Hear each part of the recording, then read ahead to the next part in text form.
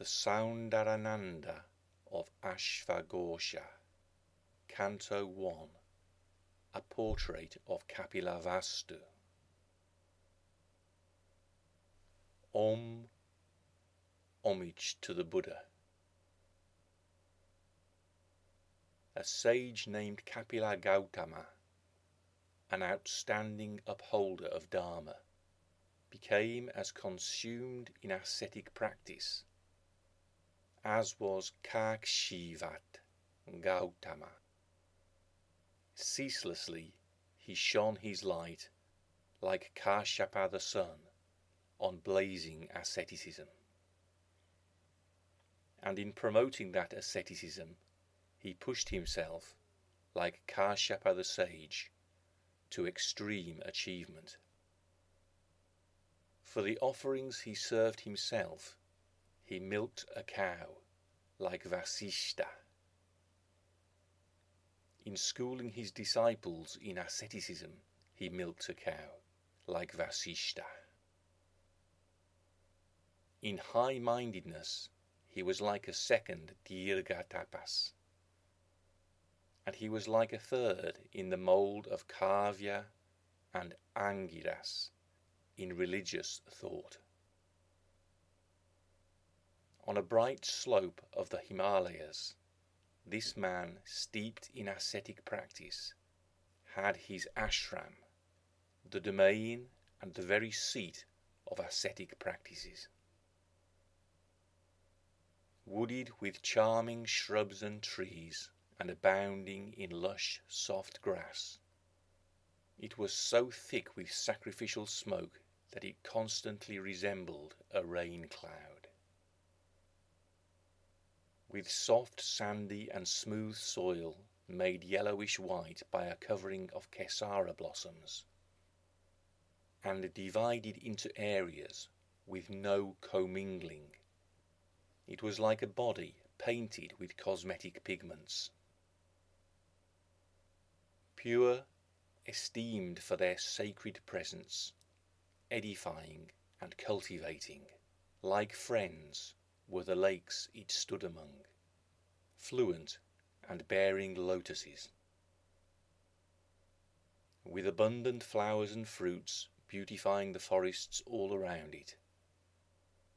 It shone and it flourished like a man furnished with a means.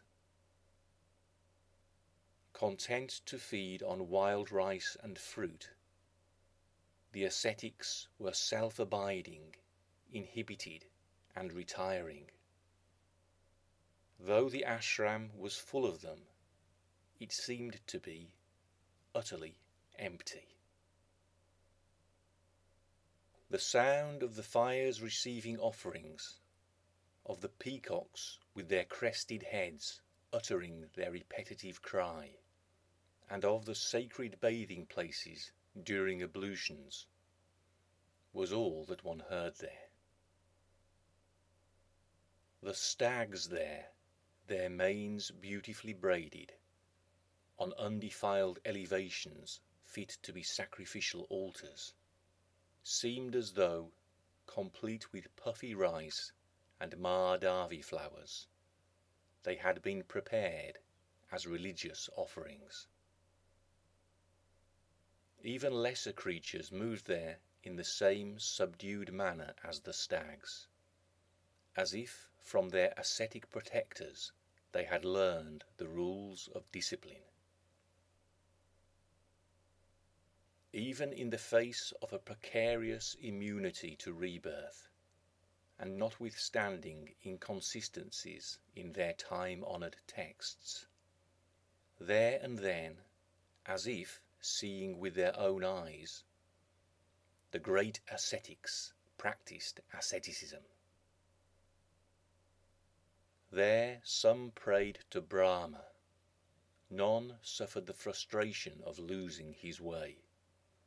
The Soma at the right moment was measured out, and nobody at a random moment came to nothing. There each disregarding his body, but having his own view with regard to Dharma and almost bristling with zeal, the ascetics set about their ascetic practice of asceticism. There the toiling sages, hearts straining heavenward, seemed by their passion for asceticism almost to do Dharma a mischief. Now, to that ashram, that seat of intensity, that domain of austerity, there came certain sons of Ikshvaku, royal princes, wishing to stay. Tall they were like golden columns, lion chested, strong armed, worthy of their great name and royal insignia and good upbringing. For deserving were they where undeserving was he. Big minded were they where fickle minded was he. And bright were they where brainless was he, their younger half brother. The royal authority that had come to him as his mother's bride price they had not usurped. Rather, keeping their father's promise, they had retreated to the forest. The sage Kapila Gautama became their preceptor, and so from the Guru's surname, those Kautsas became Gautamas. Just as, though they were brothers born of one father, because they had different gurus, Rama became a Gargya and Vasubhadra a Gautama. And since they made a dwelling concealed among Shaka trees, Therefore those descendants of Ikshvaku were known on earth as Shakyas. Gautama performed services for them as for his own sons, like the Bhargava sage later did for the child prince Sagara, like Kanva did for Shakuntala's son the intrepid Bharata, and like the inspired Valmiki did for the inspired twin sons of Maithili. That forest, through the sage and through those warrior heroes, radiated tranquility and security, the majesty of the Brahmin and of the Kshatriya in one yoke.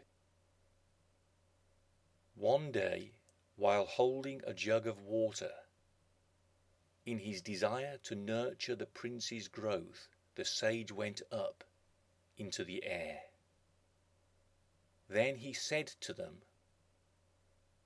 There will fall to earth from this flowing jug, whose flowing is unbreakable, a line of drops. Do not overstep this mark as in step you follow me. Yes, they said to this, and respectfully bowed, letting their heads fall forward.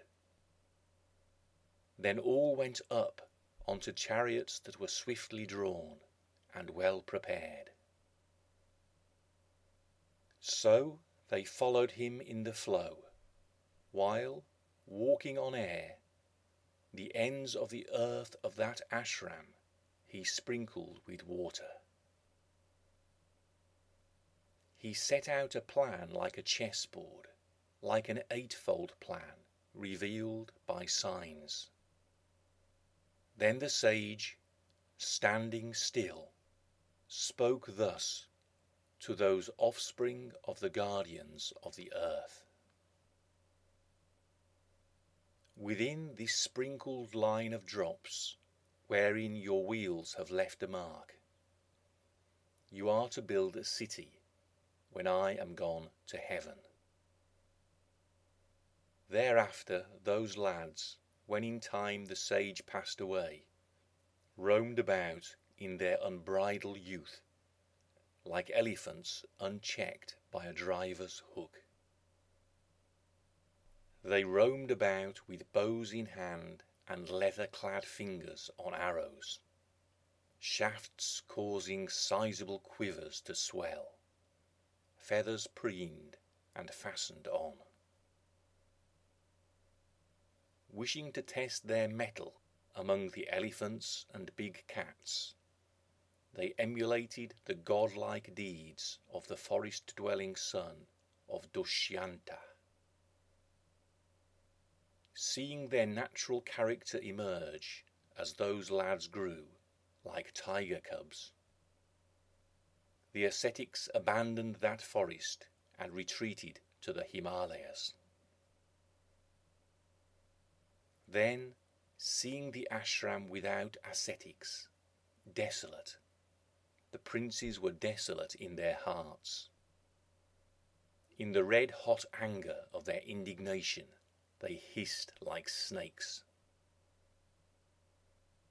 In time, through good conduct, they came to a maturity in which they could obtain the great treasures that are disclosed through acts of knowing them sufficient for full enjoyment of Dharma, wealth, and pleasure, abundant and of many kinds. These were treasures beyond the reach of enemies. On the grounds of what they thus acquired, and of the fading influence of their past karma, they who knew building at that site founded a splendid city. It had a moat as broad as a river, a main street that straightened and curved, and great ramparts rising like mountains, as if it were another Girivraja.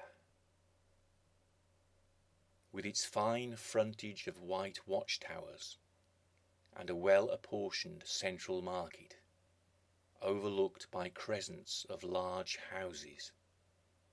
It was like a Himalayan valley.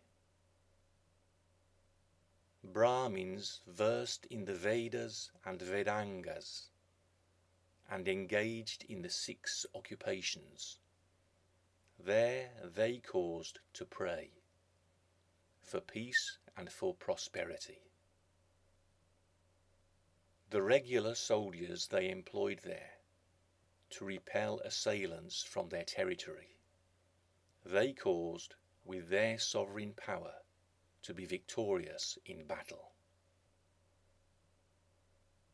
Householders of character and means, who were modest, far-sighted, worthy, stout, and able, they caused to settle there individuals possessed of particular strong points, such as thinking, talking, and taking steps, they installed in corresponding offices as councillors and ministers. Thronged by men who were wealthy but not wanton, and cultured but not conceited, the city seemed like Mount Mandara thronged by Kimnaras. There, with glad hearts, desiring to bring joy to the citizens, they commissioned those glorious abodes of beauty that we call gardens, and lovely lotus pools of finest quality water, not at anybody's behest, but because of being uplifted they had dug in all directions. Rest houses of the first rank, welcoming and splendid, on the roads and in the woods, and complete even with wells, they caused to go up on all sides. Crowded with elephants, horses, and chariots, the city was crammed with people who did not crowd each other. material wealth was available to the needy, not secreted, but learning and spirit ran secret and deep. Like a place where goals converge, where energies are focused, where learning activities are housed together, and where achievements come together. It was a homing tree for high flyers, a refuge for those seeking a place of rest, an arena for those skilled in scientific endeavour, and a tethering post for the mighty. By means of meetings, festivals, and acts of giving, and by means of traditional observances, the heroes brought that city the light of the world, to a glorious readiness. Since they never levied any tax that was not just, therefore in a short time they caused the city to be full. And since on the site of the ashram of the seer Kapila they had built that city, therefore it was called Kapilavastu. Just as cities sited on the ashrams of Kakanda, Makanda, and Kushamba were called after them, so that city was called after Kapila. Those equals of Indra took charge of that city with noble ardour, but without arrogance and they thus took on forever the fragrance of honour, like the celebrated sons of Yayati. But under the sons of kings, active though they were as protectors, that kingless kingdom lacked kingly lustre. Like the sky, though stars are shining in their thousands, before the moon has risen. So the senior among those brothers, in age and in merits, like the bull which is chief among bulls in bodily power, they anointed there, attaching to the important, like the Adityas in heaven, anointing thousand-eyed Indra. Possessed of good conduct, discipline, prudence, and industry, bearing the big umbrella for duty's sake, not to pander to the power of the senses. He guarded that realm, surrounded by his brothers, like roaring Indra guarding heaven with his retinue of storm gods.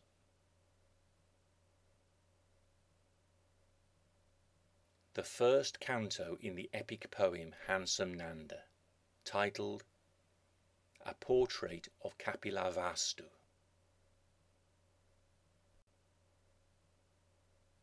Some time thereafter that realm passed, through familial succession, to a king named Shuddhodana, who, being pure in his actions, had conquered the power of the senses. Neither stuck in his desires nor conceited about gaining sovereignty. He did not, as he grew, look down on others, and nor did he shrink from others in fear. Strong and strong-minded, learned as well as intelligent, daring and yet prudent, determined and cheerful with it. He had a fine form without being stiff, was dexterous but not dishonest, was energetic but not impatient, and active but never flustered. Challenged by his enemies in battle, and petitioned by friends, he was not backward in responding with an intense energy, and with a willingness to give.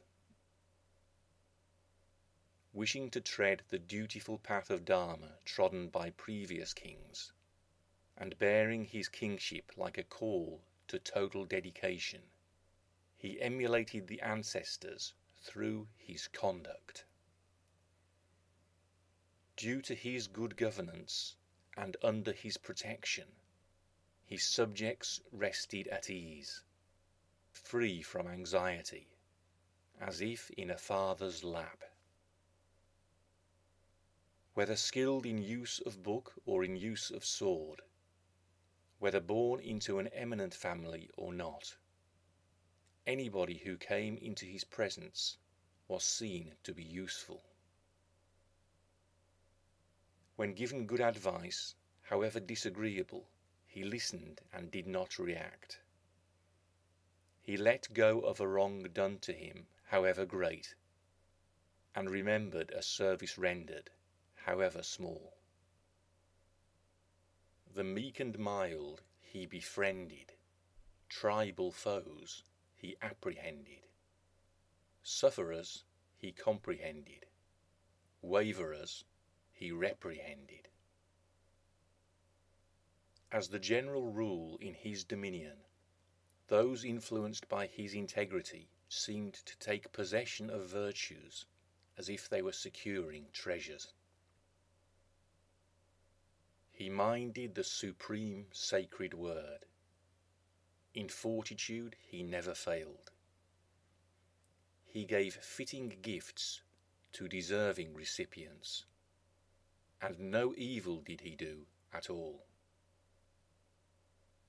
A promise undertaken he resolutely carried out, like a good horse carrying a load, for he did not desire apart from truthfulness, even a moment of life. For the intellectually bright, he was there. With his own self containment, he shone. And on people in the directed state, he positively beamed, like the moon in the last month of the rains. Through intelligence and learning, he knew what was fitting both in here and out there. He guarded with constancy and energy both his senses and his subjects. He bore away the suffering of the oppressed and the boastful fame of the cruel, and covered the earth with guiding principles and a much greater glory. Seeing people suffering, he overflowed with his original emotion as a man of compassion. But he did not, through eager desire, undermine his honour by unprincipled acquisition of treasured objects. In his kind-hearted, iron devotion, even to imperfect friends, he had no will to take, but willingly gave, cheerful faced, to each according to his need. Without offering the first portion to revered beings, and without bathing, he did not eat anything. Neither did he milk the earth unjustly, as a cow is milked by a man thirsting for milk. He never scattered the food offering except when due. He never developed lordly arrogance. Committing of the scriptures to his mind, he did for Dharma, not for praise. A few doers of harsh deeds, though they deserved harsh treatment, he did not treat harshly. And due to his noble nature, he never cast a veil over the virtues of a true man, even one who defied him.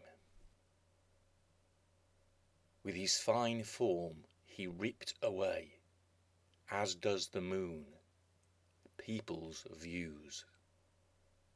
he never touched in an act of becoming what belonged to others, any more than he would touch a venomous snake slithering on the earth. Nowhere in his dominion did anyone hurt by anyone lament, for the bow in his hand bestowed peace upon the afflicted. Even those who transgressed, if they were submissive, and before them, of course, those who acted agreeably, he surveyed with an affectionate eye and steeped in loving speech. He studied many subjects without being interested in objects, abiding in Dharma as it was in the Golden Age. He did not drift even in a predicament from Dharma. Because of his virtues, he continually grew.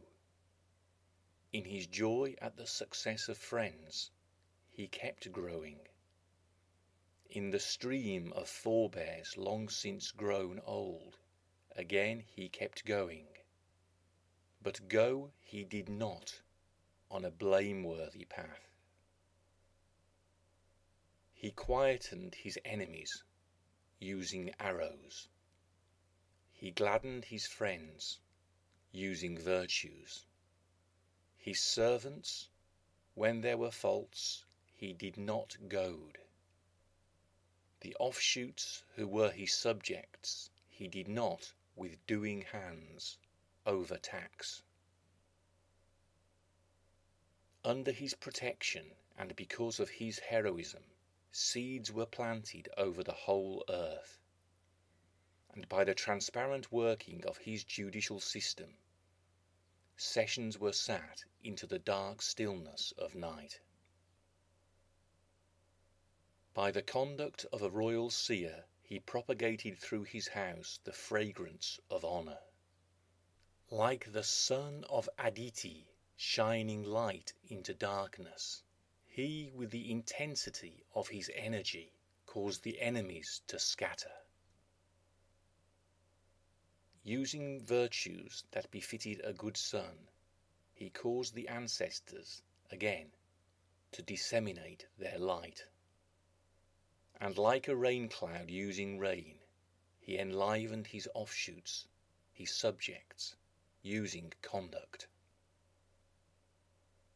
With inexhaustible and great acts of giving, he caused the Brahmins to press out their soma, and by dutifully adhering to his kingly Dharma, he caused corn at the right moment to ripen. He talked no talk that went against Dharma, being free in himself of doubts and questions. And, like a wheel rolling king, he caused others to be courageous in service of Dharma. No special tribute did he cause the kingdom to pay him, but with sustained endeavour, and using only regulars, he caused enemy pride to be cut down. Again and again he caused his own house to be pure, using just his own virtues. At the same time he did not let his offshoots decay, for all were established in all dharmas a man of tireless sacrifice, when the time was right, he caused sacrificial ground to be measured out, and he enabled twice born men, who under his protection were unburdened by anxiety, to know the weight of the sacred word. In the presence of gurus and obeying the rule he caused the soma to be measured out on time, as a cool, mild man of soma, and yet with intense ardour, with fiery energy, he saw the enemy army cut down to size. As knower of the Dharma that is paramount, he caused his offshoots to abide in Dharma in a small way, and yet caused them, because of experiencing Dharma, to let heaven wait.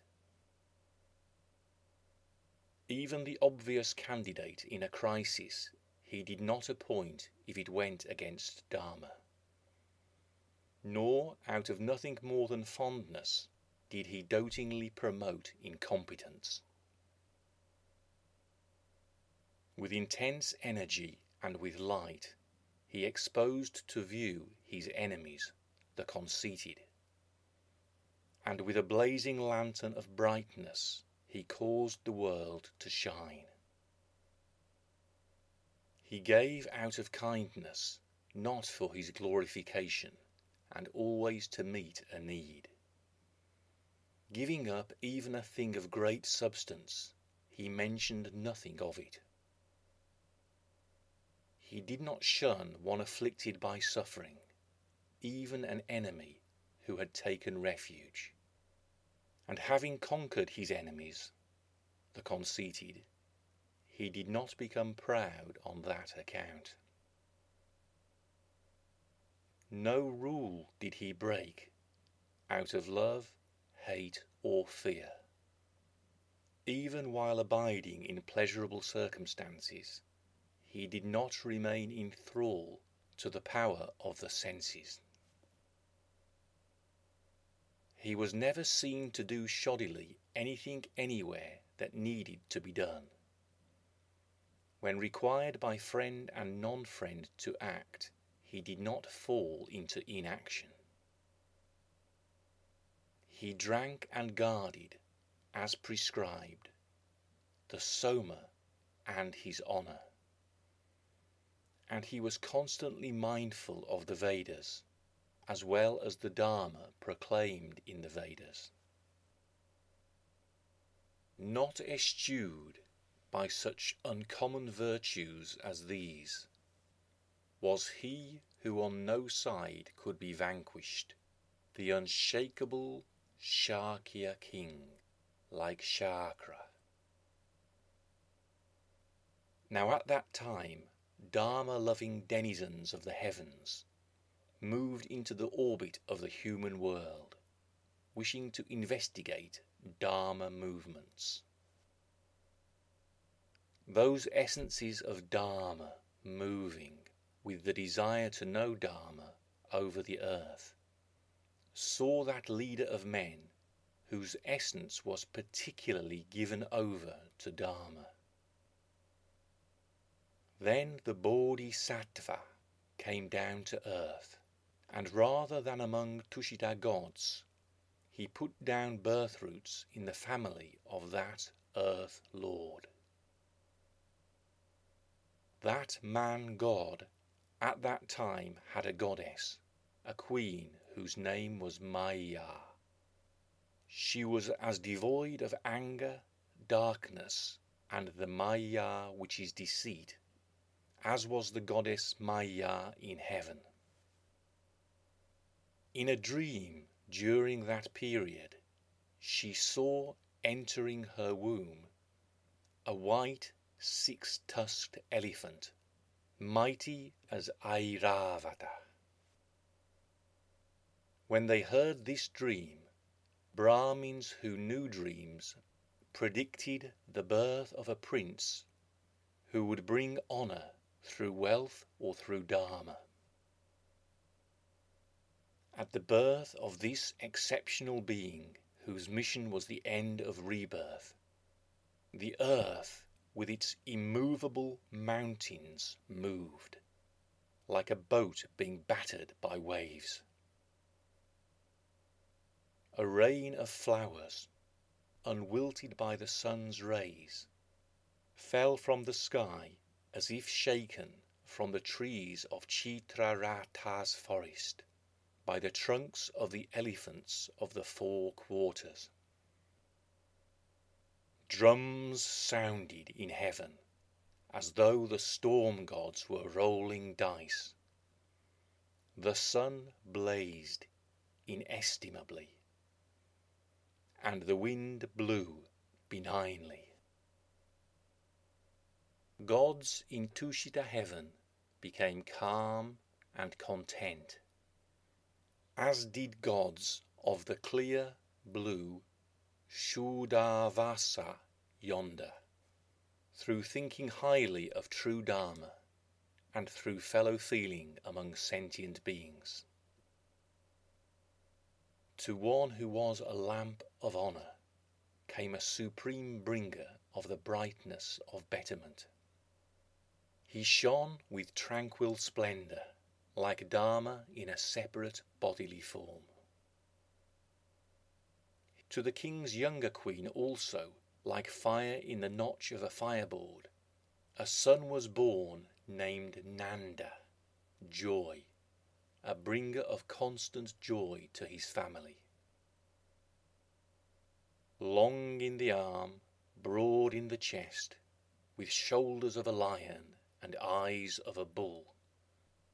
He, because of his superlative looks, bore the epithet handsome. Like a first month in spring having arrived, like a new moon having risen, again, like the non physical having taken a physical form, he radiated sheer loveliness. The king with exceeding gladness brought up the two of them, as great wealth in the hands of a good man promotes Dharma and pleasure. Those two good sons in time grew up to do the king proud, just as, when his investment is great, Dharma and wealth pay a noble person well being in the middle with regard to those two good sons. The Shakya king reigned resplendent, like the Madhya Desha, the middle region, adorned by the Himalaya and Pariyatra mountains. Then, gradually, those two sons of the king became educated in practical arts and in learning Nanda frittered all his time on idle pleasures. But Sarvartha Siddha, accomplisher of every aim, was not mottled by the redness of passions. For he had seen for himself an old man, a sick man, and a corpse, after which as with a wounded mind he witnessed the unwitting world. He was disgusted to the core, and found no pleasure in objects, but wished totally to terminate the terror of being born and dying. Having focused his agitated mind on the end of becoming, he fled the king's palace, indifferent to the most beautiful of women sleeping there. Determined to go to the forest, he fled in the night. Like a goose from a lake of ruined lotuses. The second canto in the epic poem Handsome Nanda, titled A Portrait of the King.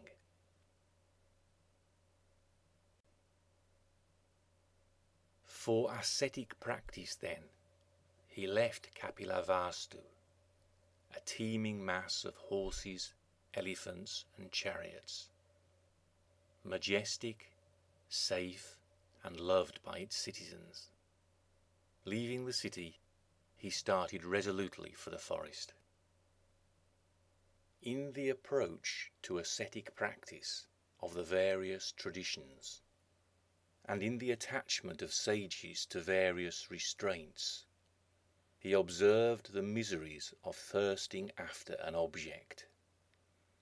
Seeing asceticism to be unreliable, he turned away from it. Then Arada, who spoke of freedom, and likewise Udraka, who inclined towards quietness, he served, his heart set on truth, and he left. He who intuited the path intuited. This also is not it. Of the different traditions in the world, he asked himself, which one was the best? Not obtaining certainty elsewhere, he entered after all into ascetic practice that was most severe. Then, having seen that it was not the path, he also abandoned that extreme asceticism. Understanding the realm of meditation to be supreme, he ate good food in readiness to realize the deathless. With golden arms fully expanded, and as if in a yoke, with lengthened eyes and bull like gait, he came to a fig tree growing up from the earth, with the will to awakening that belongs to the supreme method of investigation. Sitting there, mind made up, as unmovingly stable as the king of mountains, he overcame the grim army of Mara and awoke to the step which is happy irremovable, and irreducible.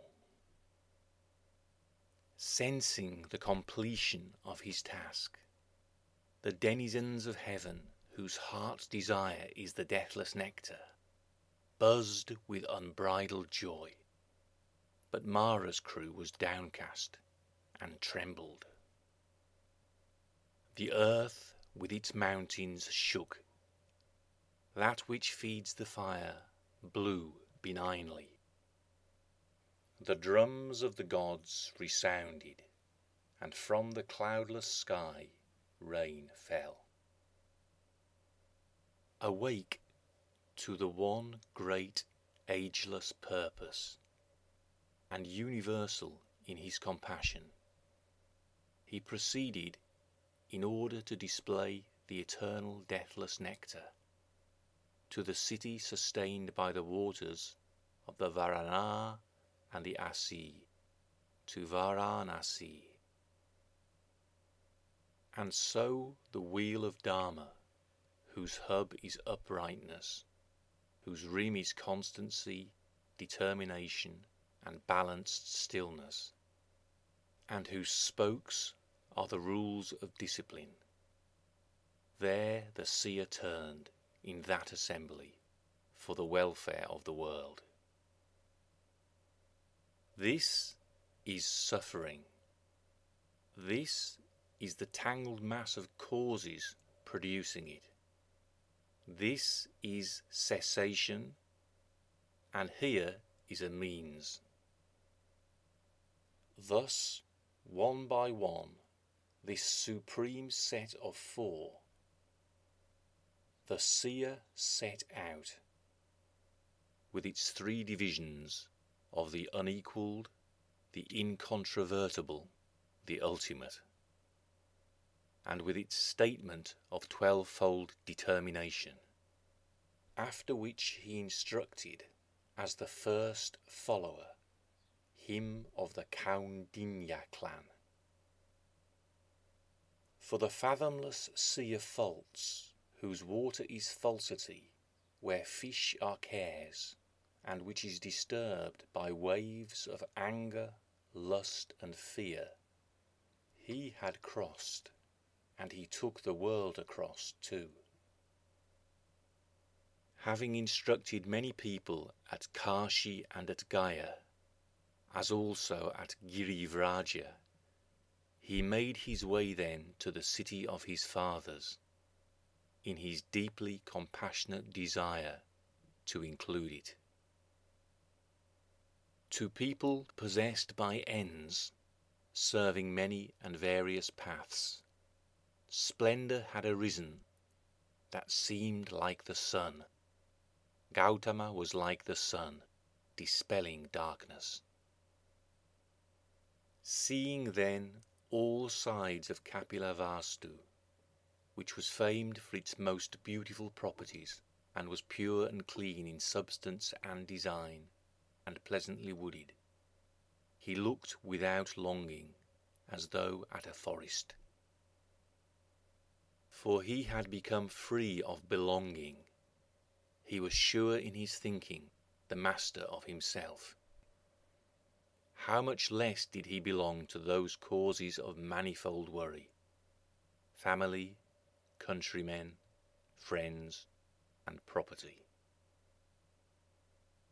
Being revered gave him no thrill, and neither did disrespect cause him any grief. His direction was decided, come sword or sandalwood, and whether the going was tough or easy, he was not diminished. And so the king learned that his son had arrived, as the Tathagata, the One, arrived thus. With but a few horses straggling behind him, out the king charged, in his eagerness to see his son. The Sugata, the one gone well, saw the king coming thus, composure lost in expectation, and saw the rest of the people too, with tearful faces. Wishing to direct them, up he took himself into the sky. He strode over heaven as if over the earth, and sat again in the stillness of having stopped. Without changing his direction, he lay down. He showed many changing forms, while remaining in this manner all of one piece. He walked over water as if on dry land, immersed himself in the soil as though it were water, rained as a cloud in the sky, and shone like the newly risen sun. Simultaneously glowing like a fire and passing water like a cloud, he gave off a light resembling molten gold, like a cloud set aglow by daybreak or by dusk. Looking up at him in the network of gold and pearls that seemed to wrap around him like an upraised flag, the king became joyful beyond measure, and the assembled people, bowing down, felt deep appreciation. And so, seeing that he had made a vessel of the ruler of men through the wealth of his accomplishments, and that the townsfolk also were amenable, the guide gave voice to the Dharma and the discipline. Then the royal hero reaped the first fruit for the fulfillment of the deathless Dharma. Having obtained unthinkable Dharma from the sage, he bowed accordingly in the sage's direction, as to a guru. Many then who were clear in mind, alert to the agony of birth and death, among mighty Shakya-born men of action, went forth into the wandering life like bulls that had been startled by fire. But even those who did not leave home, out of regard for children or father or mother, they also, until their death, embraced the preventive rule.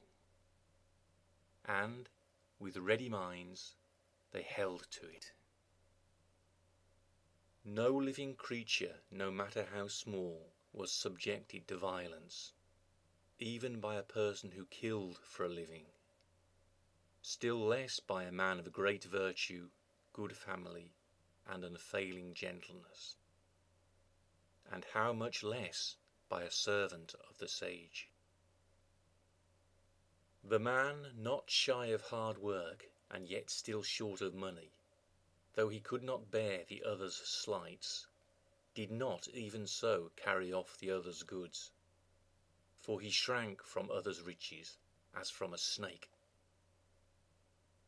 Even the man of money and youth, with senses excited by objects of his affection, even he never approached others' wives, for he deemed them to be more dangerous than a burning fire. Nobody told an untruth, nor made true but nasty gossip, nor crooned slick but malicious words, nor spoke kindly words that had a backbiting motive. No greedy minded person in his heart had any designs on the treasures of others. Seeing sensual happiness to be no happiness, the wise went freely on their way, as if satisfied in that area already. Nobody showed any hostility towards the other.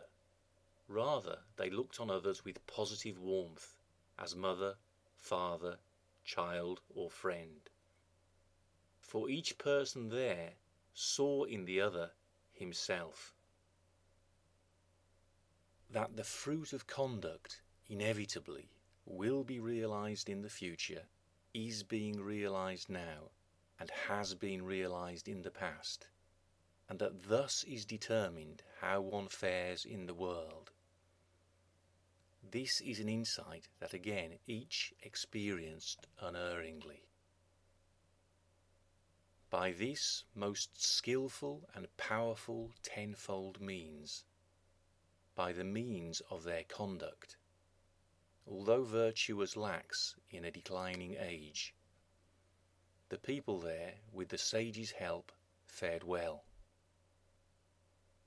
But nobody there, because of his virtues, expected happiness in a resulting birth.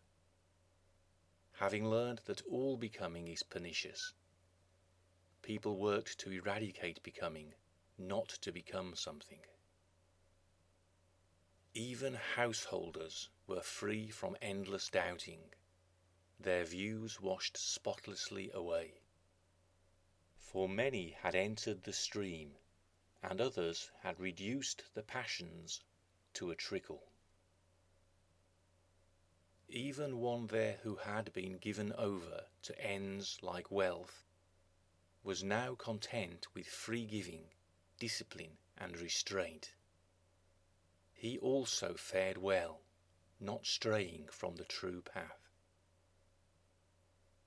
Neither from within the self nor from without did any terror arise, nor from fate. By dint of their true happiness and material plenty and practical merits, the citizens there rejoiced as in the golden age of Manu. Thus exulting in freedom from disease and calamity, that city was the equal of Kuru, Raghu, and Puru, with the great dispassionate seer serving there for the good of all as a guide to peace. the third canto in the epic poem Handsome Nanda, titled A Portrait of the Tathagata.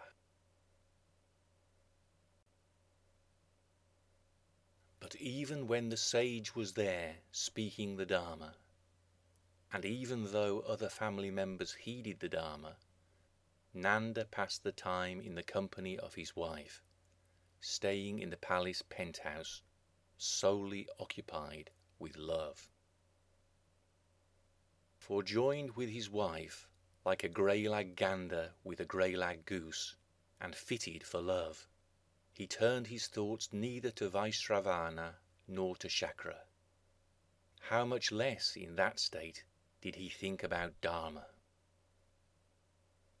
For her grace and beauty she was called lovely Sundari. For her headstrong pride sulky Manini, and for her sparkle and spirit, beautiful Bhamini, so that she was called by three names. She of smiles like the bars of a bar-headed goose, of eyes like black bees, and swelling breasts like the upward jutting buds of a lotus, shimmered all the more a lotus pool in female form, with the rising of a kindred luminary, the sun-like Nanda.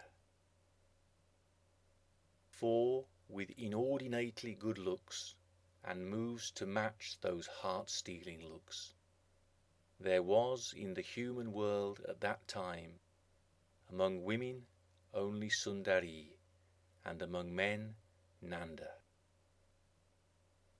She, like a goddess wandering in Indra's gardens of gladness, and Nanda, the bringer of joy to his kin, seemed, having gone beyond mortals and yet not become gods, to be a creator's creation in progress.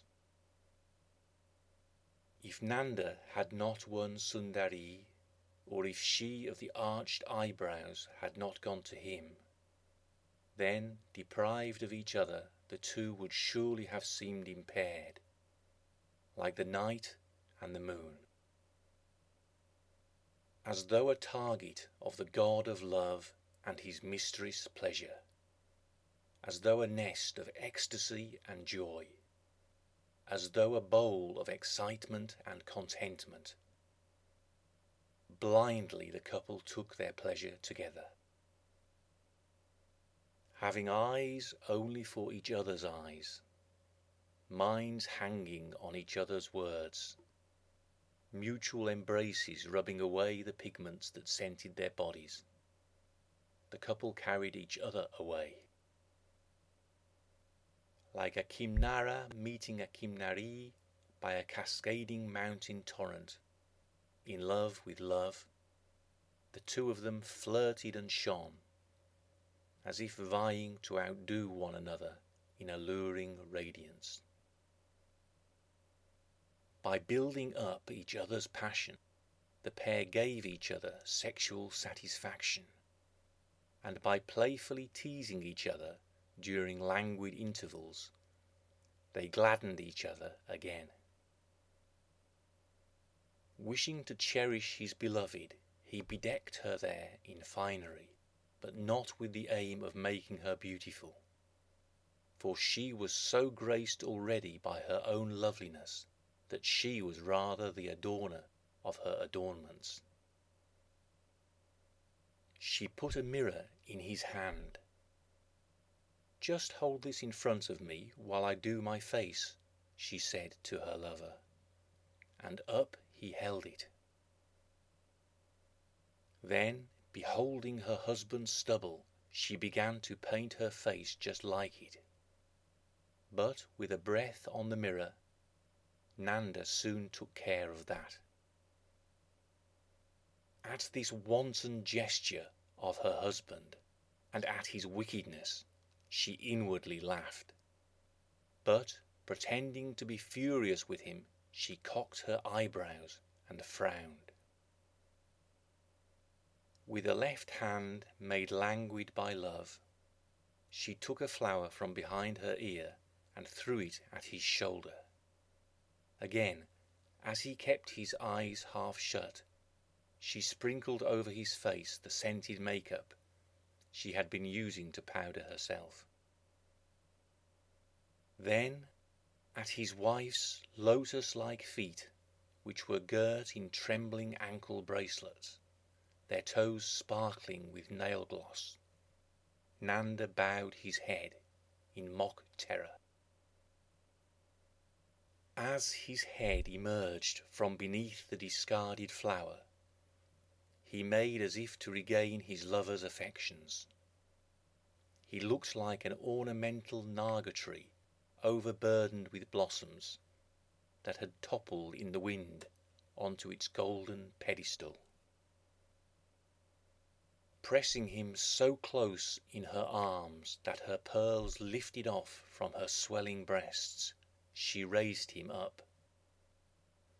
What are you doing? she cried laughingly, as her earrings dangled across her face. Then, looking repeatedly at the face of her husband, whose hand had clung to the mirror, she completed her face painting so that the surface of her cheeks was wet with tamala juice. Framed by the tamala smudges, her face with its cherry red lips and wide eyes extending to her hair, seemed like a lotus framed by duckweed, with crimson tips and two big bees settled on it. Attentively now, Nanda held the mirror, which was bearing witness to a work of beauty. Squinting to see the flecks she had painted, he beheld the face of his impish lover. The makeup was nibbled away at its edges by her earrings, so that her face was like a lotus that had suffered the attentions of a Karandava duck. Nanda, by gazing upon that face, became all the more the cause of his wife's happiness.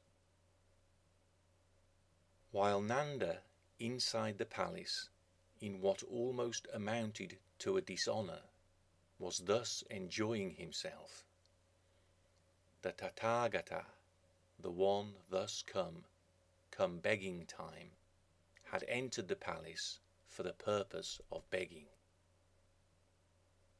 With face turned down, he stood in his brother's house as in any other house, not expecting anything. And then, since due to the servant's oversight he received no alms, he went again on his way. For one woman was grinding fragrant body oils, another was perfuming clothes Another likewise was preparing a bath, while other women strung together sweet smelling garlands. The girls in that house were thus so busy doing work to promote their master's romantic play that none of them had seen the Buddha, or so the Buddha inevitably concluded. One woman there, however, on glancing through a round side window on the upper story of the palace, had seen the Sugata, the one gone well, going away, like the blazing sun emerging from a cloud. Thinking in that moment of the importance of the worthy one to the master of the house, and through her own devotion to the worthy one, she stood before Nanda intending to speak. And then, with his permission, up she spoke. To show favour to us, I suppose, the glorious one, the Guru, came into our house. Having received neither alms, nor welcoming words, nor a place to sit, He's going away, as if from an empty forest. When he heard that the great seer had entered his house and departed again without receiving a welcome, Nanda, in his brightly coloured gems and garments and garlands, flinched like a tree in Indra's paradise, shaken by a gust of wind. He brought to his forehead hands joined in the shape of a lotus bud, and then he begged his beloved to be allowed to go. I would like to go and pay my respects to the Guru. Please permit me this once. Shivering, she twined herself around him like a wind-stirred creeper around a teak tree. She looked at him through unsteady, tear filled eyes, took a deep breath, and told him, Since you wish to go and see the Guru, I shall not stand in the way of your Dharma duty. Go, noble husband, but come quickly back. before this paint on my face is dry. If you dawdle, I will punish you severely. As you sleep, I shall, with my breasts, repeatedly wake you, and then not respond. But if you hurry back to me before my face paint is dry, then I will hold you close in my arms with nothing on except fragrant oils. Thus implored and squeezed by a dissonant sounding Sundari, Nanda said, I will, my little vixen, now let me go, before the Guru has gone too far. And so, with arms made fragrant by her swollen, sandal scented breasts, she let him go but not with her heart. He took off clothes that were suited to love, and took on a form that befitted his task. She contemplated her lover leaving, with brooding, empty, unmoving eyes, like a doe standing with ears pricked up as she lets grass drop down, and as, with a perplexed expression, she contemplates the stag wandering away. With his mind gripped by desire to set eyes upon the sage, Nanda hurried his exit.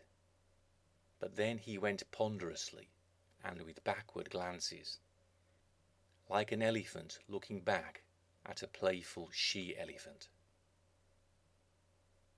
Between her swelling, cloud like breasts and the buttresses of her full thighs. Sundari's lean abdomen was like a golden fissure in a rock formation. Looking at her could satisfy Nanda no better than drinking water out of one hand. Reverence for the Buddha drew him on. Love for his wife drew him back. Irresolute, he neither stayed nor went, like a king goose pushing forwards against the waves. Once she was out of sight, he descended from the palace quickly.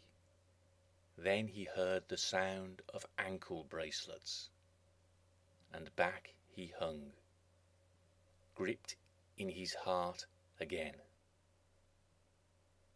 Held back by his love of love, and drawn forward by his love for Dharma, he struggled on, being turned about like a boat on a river, going against the stream.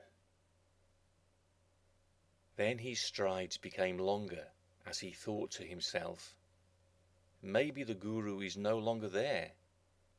Might I after all embrace my love, who is so especially lovable? while her face paint is still wet. And so, on the road, Nanda saw the one in whom absence was thus the Tathagata, devoid of pride, and, even in his father's city, haughtiness thus absent. Seeing the possessor of ten powers stopping and being honoured on all sides, Nanda felt as if he were following Indra's flag. The fourth canto in the epic poem Handsome Nanda, titled What He Begged His Wife For.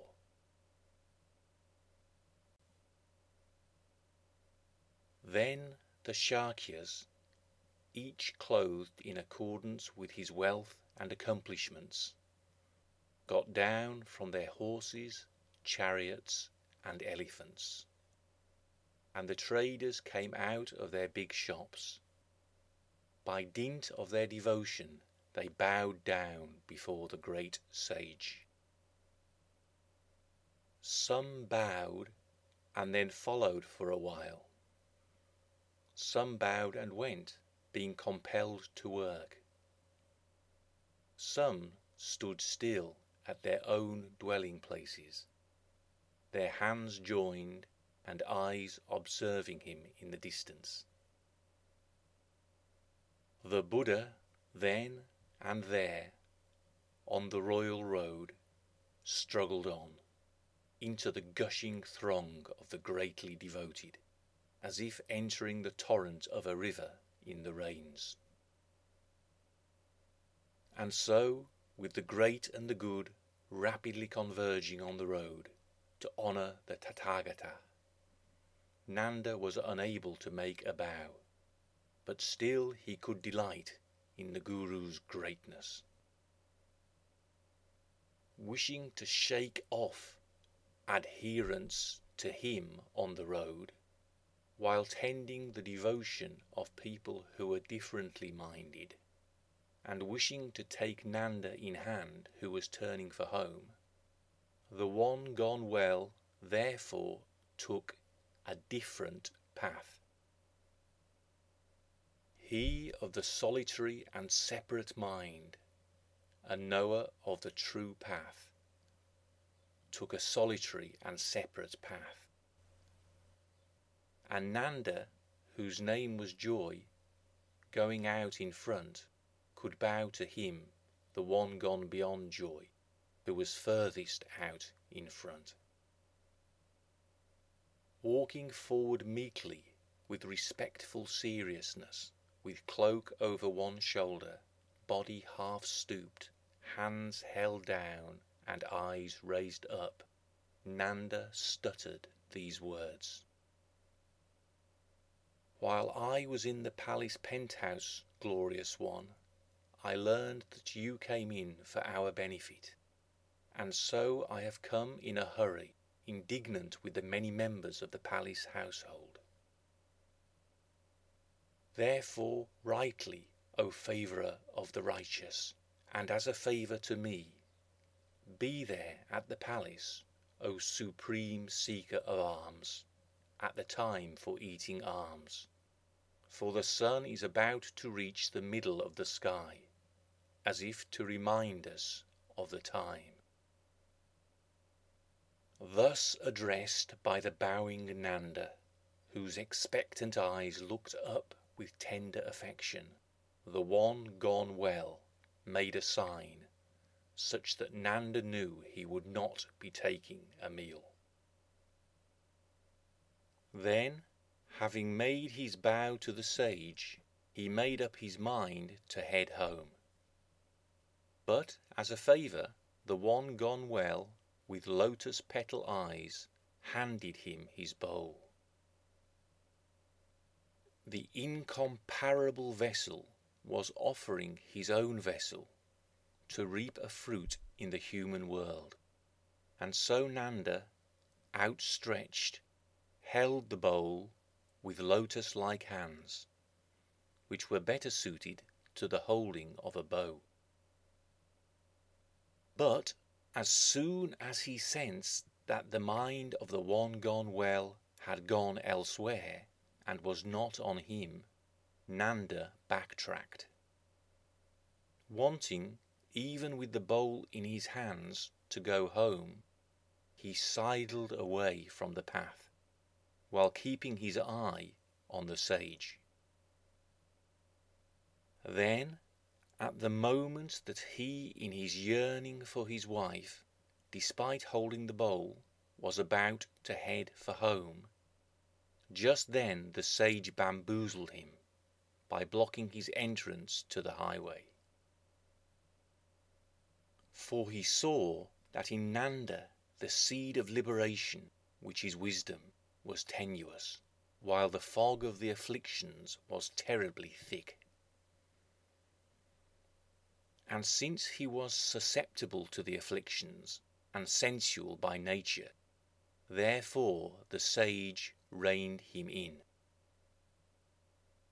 There are understood to be two aspects to defilement Correspondingly, there are two approaches to purification.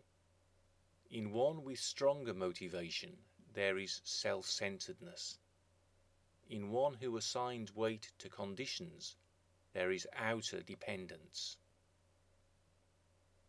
The one who is more strongly self motivated loosens ties without even trying, on receipt of the slightest stimulus. Whereas the one whose mind is led by circumstances struggles to find freedom because of his dependence on others. And Nanda, whose mind was led by circumstances, became absorbed into whomever he depended on. The sage, therefore, made this effort in his case, wishing to lift him out of the mire of love. But Nanda followed the Guru meekly and helplessly, squirming with discomfort, as he thought of his wife's face, her eyes looking out restlessly, and the painted marks still moist.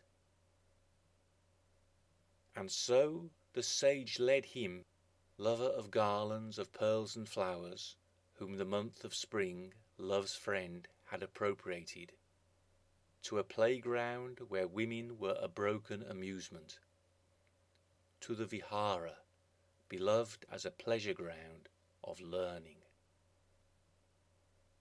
Then the greatly compassionate one, watching him in his moment of misery, and pitying him, put a hand with wheel marked palm on his head and spoke to him thus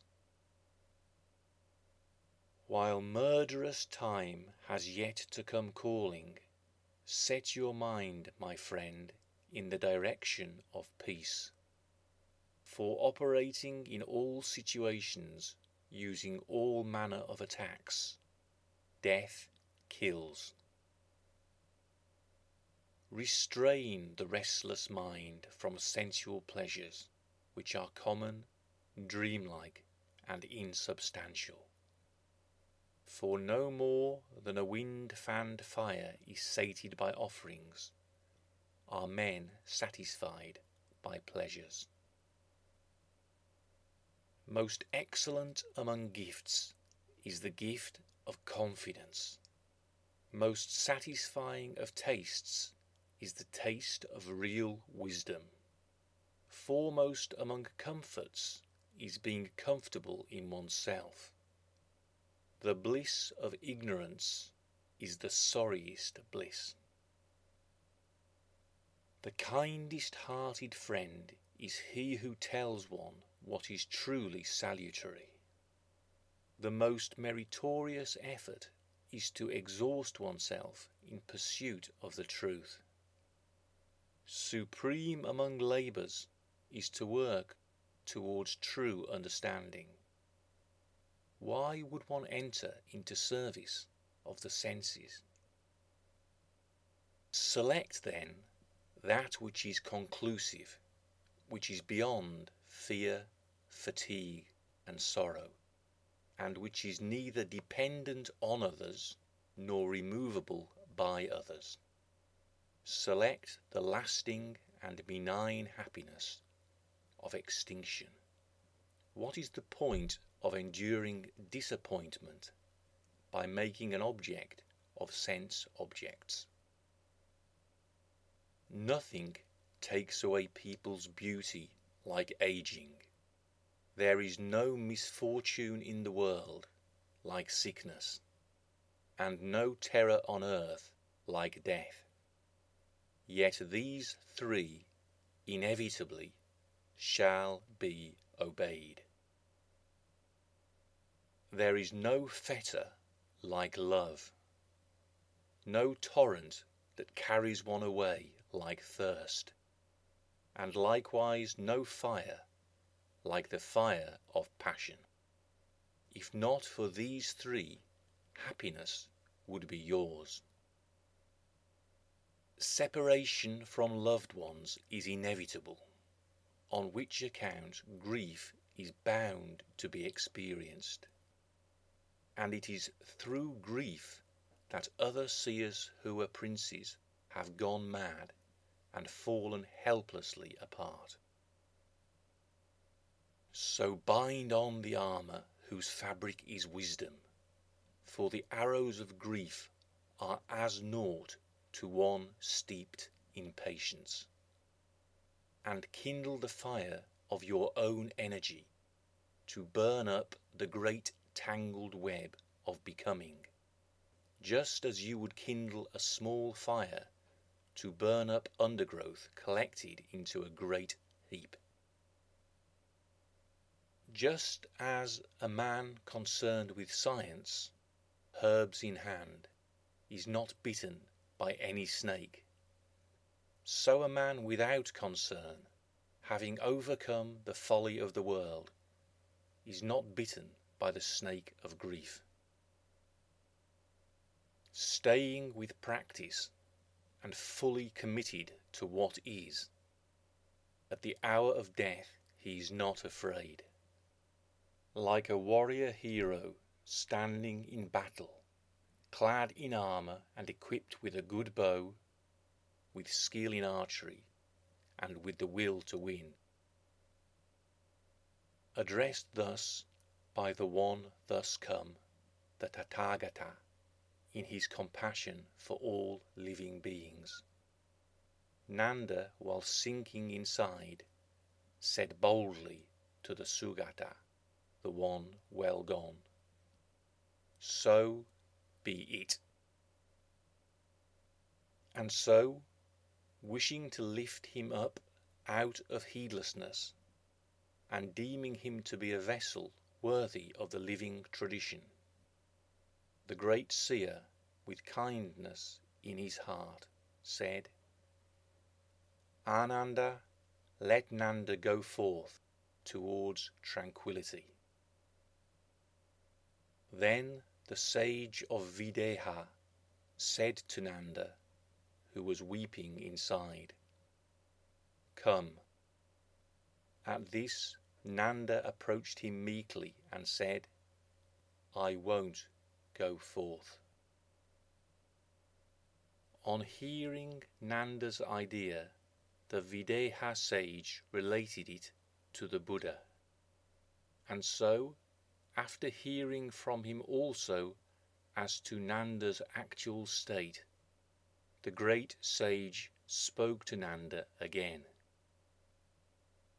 O you who have yet to conquer yourself, given that I, your elder brother, have gone forth, and your cousins have gone forth after me, and seeing that our relatives who remain at home are committed to practice, are you minded to be conscious of consciousness, or are you not?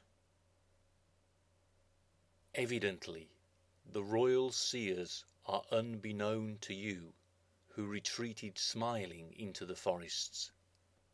Having spat out desires, they were desirous of tranquillity, and thus not stuck in lower order desires. Again, you have experienced the drawbacks of family life, and you have observed the relief to be had from leaving it. And yet you, like a man in a disaster area who is resigned to his death, have no intention of giving up and leaving house and home. How can you be so devoted to the wasteland of samsara and so devoid of desire to take the auspicious path, when, like a desert trader who drops out from a caravan, you have been set on that very path. One who, in a house burning on all sides, instead of getting out of there, would lie down in his folly to sleep. Only he might be heedless in a world burning in the fire of time, with its flames of sickness and aging. Again, like the condemned man being led, drunkenly laughing and babbling, to the stake, equally to be lamented is one whose mind is upside down, cavorting while death stands by, with noose in hand. When kings and humble householders, leaving relations and possessions behind, have gone forth, will go forth, and even now are going forth. What is the point of pandering to fleeting fondnesses? I do not see any pleasure which might not, by turning into something else, become pain. Therefore no attachment bears scrutiny, unless the grief is bearable that arises from the absence of its object. So, my friend, knowing the human world to be fickle, a net of Indra, a web of fictions, like a gaudy magic show, abandon the net of delusion you call my love, if you are minded to cut the net of suffering. Unfancied food that does one good is better than tasty food that may do harm.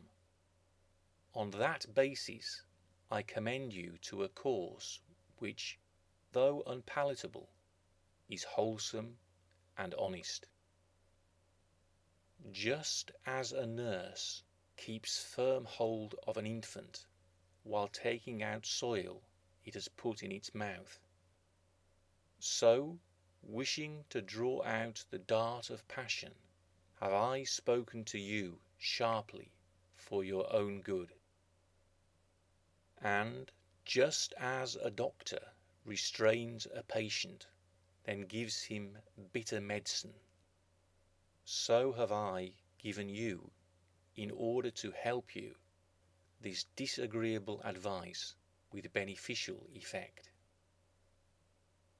Therefore, while you are meeting the present moment, while death has yet to come, so long as you have the energy for practice, decide on better. Addressed thus by his benevolent and compassionate guide, Nanda said, I shall do, glorious one, all that you say just as you teach it. At this the sage of Videha reclaimed him, and held him close as he led him off, writhing. And then, while Nanda's eyes welled with tears, he separated the crowning glory of his hair from the royal umbrella of his head. As his hair was thus being banished, his tearful, downcast face resembled a rain-sodden lotus in a pond, with the top of its stalk sagging down.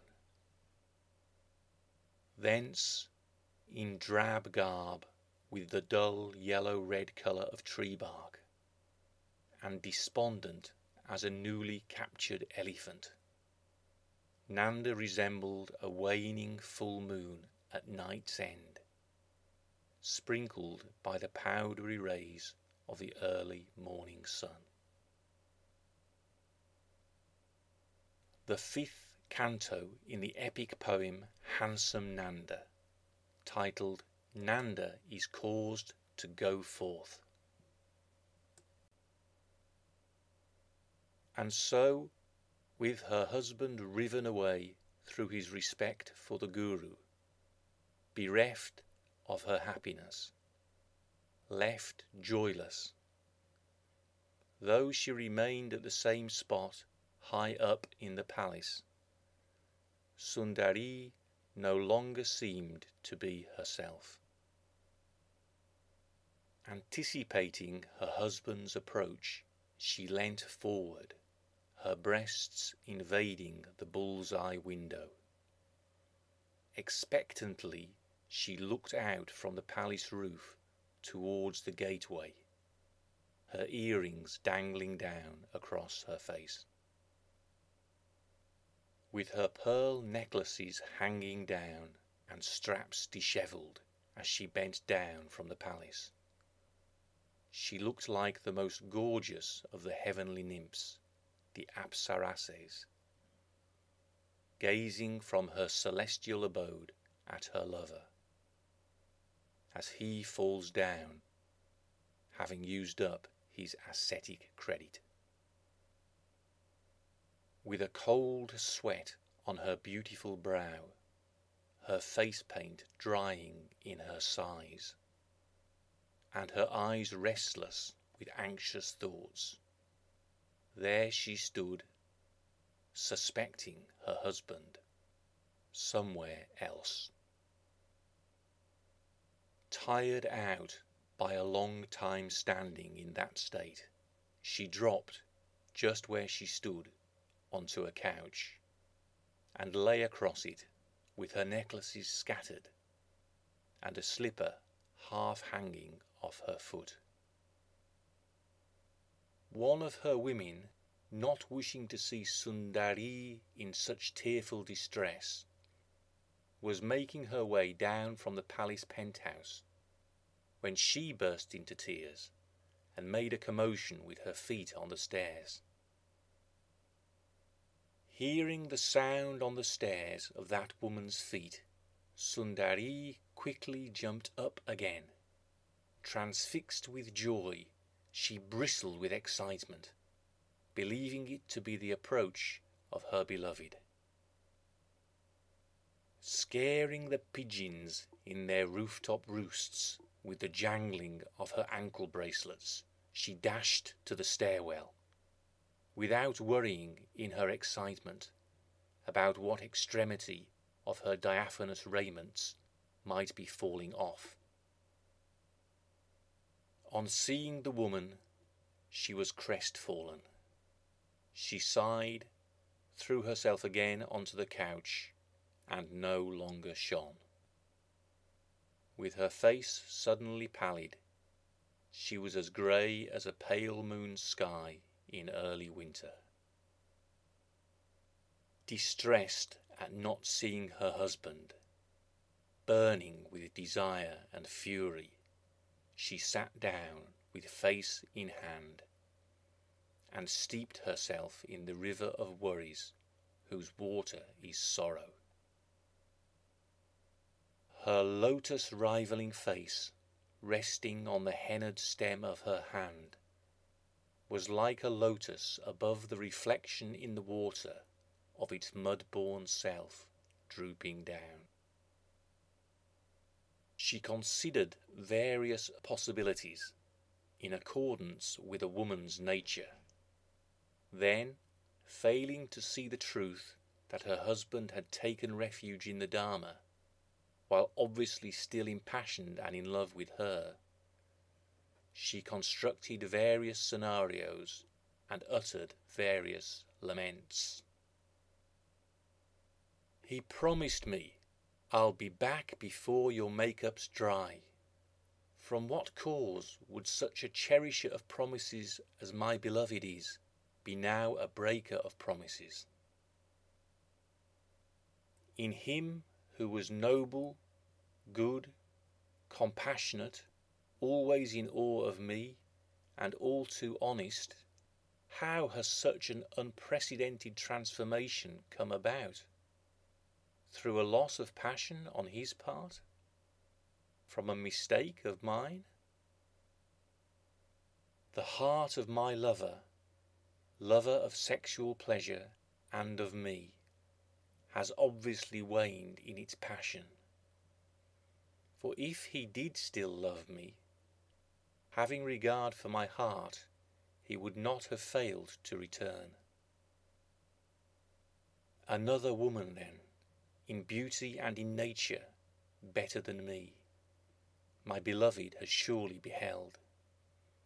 For, having soothed me as he did, with empty words, the guy has gone and left me, attached to him as I am. As for that devotion to Buddha of which he spoke, it was just a line to me for leaving. For if he were clearly settled on the sage, he would fear untruth no less than a grisly death. While I put my make-up on, he held the mirror as a service to me, and thought of another. If he holds it now for that other, so much for his fickle affection. Any woman who does not wish to suffer grief like this should never trust a man. How could he treat me before with such regard, and then, in a twinkling, leave me like this, like anybody? This she said and more, love lorn, and suspecting her love of loving another. Then the giddy weeping woman, having dizzily climbed the palace stairs, tearfully told her these words. Though he may be young, good looking, full of noble ancestry, and filled with charm and fortune, never did your husband cheat on you. You are being silly and judging him amiss.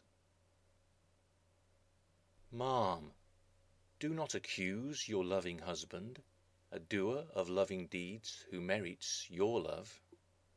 He never even looks at any woman other than you, like greylag gander with kindred greylag goose. For you he wished to stay at home, for your delight he wished to live. But his noble brother, the Tathagata, so they say, has banished him, his face made wet by tears, into the wandering life.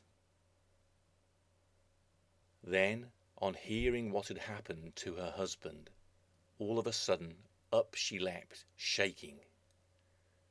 She clasped her arms and screamed out loud, like a she elephant shot in the heart by a poisoned arrow. Her eyes, puffed up and reddened by tears, the slender trunk of her body trembling with anguish, she broke and scattered strings of pearls as down she fell, like a mango branch weighed down by too much fruit. Wearing clothes suffused with lotus colours, with lotus face and eyes as long as lotus petals, she was like a lotus-hued Lakshmi who had fallen from her lotus pedestal, and she withered like a lotus garland left in the sun. She thought and thought about her husband's good points, sighing long and hard, and gasping as she flung out the arms that bore her gleaming jewels and henna'd hands with reddened fingertips. Now I don't have any need for ornaments, she cried as she hurled her jewels in all directions. Unadorned and drooping, she resembled a creeper shorn of blossoms. She clasped the golden handled mirror and reflected. My husband held this up for me. And the tamala paint she had applied so carefully, she rubbed aggressively off her cheeks as if the paint had angered her. Like a greylag goose when a hawk has wounding talons on the gander's wing, she hooted mightily, as if in competition with the cooing pigeons on the palace roof, whose throats were all a tremble. She lay down to sleep in soft and gorgeous bedclothes on a bed bedecked with cat's eye gems and diamonds. But in her costly crib with golden legs she tossed and turned, and no respite did she obtain. She eyed her husband's ornaments, his clothes, guitar, and other items of amusement. Thus she entered deeply into darkness, she raised a shriek, and then, as if descending into a mire, sank down. Her belly trembled out of breathlessness, like a cave being rent inside by fiery thunderbolts. As, in her innermost heart, she burned with the fire of grief, Sundari seemed at that moment to be going out of her mind. She howled, then wilted, screamed, then swooned. She reeled, stood rooted, wailed, then brooded. She vented anger and rended garlands. She scratched her face and slashed her clothes. Hearing the howling of the lovely toothed one, for oh, how lovely were her teeth, the ladies in waiting suffered utmost torment. They climbed from inside the palace up to the roof, like nervous Kimnaris ascending a mountain peak. Their despondent faces wet with tears, like lotus ponds with rain-soaked lotus buds. They settled down along with her, according to rank and as they wished, and along with her they burned in grief. On the palace roof, enfolded by her women, the slender Sundari, gaunt with worry, seemed like a streak of crescent moon enshrouded among the autumn clouds by a hundred rays of lightning. There was one among them there, however, who was senior in years and good with words, a well respected woman holding Sundari from behind in a firm embrace, and wiping tears away, she spoke as follows Grief does ill become you, the wife of a royal seer, when your husband has taken refuge in Dharma. For in the lineage of Ikshvaku, an ascetic forest is a desired inheritance. Well you know of wives of Shakya bulls gone forth in search of freedom. As a rule, they turn their houses almost into ascetic groves, and they observe the vow of chastity as if it were a pleasure. If your husband had been stolen by another due to her superior looks and qualities, then tears you should let flow. For how could any beautiful and virtuous wife, who abounds in excellence, refrain from shedding teardrops when her heart was broken? Or had he met with some disaster, and may no such thing ever be, then yes, tears because there is no greater sorrow for a woman of noble birth who dignifies her husband as if he were a god. But on the contrary, he now is roving happily, meeting no disasters, but enjoying a healthy and fruitful life. Free from eager longing, he is following Dharma at a time for celebration, why are you in such a state of weeping consternation? Though this woman, with her unctuous kindness, thus put forward many sorts of argument, Sundari could not be satisfied at all. Then another woman, with a sense of intimacy, said what helped her mind and fit the occasion. Truly and categorically, I am telling you that soon enough you'll see your husband back again. Dispossessed of you, the fellow will survive out there no longer than living things survive when dispossessed of consciousness. Even in the lap of luxury, he could not be happy, lacking you there by his side. and even in the direst pickle, not a thing could trouble him as long as you were in his sight. Be happy, don't keep crying, spare your eyes from shedding molten tears. The way he feels for you and his passion are such that he, bereft of you, will find no pleasure in the Dharma. Some might say that having worn the ochre robe, he won't relinquish it by dint of noble birth, combined with strength of character. But he put it on unwillingly, while looking forward to going home. What fault is there in taking it back off? Thus consoled by her little women, when her husband had purloined her heart, Sundari came to earth, just as Rambha, with her heart turned towards Dramida, came once upon a time enfolded in the midst of sister Apsarases.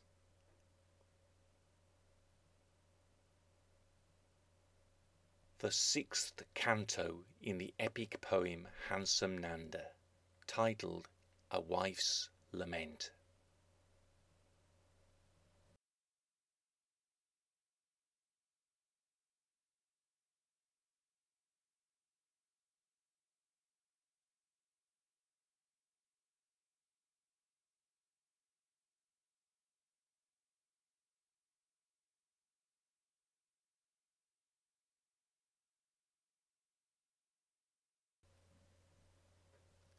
Bearing the insignia, then, whose form was fixed by his teacher, bearing it with his body, but not with his mind, and being constantly carried off by thoughts of his wife, he whose name was Joy was not joyful. Amid the wealth of flowers of the month of flowers, assailed on every side by the flower bannered god of love, and with feelings that are familiar to the young. He stayed in a vihara, but found no peace. Standing distraught by a row of mango trees amid the numbing hum of hovering insects, he with his lengthy arms and yoke-like shoulders thought of his beloved and forcibly stretched himself open as if drawing a bow. Receiving from the mango trees a rain of tiny flowers, like saffron powder, he thought of his wife and heaved long sighs, like a newly captured elephant in a cage. He had been, for those who came to him seeking refuge, an abater of sorrow, and for the conceited a creator of sorrow. Now he leant against the tree of freedom from sorrow, the Ashoka tree, and he became a sorrower. He sorrowed for a lover of Ashoka groves, his beloved wife. A slender Priyangu creeper, beloved of his beloved, he noticed shying away as if afraid and tearfully he remembered her, his lover with her tearful face, as pale as a priyangu flower. Seeing a cuckoo resting on the flower-covered crest of a tilaka tree, he imagined his lover leaning against the watchtower, her curls and tresses resting on her white upper garment. A vine with flowers whiter than pearls, the Atimuktaka, having attached itself to the side of a mango tree, was thriving. Nanda eyed the blossoming creeper and fretted. When will Sundari cling to me like that? The budding teeth of yawning naga trees erupted there like ivory caskets filled with gold. But they drew his anguished eye no better than desert scrub. The Gandhaparna trees emitted their fragrance like a Gandharva's girlfriend, brimming with perfume. But for him whose mind was elsewhere, and who was sorrowful to the core, they did not win the nose, they pained the heart. Resounding with the throaty cries of impassioned peacocks, with the satisfied celebrating of cuckoos, and with the relentless supping of nectar by bees, the forest encroached upon his mind. As there he burned with a fire arisen from the fireboard of his wife, a fire with fancies for smoke and darkest hell for flames. As he burned in his innermost heart with a fire of desire, fortitude failed him and he uttered various laments. Now I understand what a very difficult thing those men have done, will do, and are doing, who have walked, will walk, and are walking the way of painful asceticism, leaving behind their tearful faced lovers. There is no bond in the world, whether of wood or rope or iron, as strong as this bond an amorous voice and a face with darting eyes. For having been cut or broken by one's own initiative or by the strength of friends, those bonds cease to exist, whereas the fetter made of love except through wisdom and toughness, cannot be undone. That wisdom is not in me which might make for peace, and since I am of a kindly nature, toughness also is lacking. I am sensual by nature, and yet the Buddha is my Guru. I am stuck as if inside a moving wheel. For though I have adopted the beggar's insignia, and am taught by one who is twice my Guru, as elder brother and enlightened sage, in every circumstance I find no peace, like a grey lag separated from its mate. Even now it continues to run through my mind how after I clouded the mirror she pretended to be angry and said to me, as she wickedly laughed, What are you doing? Again, the words she spoke to me while her girlish eyes were swimming with tears. Before this paint on my face is dry, come back.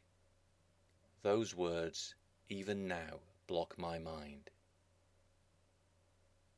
This beggar meditating at ease, who has crossed his legs in the traditional manner and is of the waterfall, arising out of the foot of the hill. Surely he is not as attached as I am to anybody, since he sits so calmly with an aura of contentment. Deaf to the cuckoo's chorus, his eyeballs never grazing upon the riches of spring. This fellow concentrates so intently upon the teaching that I suspect no lover is tugging at his heart. Credit to him who is firm in his resolve, who has retreated from curiosity and pride, who is at peace in himself, whose mind is turned inward who does not strive for anything, as he walks up and down and beholds the lotus covered water and the flowering forest where cuckoos come calling. What man in the prime of youth could keep such constancy in those months of spring which are, as it were, the rival of Dharma? With their way of being, their pride, their way of moving, their grace, with a smile or a show of indignation, with their exuberance, with their voices. Women have captivated hosts of gods and kings and seers. How then could they fail to bewilder a bloke like me? Overcome by desire, the fire god Hiranyaretas, golden sperm, succumbed to sex with his wife, Oblation, Svaha, as did the bountiful Indra with nymph Ahalya. How much easier to be overwhelmed by a woman am I, a man, who lacks the strength and resolve of the gods. Our tradition has it that the sun god Surya, roused to passion for the dawn goddess Saranyu, let himself be diminished for the sake of pleasure with her. He became a stallion so as to cover her as a mare, whereby she conceived the two charioteers. When the mind of Vaivasvata, son of the sun, and the mind of the fire god Agni turned to enmity when their grip on themselves was shaken. There was war between them for many years because of a woman. What lesser being here on earth would not be caused to stray by a woman? And through desire, the sage Vasishta, who even among the upstanding was eminent, had his way with an outcast Akshamala, string of beads, to whom was born his son Kapinjalada, an eater of earth and water to rival the sun. So too did the seer Parashara, user of curses as arrows, have intercourse with Kali, who was born from the womb of a fish. The son he conceived in her was the illustrious Dvaipayana, classifier of the Vedas. Dvaipayana, equally, while having Dharma as his primary object, enjoyed a woman at a brothel in Kashi. Struck by her foot with its trembling ankle bracelet, he was like a cloud being struck by a twist of lightning. So too did Brahma begotten Angiras, when his mind was seized by passion, have sex with Sarasvati. To her was born his son, Sarasvata, who gave voice again to missing Vedas. Likewise, Kashyapa, at a sacrifice under the aegis of the royal seer Dilipa, while fixated on a celestial nymph, took the ceremonial ladle and cast into the fire his own streaming semen, whence was conceived Asita. Angada equally, though he had gone to the ends of ascetic practice, went overwhelmed by desire to Yamuna, and in her he begat the super bright Ratitara, the super charioteer and friend of the spotted deer.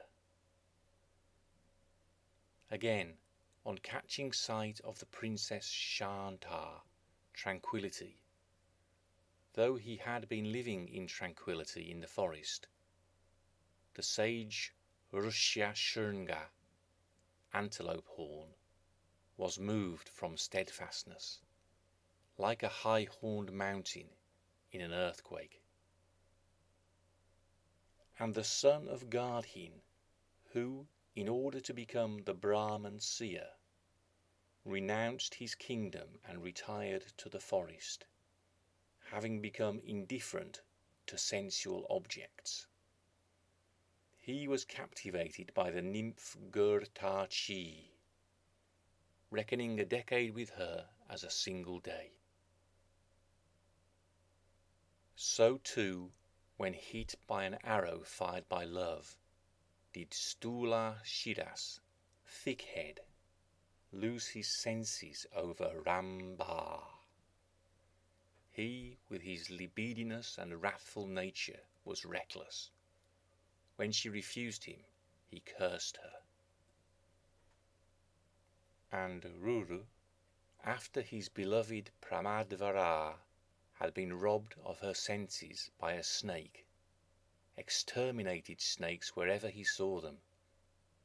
He failed in his fury to maintain his reserve or his ascetic practice. As grandson of the hare marked moon, as son of the learned Budha and the goddess Ida, and as one marked by personal honour and virtue, Pururavas had the special powers of the lunar and the very learned. But thinking of the Apsaras Urvashi, this royal seer also went mad. And when Longshanks Tala Jangha, on top of a mountain, was reddened in his libidinous state with passion for the Apsaras Menaka, from the foot of all beneficent Vishvavasu, he got an angry kick like a thunderbolt striking a hintala palm. When his favourite female drowned in the waters of the Ganges, King Jahnu, his mind possessed by disembodied love, blocked the flow of the Ganges with his arms, as if he were Mount Mainaka, the paragon of non-movement and King Goodbody, Shantanu, when separated from goddess Ganga, shook like a shala tree whose roots the Ganges was washing away. The son of Pratipa and light of his family, he of the body beautiful, became uncontrollable. Again, when the avatar Saunandakin took away his Urvashi, she of the wide expanse, the wife whom, like the wide earth, Somavarman had made his own. Moon-armoured Somavarman, whose armour, so they say, had been virtuous conduct, roamed about grieving, his armour pierced by mind-existent love. A king who followed his departed wife in death was the dreaded Bhimika, he who was dread power on earth, he who was famed because of his military might as Senaka, the missile of war, he who was, with his war machine, like a god of war. Again, when Kali's husband Shantanu had gone to heaven, Janamejaya, causer of trembling among men, in his desire to marry Kali, came up against Bhishma, the terrible, and accepted death from him rather than relinquish his love for her. And Pandu, the pale one, having been cursed by passion to die on coupling with a woman, went none the less with Madri he heeded not the death that would result from the great seer's curse, when he tasted what he was forbidden to taste. Hordes of gods and kings and seers such as these have fallen by dint of desire into the thrall of women. Being weak in understanding and inner strength, all the more discouraged when I cannot see my beloved am I.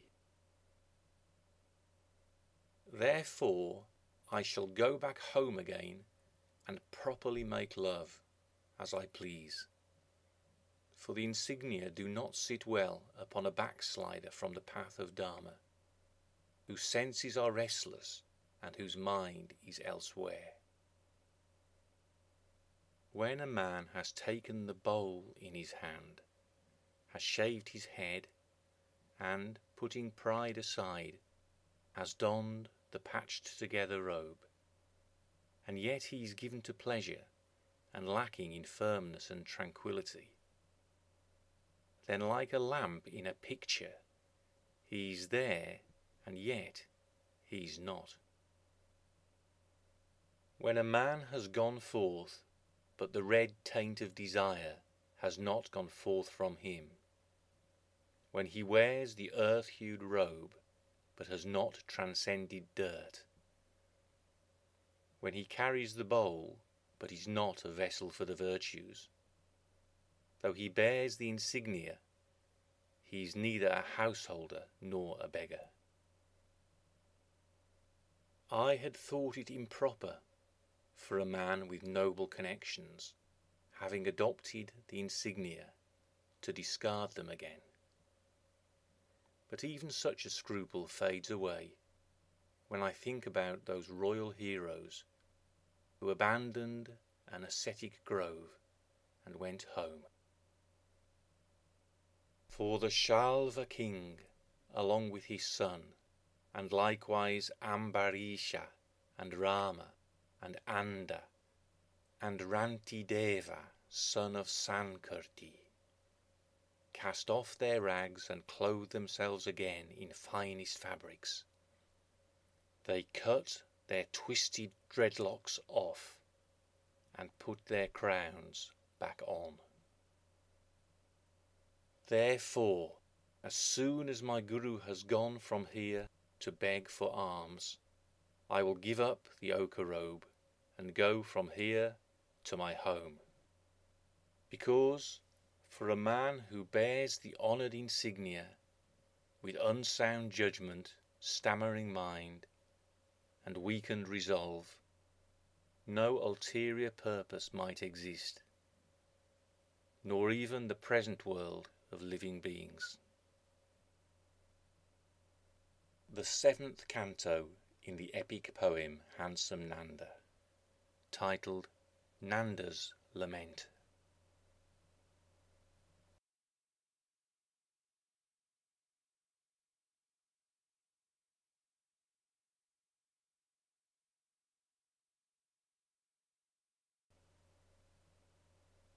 Then, while Nanda was looking forward with unsteady eyes and the eagerest of expectations to going home, a certain striver with a benevolent air approached him and said, in a friendly way, Why this face so clouded with tears that reveals a darkness in your heart? Come to constancy, restrain your emotion, for tears and tranquillity do not sit well together. Pain invariably arises in two ways in the mind and in the body. And for those two kinds of pain, there are healers skilled in education and in medicine. So if this pain is physical, be quick to tell a doctor all about it. For when a sick man conceals his illness, it turns before long into something serious. But if this suffering is mental, tell me, and I will tell you the cure for it. Because for a mind enshrouded in gloom and darkness, the healer is a seeker who knows himself. Tell the whole truth, my friend, if you think it fit to be told, to me. For minds have many ways of working and many secrets, wherein concealment is complicated by conceit. Pressed in this way by the striver, while wanting to explain his own decision, Nanda clung to him, with hand in his hand, and went into another corner of the forest. And so there the two of them sat, in a vibrant bower of flower spewing creepers, whose soft young shoots, stirring in a soft breeze, seemed to be hiding them away. Then, in between the heavy sighs that intermittently gripped him, he expressed his intention, which was a hard one for a man who was knowingly gone forth to express. He told it to the beggar, who was so adept at hearing and talking. Evidently, it befits a devotee of Dharma who is always friendly towards any living being that the benevolence inherent in your compassionate nature might be shown to me in my inconstancy. And that is why I would like especially to speak to you who preach propriety. For what I am feeling now, I would not tell to a man who was out of balance in himself, and who, though a good talker, was not a true person. Hear me then when I say, in short, that without my beloved I do not enjoy the practice of Dharma. I'm like a Kimnara without his lover, roaming about, his seaman ready, over mountain peaks. I am averse to the happiness of the forest life and simply want to go home. For without her I obtain no comfort like a king without his sovereignty. When he heard those words of Nanda, who, with his mind on his beloved wife, was burning with pain, the striver, softly, while allowing his head to shake, said to himself, hmm, What a pity! In its longing for the herd, a rushing stag that has escaped the mortal danger of the hunter's arrow is about to enter the hunter's trap, deceived by a call that the hunter sang. Truly, a bird that was caught in a net and set free by a benevolent person desires, as it flits about the fruiting and blossoming forest, to fly of its own volition into a cage. A baby elephant, truly, after an adult elephant has pulled it up out of the deep mud of a dangerous riverbed, is wishing in its thirst for water to enter again that crocodile infested creek. In a shelter where slithers a snake, a sleeping boy awoken by an elder who is already awake, has become agitated. And truly, he is about to grab the horrible reptile himself. Truly, having flown up and away from a tree that is blazing in a great forest fire, a chick in its longing for the nest is wishing to fly there again, its former alarm forgotten. Truly, a pheasant separated from its mate through fear of a hawk, and so stupefied by desire as to be helpless, is lacking in resolve and lacking in reserve. The pathetic little beggar is living a pitiful life. Greedy and untrained, devoid of decency and intelligence. Truly, a wretched dog is wishing to eat again some food that he himself has vomited. So saying, the striver contemplated Nanda for a while, beholding him tormented by the sorrows of love.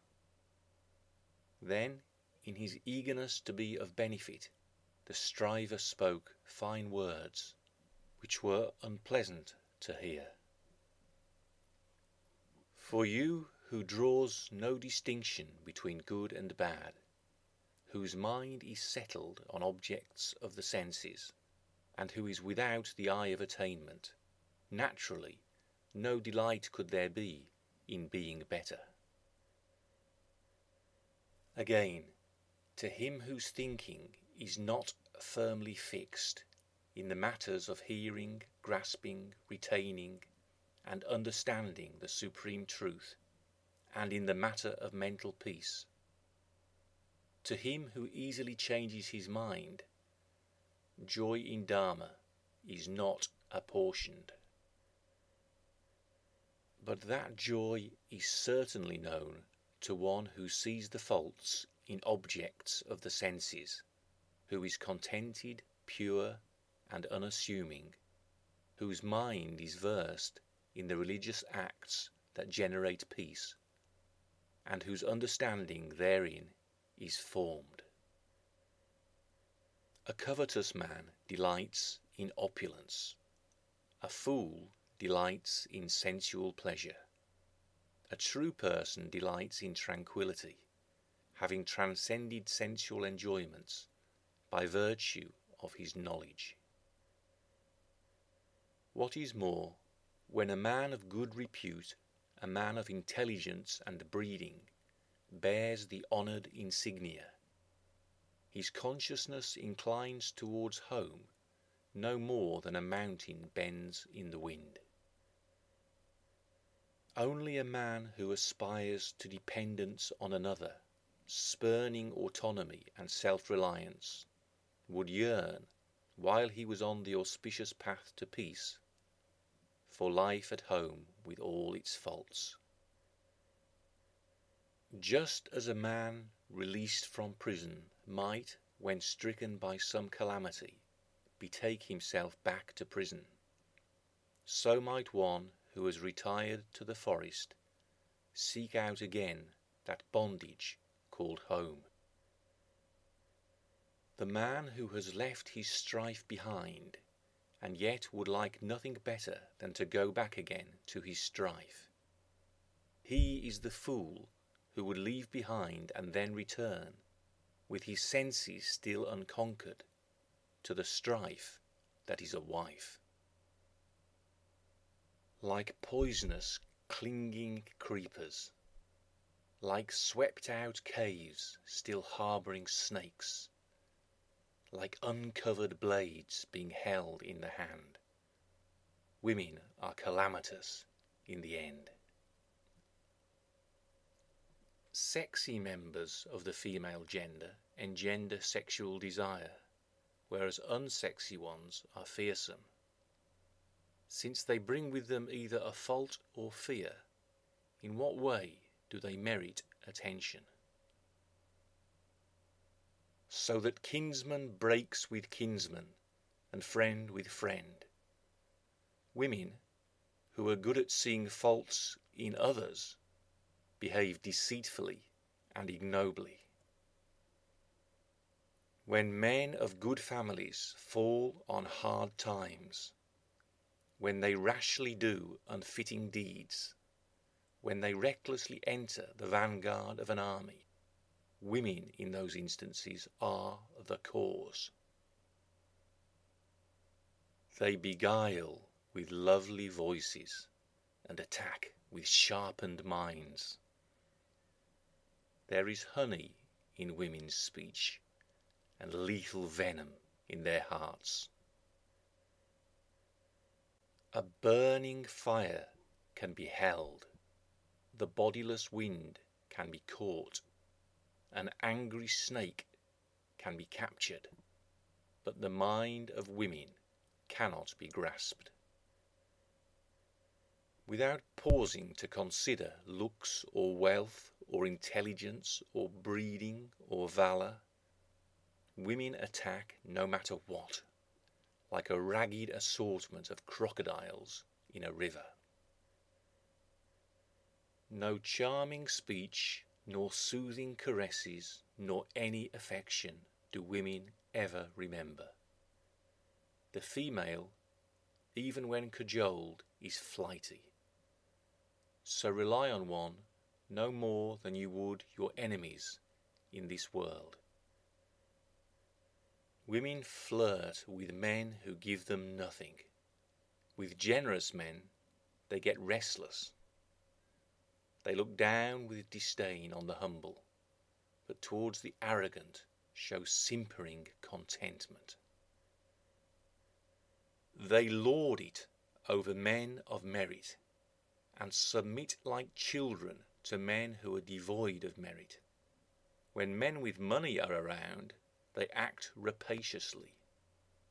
Men who are short of money they treat with contempt. Just as a cow, having gone from one pasture to another pasture, keeps right on grazing, however she's restrained, so a woman, without regard for any affection she felt before, moves on and takes her pleasure elsewhere. For though women ascend their husband's funeral pyre, though they follow at the cost of their own life. Though the restraints placed upon them they can indeed bear, they are not truly capable of genuine friendship. Women who sometimes, in some small way, please their husband by treating him like a god, a thousand times more in their fickle mindedness please their own heart. The daughter of Senajit the Conqueror, so they say, coupled with a cooker of dogs. Kumudvati, the lily pool, paired up with Minaripu, the foe of fishes. And Brihadratha, the burly heroine, loved a lion. There is nothing women will not do. Scions of the Kurus, Haihayas, and Vrshnis, along with Shambara, whose armour was mighty magic, and the sage Ugra Tapas Gautama, the Gautama of grim austerities, all incurred the dust of passion which a woman raises ungrateful, ignoble, unsteady. Such is the mind of women. What man of wisdom could allow his heart to be fastened onto such fickle creatures? So you fail to see how pernicious, in their intense duplicity, are their little lightweight hearts do you not see at least that the bodies of women are impure, oozing houses of foulness? Day after day, by means of ablutions, garments, and jewels, they prettify an ugliness which you, with eyes veiled by ignorance, do not see as ugliness. You see it as beauty or else you do see that their bodies are foul, but intelligence is lacking in you. For the fragrant task in which you are engaged is extinction of the impurity that originates in them. Cosmetic paste and powder, garlands, gems and pearls, gold and fine fabric what have these fine things, if fine they are, got to do with women? Let us examine what inherently in women is so immaculate. Dirty and unclothed, with her nails and teeth and body hair in their natural state. If she were like that, your Sundari whose name means beautiful woman, surely wouldn't be such a beautiful woman to you now. What man who was capable of disgust would touch a woman, leaking and unclean like an old bucket, if she were not scantily clad in skin as thin as a flying insect's wing? If you see that women's bodies are bony skeletons wrapped around with skin, and yet you are forcibly drawn by passion Truly, then, love is immune to disgust and lacking in all restraint.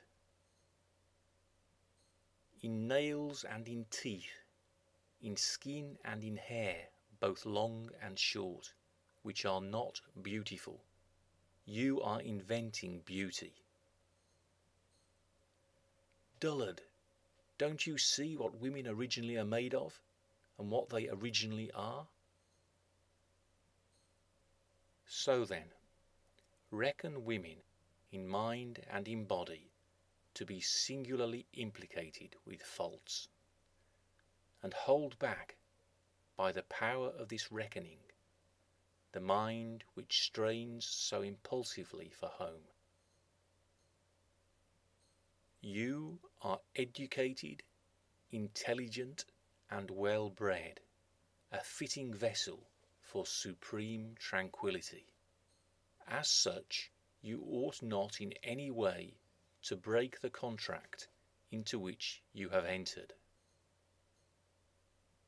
For the man of spirit and noble birth, for the man who cherishes honour and strives to earn respect, for the man of grit, better death for him than life as a backslider.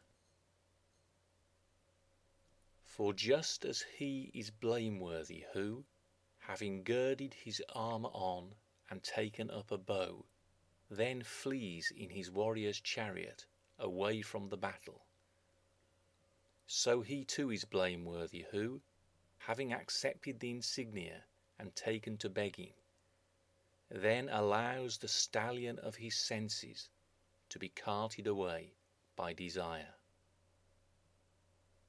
And just as it would be ridiculous to go begging while bedecked in the finest ornaments, clothes, and garlands, while holding an archer's bow, and with a head full of passing fancies, so too is it ridiculous to subsist on offerings, having consented to shapelessness, while longing thirstily for the comforts of home. Just as a hog, though fed on the best of food and lain on the finest bedding, would, when set free, run back to his familiar filth, so, having tasted the excellent pleasure of cessation while learning the better way, would a man of thirsting libido abandon the tranquil forest and yearn for home? Just as a flaming torch, when fanned by the wind, burns the hand that holds it, just as a snake, being swift to anger, bites the foot that steps on it, just as a tiger, though caught as a cub, mauls the one who took it in, so too does association with women, in many ways, make for disaster. Therefore, know these faults to be mentally and physically bound up with women. Understand how sensual pleasure, as it flows away like river water, makes for affliction and for sorrow see the world in the shadow of death to be fragile as an unbaked pot, and make the peerless decision that leads to release, instead of causing the neck to stiffen up through sorrowful yearning. The eighth canto in the epic poem Handsome Nanda titled A Tirade Against Women. Though the beggar reproached him in such a manner, Nanda did not arrive at any kind of tranquillity with regard to his beloved. So much did he think about her that he failed, as if he were unconscious, to hear a word the other said. For Just as an invalid who wants to die does not accept the kind advice of a doctor who intends to do him good, so Nanda, bubbling with strength and looks and youth, did not accept that salutary advice of the striver. It is not surprising in such a case that one whose mind is shrouded in darkness should be overpowered by the wrongness that arises out of a tainted desire. For a person's wrongness ceases only when the darkness of ignorance, having reached its limit, begins to diminish.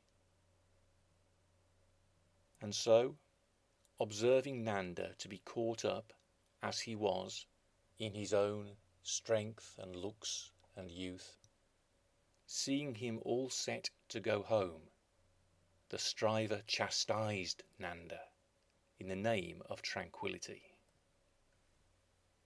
Your strength and looks and youthfulness I recognize as you do but that these three are impermanent you do not realize as I do. For this body is a domicile for disease, and in the face of senility it teeters helplessly, like a tree with its roots on a river bank. Because you do not know it to be as fragile as froth on water, Therefore you feel there to be abiding strength in you. When, through failure to eat and drink or sit down or move about, and also through overindulgence in those acts, the body manifestly goes to ruin, what reason is there for you to have the conceit of physical strength? by cold and heat, by sickness and aging, and by hunger and other such adversities. The living are being reduced like water in the hot season by the sun's rays. In these circumstances, what are you thinking, O taker of pride in strength, as you wander towards your end? When a body made of skin and bone and flesh and blood owes its very existence to the taking of food, when it is always ailing, needing continuous intervention, how can you labour under an illusion like, I am inherently strong? Like a man who aspires to cross the stormy ocean in an unbaked earthen pot is he who would assume the sapless accretion of his body to be strong as he carries it around striving after an object.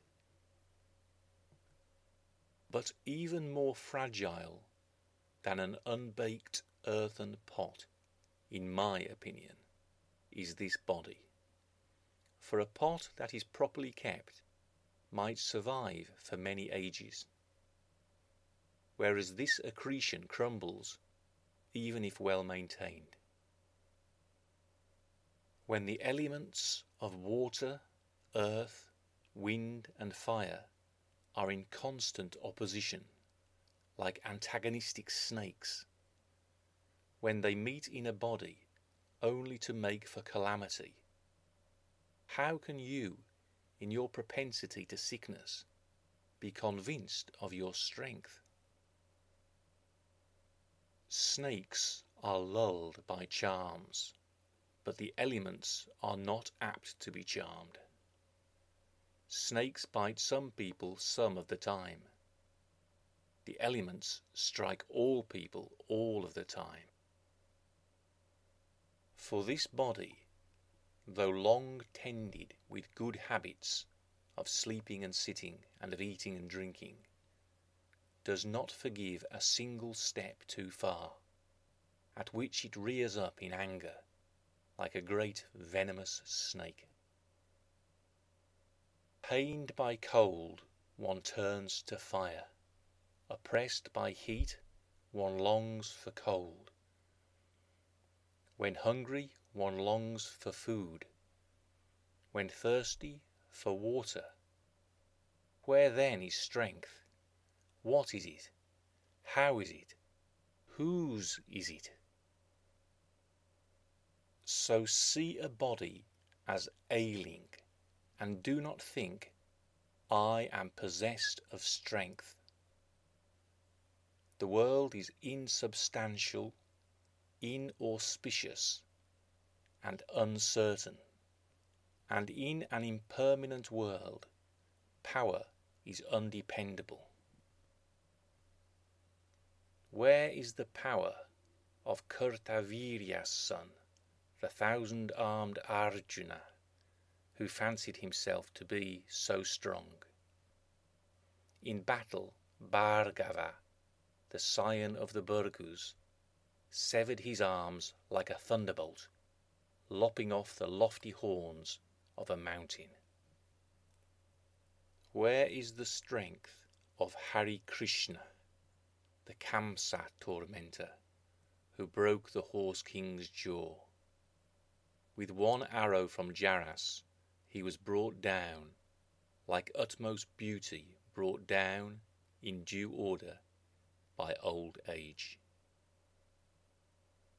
Where is the strength of Namuchi, son of Diti, light of an army and provoker of the gods? He stood his ground in battle, furious as death, but Indra slew him with a spattering of foam.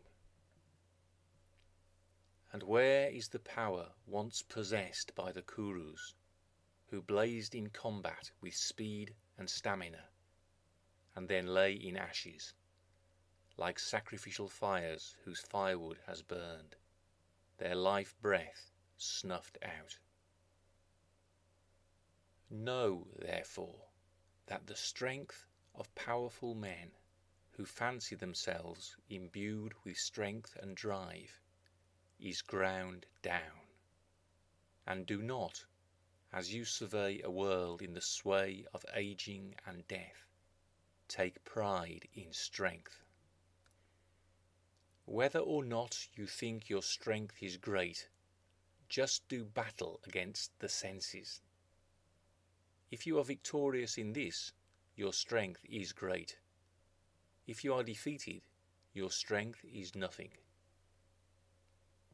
Less heroic are those men thought who conquer enemies armed with horses, chariots, and elephants, than those heroic thinkers are thought who conquer the restless six senses. Again, that you think I am good looking is not astute. Let this be grasped. Where are the good looks? Where the beautiful bodies of Gada, Shamba, and Sharana? Just as a peacock, flashing the eye in its tail, naturally carries its excellent looks that is how, without any distinction got from grooming the body, you must carry your looks, if after all you are good looking.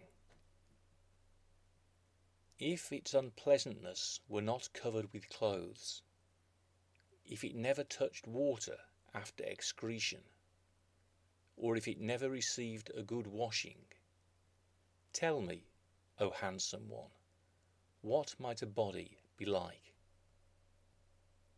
Again, perceiving the prime of life to be a personal belonging, your mind looks forward to going home and gaining its sensual end.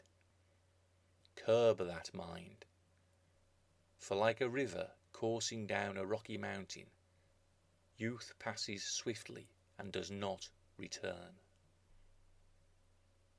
A season that has passed comes around again. The moon wanes and waxes again. But gone, gone, never to return. is the water of rivers and the youth of men. When you are white whiskered and wrinkled, with broken teeth and sagging brows, when you are lacking in lustre, when, humbled by age, you see your face grown old, then you will sober up. Having wasted nights and greeted dawns drinking the most intoxicating liquor, one finally comes around. But drunk on strength and looks and youth, no man ever comes round until he reaches old age. Just as sugar cane, when all its juice has been squeezed out, is thrown on the ground to dry, ready for burning, so Pressed in the vice of aging and drained of energy, does the body wait to die.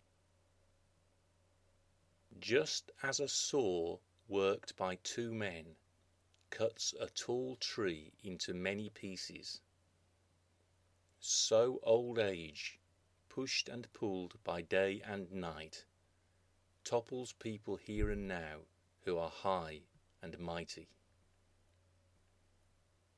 Robber of memory, destroyer of looks, ender of pleasure, seizer of speech, hearing, and sight, birthplace of fatigue, slayer of strength and manly vigour. For those with a body, there is no enemy to rival aging. Knowing this great terror of the world, named aging, to be a pointer on the way to death, do not rise to the ignoble conceit of an I that is beautiful or young or strong. With your mind tainted by I and mine, you are latching onto the strife called a body. Let go of that if peace is to come about for I and mine usher in danger. When no one has dominion over a body that is ravaged by manifold misfortunes, how can it be right to recognize as I or as mine this house of calamities called a body? One who would delight in a flimsy, snake infested hovel that was always unclean and constantly needing repair. He is the man of perverted view who would delight in a body with its corrupted elements and unclean, unstable state. Just as a bad king takes forcibly from his subjects his full toll of taxes, and yet does not protect, so the body takes its full toll of provisions, such as clothes and the like, and yet does not obey. Just as in soil, grass sprouts readily, but rice is grown through sustained effort, so too does sorrow arise readily, whereas happiness is produced with effort, if at all. For him who drags around a hurting, perishable body, there is no such thing in the supreme sense as happiness. For what he determines to be happiness, by taking countermeasures against suffering, is only a condition wherein suffering remains minimal. Just as the intrusion of even a slight discomfort spoils enjoyment of the greatest longed for pleasure. In a similar way, nobody ever enjoys any happiness by disregarding suffering that is upon him. You fail to see the body as it is, full of suffering and inconstant, because of fondness for its effects. Let the mind that chases after effects like a cow after corn, be restrained by the reins of steadfastness. For sensual enjoyments, like offerings fed into a blazing fire, do not make for satisfaction.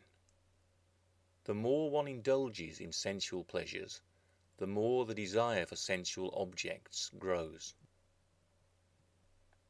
Again, just as a man suffering from the blight of leprosy does not obtain a cure by way of application of heat, similarly, one who goes among sense objects with his senses unconquered does not tend towards peace by way of sensual enjoyments.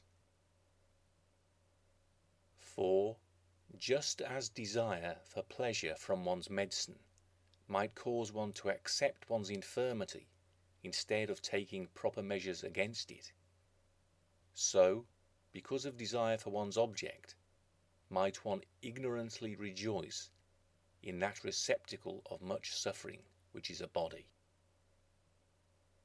One who wishes adversity on a man is said, because of that action, to be his enemy. Should not sense objects, as the sole root of adversity, be shunned as dangerous enemies? Those who were his deadly enemies in this world can in time become a man's friend, but not benign for anybody in this or other worlds are the desires which are the causes of suffering just as eating a tasty, colourful, and fragrant kimpaka fruit leads to death, not nourishment, so an imbalanced person's devotion to objects makes for misfortune and not for well being. As an innocent, then, heed this good advice pertaining to liberation, Dharma, and so forth. Affirm my opinion, with which the righteous concur, or else speak up and state your agenda. Though reproached at length in this salutary fashion by a striver so great in hearing what is heard, Nanda neither found firmness nor took comfort. He was like a tusker in full rut, mind blinded by lust. Then, having assured himself that Nanda's being was not in the Dharma, but was turned unsteadily towards the comforts of home, that beggar reported back to the investigator of living creatures' dispositions, tendencies, and ways of being, to the Buddha, knower of reality. the ninth canto in the epic poem Handsome Nanda, titled Negation of Vanity.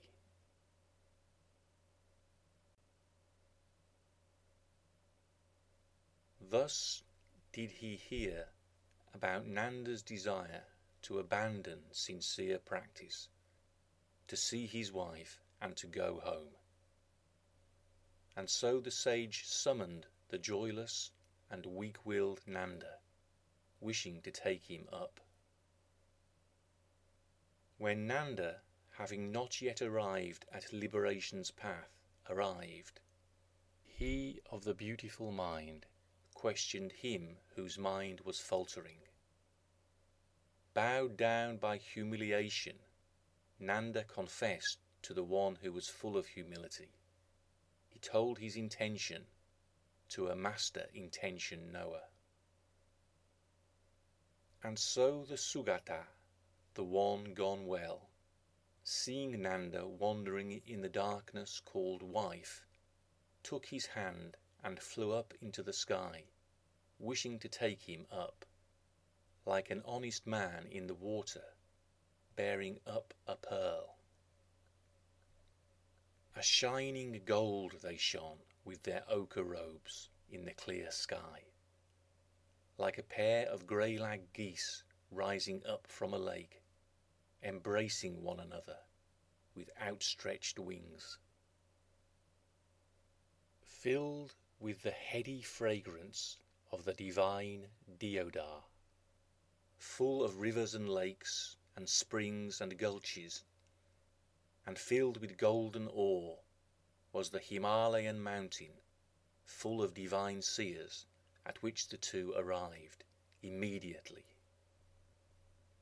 On that auspicious mountain, which was frequented by celestial singers and saints, and blanketed in smoke from burnt offerings, as if on an island in an unsupported sky where no far shore is reached, the two stood.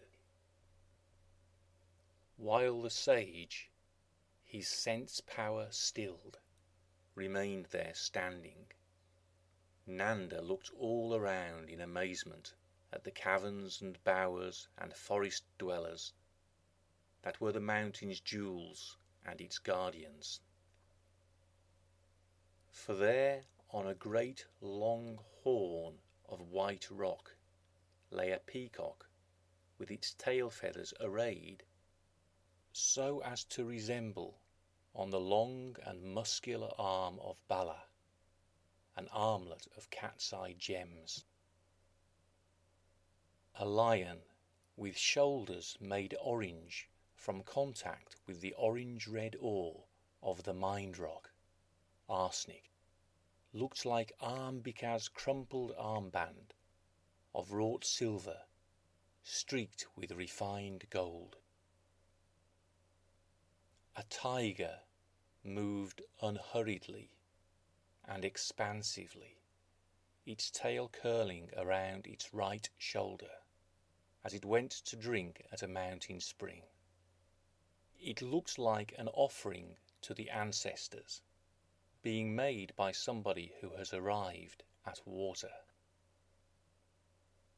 A yak had got stuck in a dangling kadamba tree swaying on the Himalayan hillside.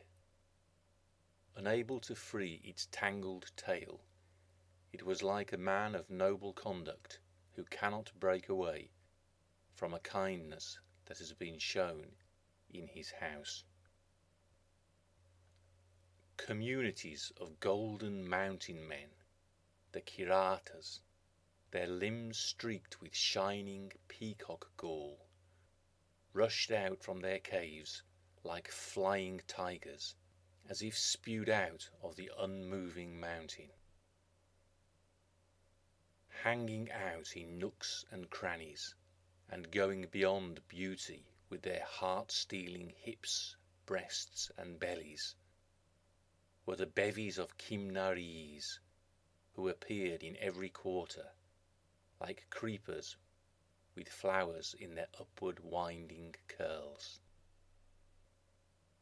Pestering the godly deodars, monkeys roved from peak to peak, obtaining from those trees no fruit, they went away, as if from powerful masters whose favour is futile. But lagging behind that troop was one whose face was red as pressed red resin. A female monkey with one eye missing. Seeing her, the sage spoke this to Nanda. Which Nanda, in beauty and in manner, is the lovelier in your eyes, this one-eyed monkey or the person who is the focus of your wishing?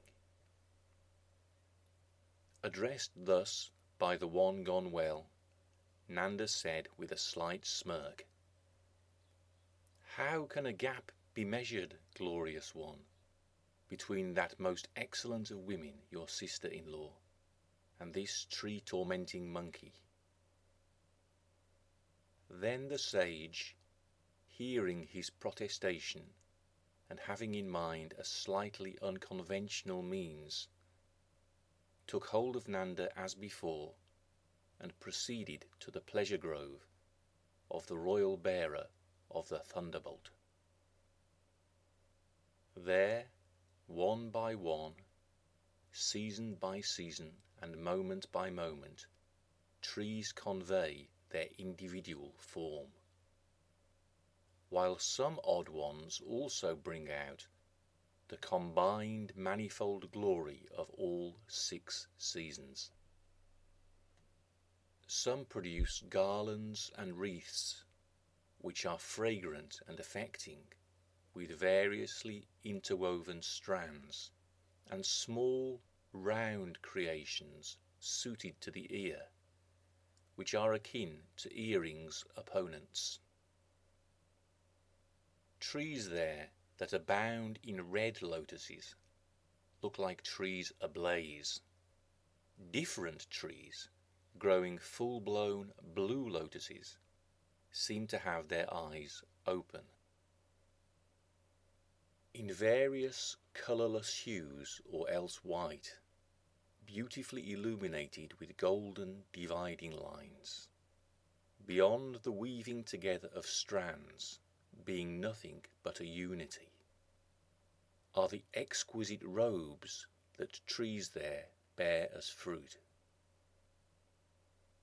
Pearl necklaces and gemstones, supreme earrings, choicest armlets and ankle bracelets are the kinds of ornament fit for heaven that trees there bear as fruit. There rise golden lotuses with beryl stems and diamond shoots and stamens. Receptive to touch, they have a scent of the ultimate. Still pools without ripples allow them to grow all kinds of musical instrument, with lengthened sinews and widened skins, with open tubes and solid substance, are borne there as fruit by the distinctively bejewelled and gilded trees, which are the heaven dwellers' playing companions. Over Mandara coral trees and over trees weighed down with water lily and ruddy lotus blossoms. The full grown coral, shining there with majestic qualities, steps up and reigns supreme. Growing there on soil tilled in Indra's heaven by unwearying ploughs of austerity and discipline, are such trees as these which are always adapting to provide for sky dwellers' enjoyment. Birds there have bright red beaks, the colour of red mined rock arsenic, and crystalline eyes, and wings a deathly shade of yellow with intensely red tips, and claws as red as red dye, but half white birds which are, again, different, with distinctively golden wings and bright beryl blue eyes. Birds called shingidikas fly to and fro, carrying away minds and ears with their songs. Adorned with curling feathers that are red at the tips, golden in the middle, and the colour of beryl within borders. Birds there move. Winged ones of a different ilk, named Rochishnus, who have the lustre of a blazing fire, their faces seeming to be aglow, roam around, shaking views with their wonderful appearance, and carrying Apsarases away with their splendid sound. There merit makers do whatever they like, constantly erect. They are free from pain, free from aging, and beyond sorrow. Each by his actions inferior, superior, or in the middle, each letting his own light shine, the merit makers rejoice.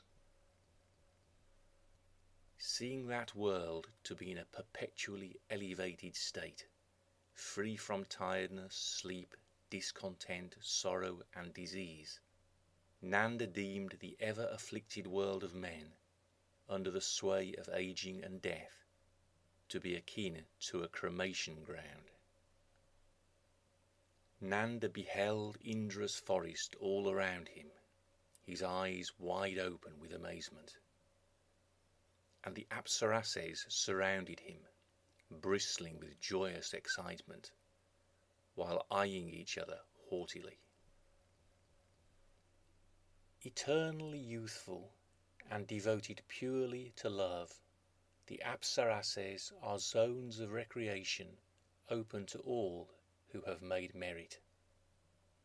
They are the heavenly and innocent resort of gods, their reward for ascetic practices.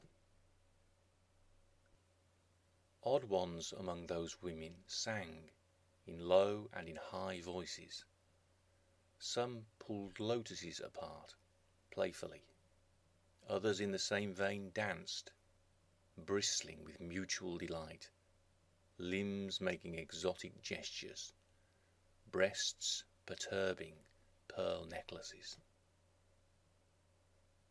Here, having first accepted the price in austerities, and made the decision to splash out on heaven, ascetics rich in austerities have their weary minds enthralled by the flirting apsarases.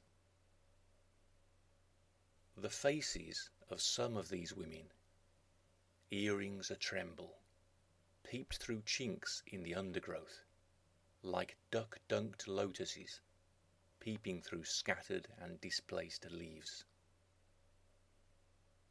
When he saw them emerging from their forest niches like ribbons of lightning from rain clouds, Nanda's body trembled with passion, like moonlight on rippling water. Their heavenly form and playful gestures he then mentally seized, and, while his eye was appropriated by curiosity, he became impassioned, as if from a thirst for union. He became thirsty, desirous of drinking up the apsarases, afflicted by a pervading itch to have them. Dragged along by the mind chariot, whose horse is the restless power of the senses, he could not come to stillness. For just as a man adds soda ash to dirty clothes, and thereby makes them even dirtier, not in order to increase dirt, but in order to remove it, so the sage had stirred the dust of passion in Nanda.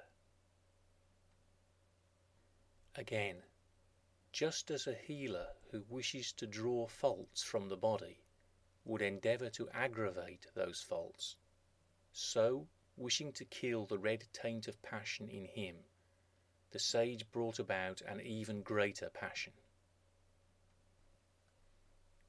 Just as a light in the dark is extinguished by the thousand rayed brightness of the rising sun so the lovely radiance of women in the human world is put in the shade by the brilliance of the celestial nymphs. Great beauty blots out lesser beauty. A loud noise drowns out a small noise, and a severe pain kills a mild pain.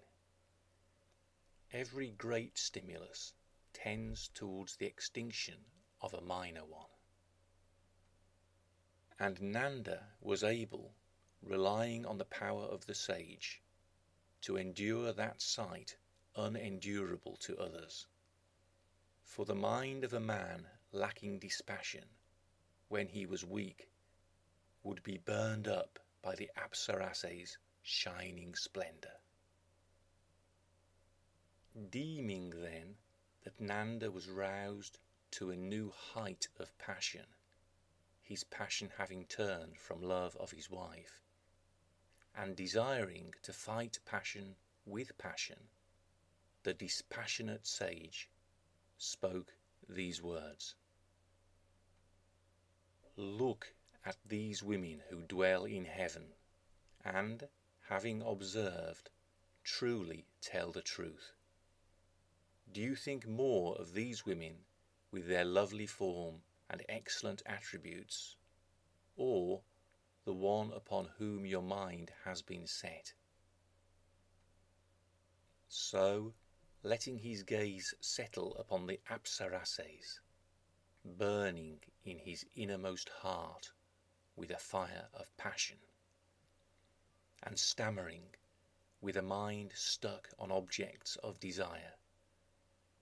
Nanda joined his hands like a beggar and spoke. Whatever difference there might be, master, between that one-eyed she-monkey and your sister-in-law, is the same when your poor sister-in-law is set against the lovely Apsarases. For, just as previously when I beheld my wife, I had no interest in other women, so now, when I behold their beauty, I have no interest in her.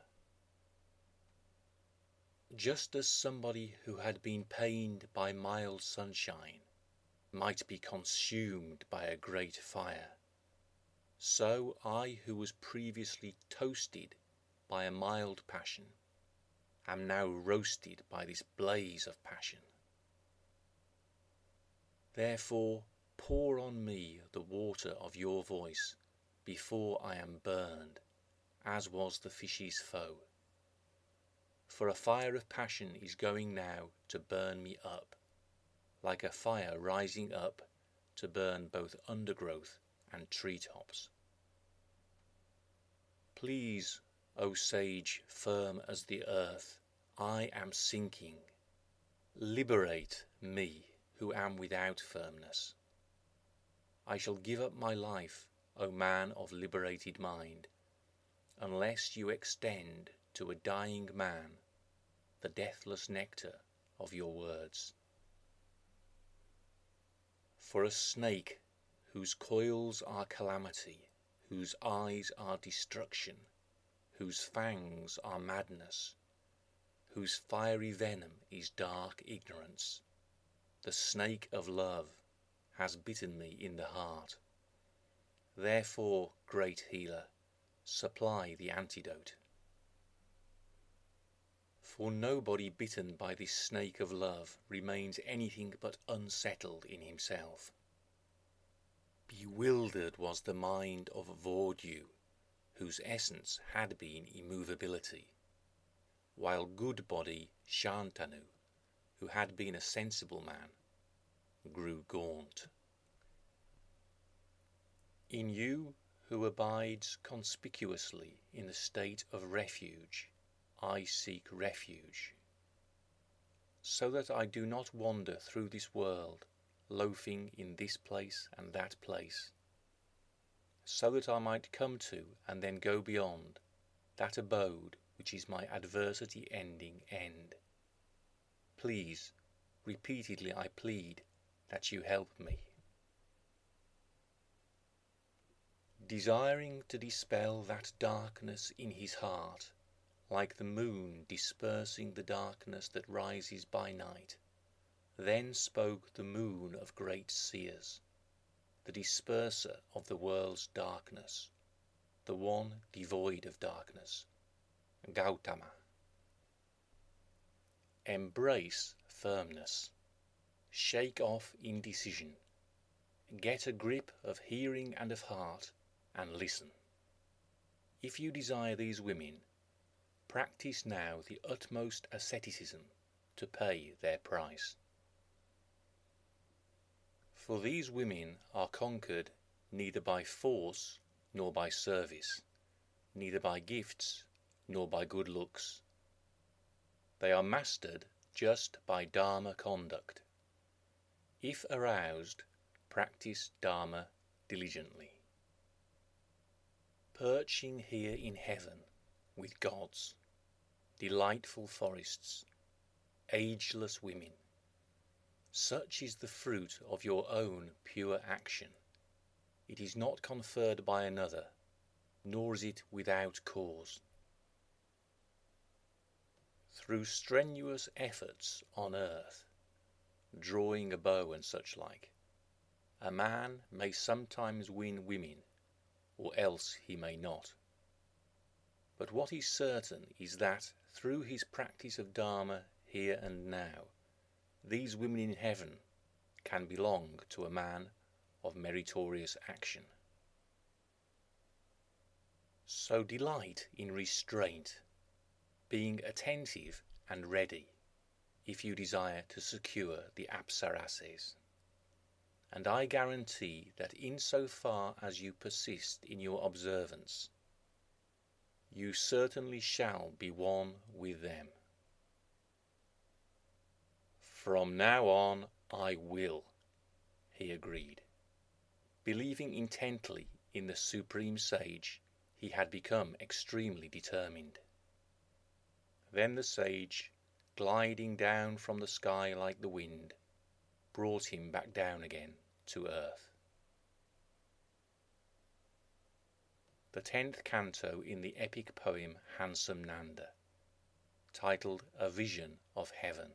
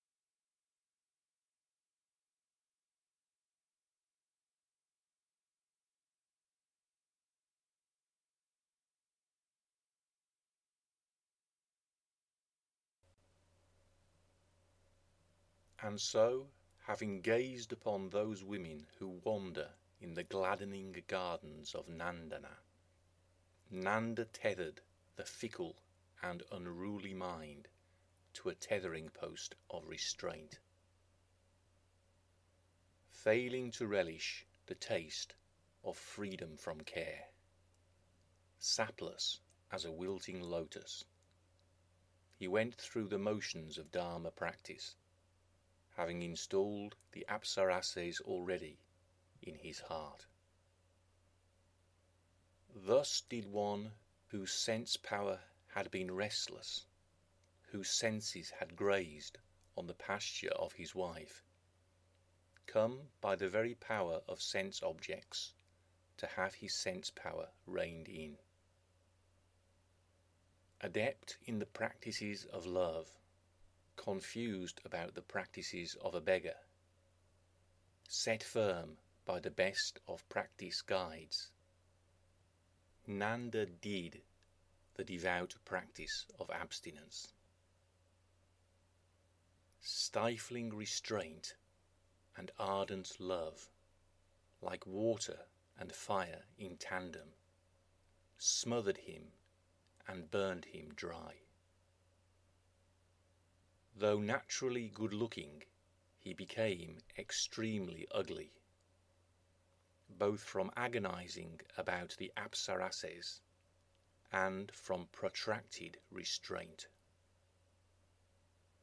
Even when mention was made of his wife, he who had been so devoted to his wife stood by, seemingly bereft of passion. He neither bristled nor quavered. Knowing him to be adamant turned away from passion for his wife. Ananda, having come that way, said to Nanda with affection, Ah, this is a beginning that befits an educated and well-born man. Since you are holding back the power of your senses, and, abiding in yourself, you are set on restraint in one entangled in desires, in a man of passion, a sensualist, that such consciousness has arisen, this is by no small cause. A mild illness is warded off with little effort. A serious illness is cured with serious efforts, or else it is not. An illness of the mind is hard to remove, and yours was a powerful one. If you are rid of it, you are in every way steadfast. For an ignoble man, good is hard to do. For an arrogant man, it is hard to be meek. For a greedy man, giving is hard, and hard for a man of passion is the practice of devout abstinence. But I have one doubt concerning this steadfastness of yours in restraint. I would like assurance on this matter, if you think fit to tell me. Straight talk should not be taken amiss.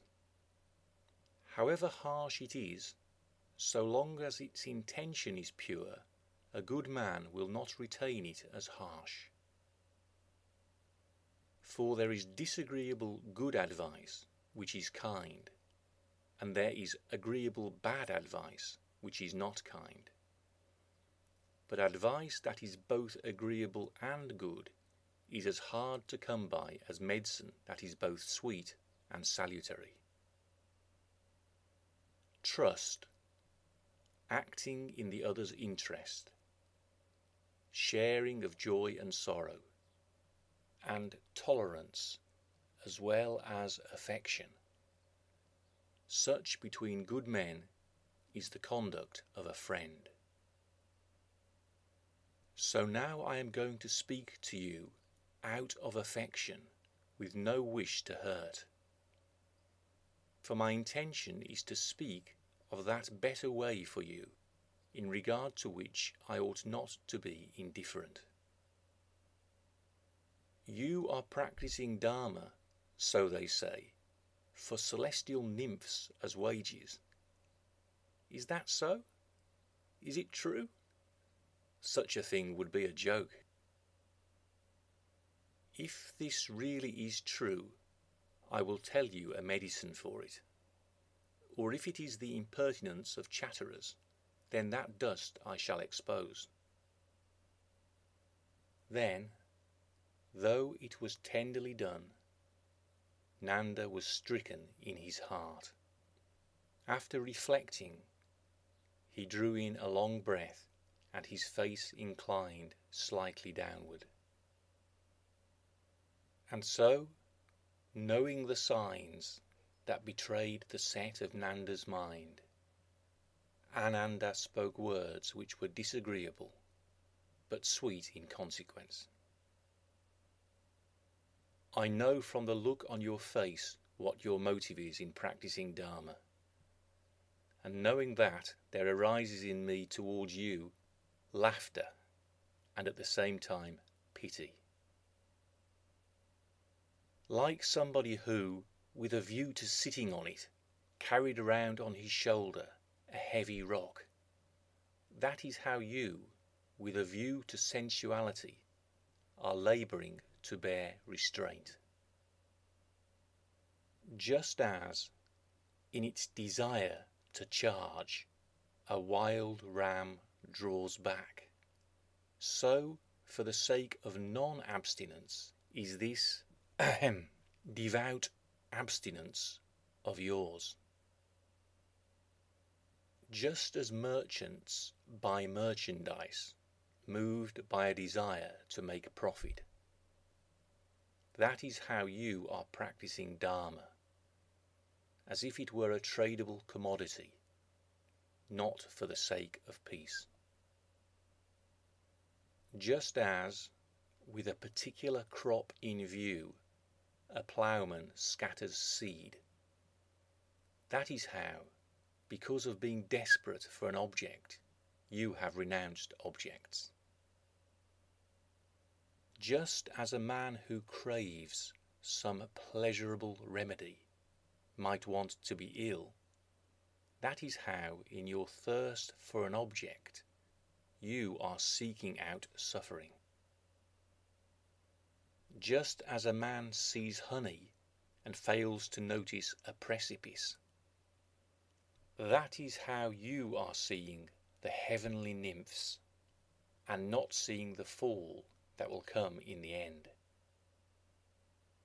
Blazing with a fire of desire in your heart, you carry out observances with your body. What is this devout abstinence of yours, who does not practice abstinence with his mind? Again, since in spiraling through samsara you have gained celestial nymphs and left them a hundred times over, what is this yearning of yours for those women?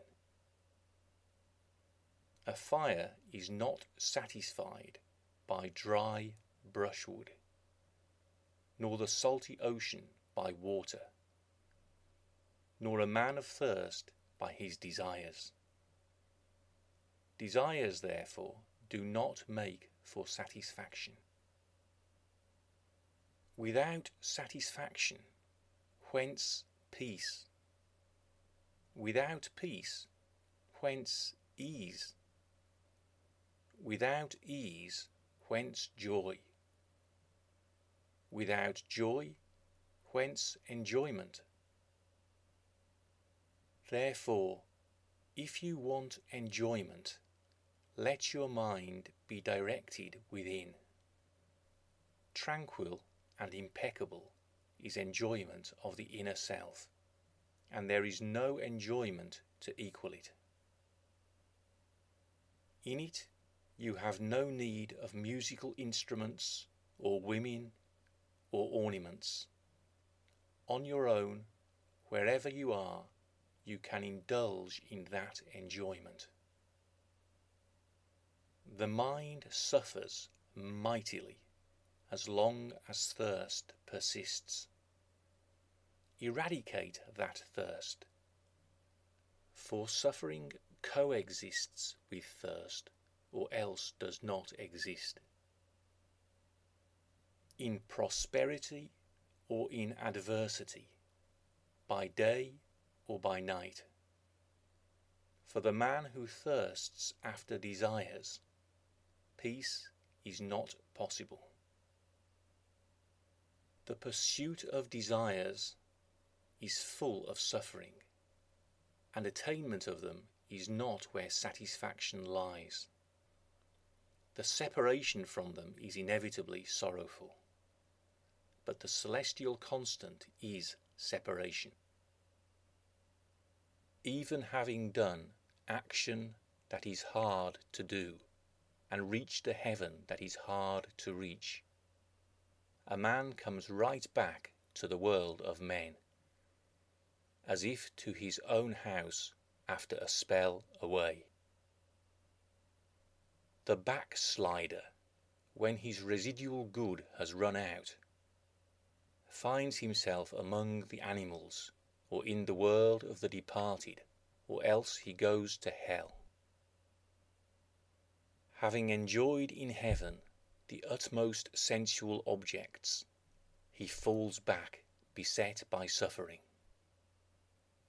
What has that enjoyment done for him?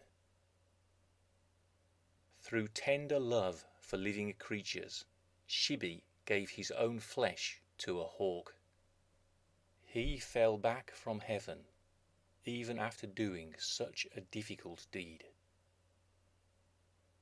Having attained half of Indra's throne as a veritable earth lord of the old school, Mandatra, when his time with the gods elapsed, came back down again.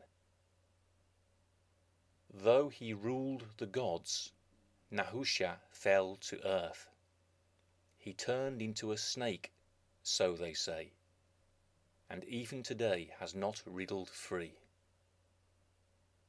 Likewise, King Ilivila, being perfect in kingly conduct, went to heaven and fell back down, becoming, so they say, a turtle in the ocean. Bhuridyumna and Yayati and other excellent kings, having bought heaven by their actions, gave it up again after that karma ran out. Whereas the Asuras, who had been gods in heaven when the Suras robbed them of their rank, went bemoaning their lost glory, down to their Patala lair. But why such citing of royal seers, or of asuras, suras, and the like. Mighty Indras have fallen in their hundreds. Even the most exalted position is not secure. Again, Indra's luminous sidekick, he of the three strides, lit up Indra's court. And yet when his karma waned, he fell to earth from the Apsarases' midst, screaming, Oh, the grove of Chitraratha! Oh, the pond! Oh, the heavenly Ganges! Oh, my beloved! Thus lament the distressed denizens of heaven as they fall to earth. For intense already is the pain that arises in those facing death in this world. And how much worse is it for the pleasure addicts when they finally fall from heaven?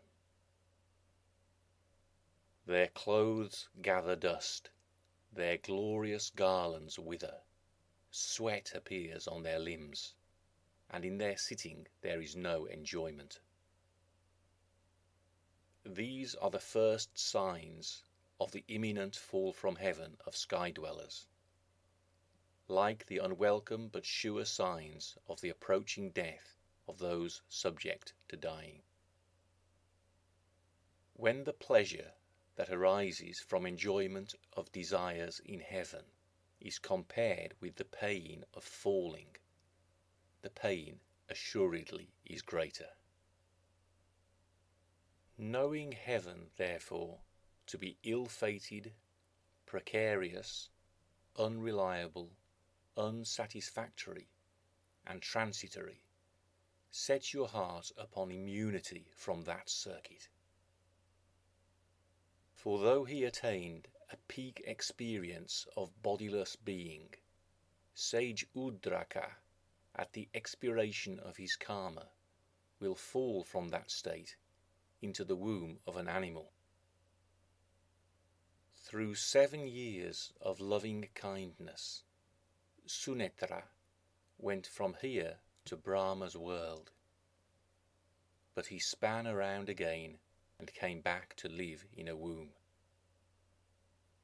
Since heaven dwellers, even when all powerful, are subject to decay, what wise man would aspire to a decadent sojourn in heaven.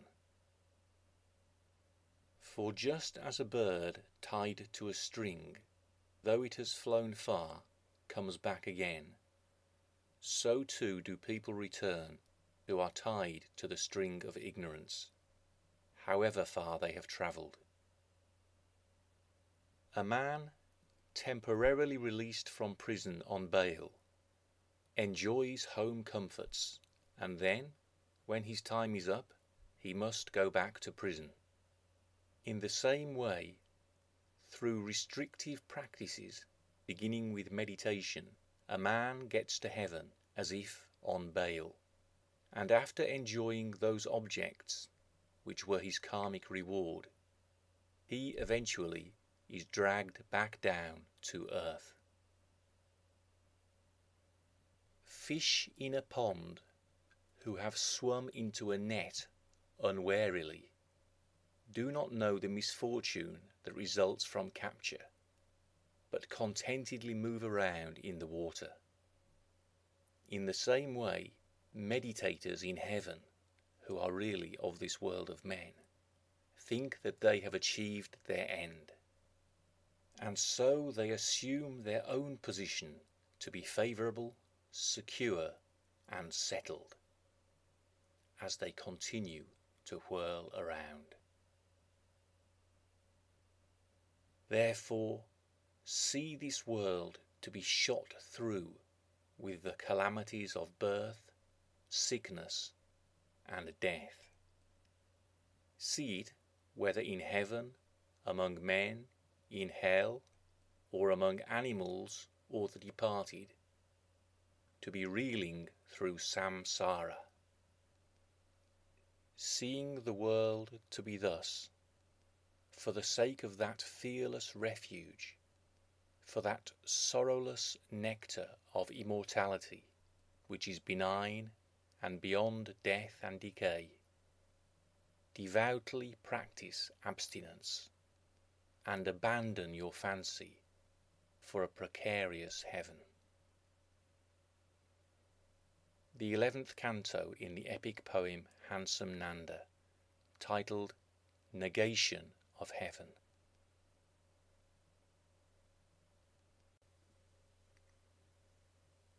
You are practicing Dharma to earn the apsarases as wages. To be upbraided thus, as Nanda then was by Ananda, made him deeply ashamed because of the great shame, the exuberance in his heart was no more.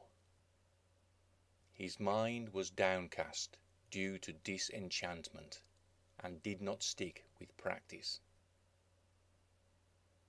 Though he was fixated on sensual love and at the same time indifferent to ridicule, Nanda's motivation had matured to a point where neither could he disregard Ananda's words.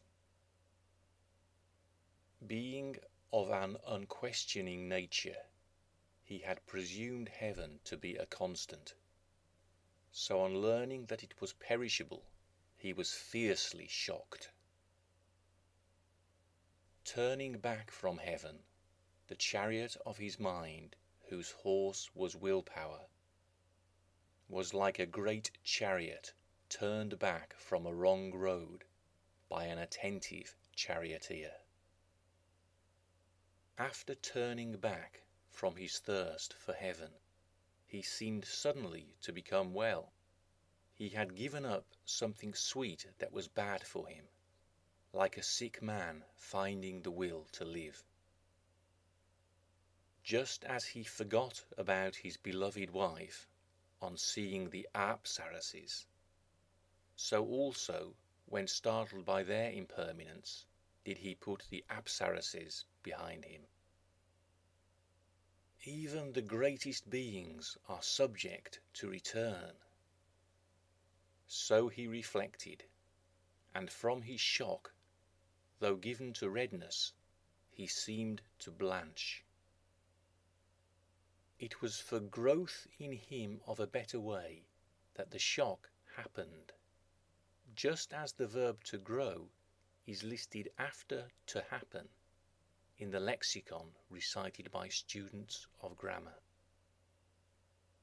Because of his sensuality, however, his mind was by no means gripped by the kind of constancy which is shown in all three times by the received usage of the irregularity which is being. Trembling went he of mighty arm, like a top bull elephant through with rut. At a suitable moment he approached the Guru, wishing to communicate his intention. After bowing his head to the Guru, with eyes filled with tears, he joined the palms of his hands and spoke as follows, his face somewhat lowered because of shame. For my gaining of the celestial nymphs, glorious one, you stand as guarantor. But for the nymphs I have no need. I relinquish your guarantee. For since I have heard of heaven's fleeting whirl, and of the varieties of aimless wandering, neither among mortal beings nor among heavenly beings does doing appeal to me.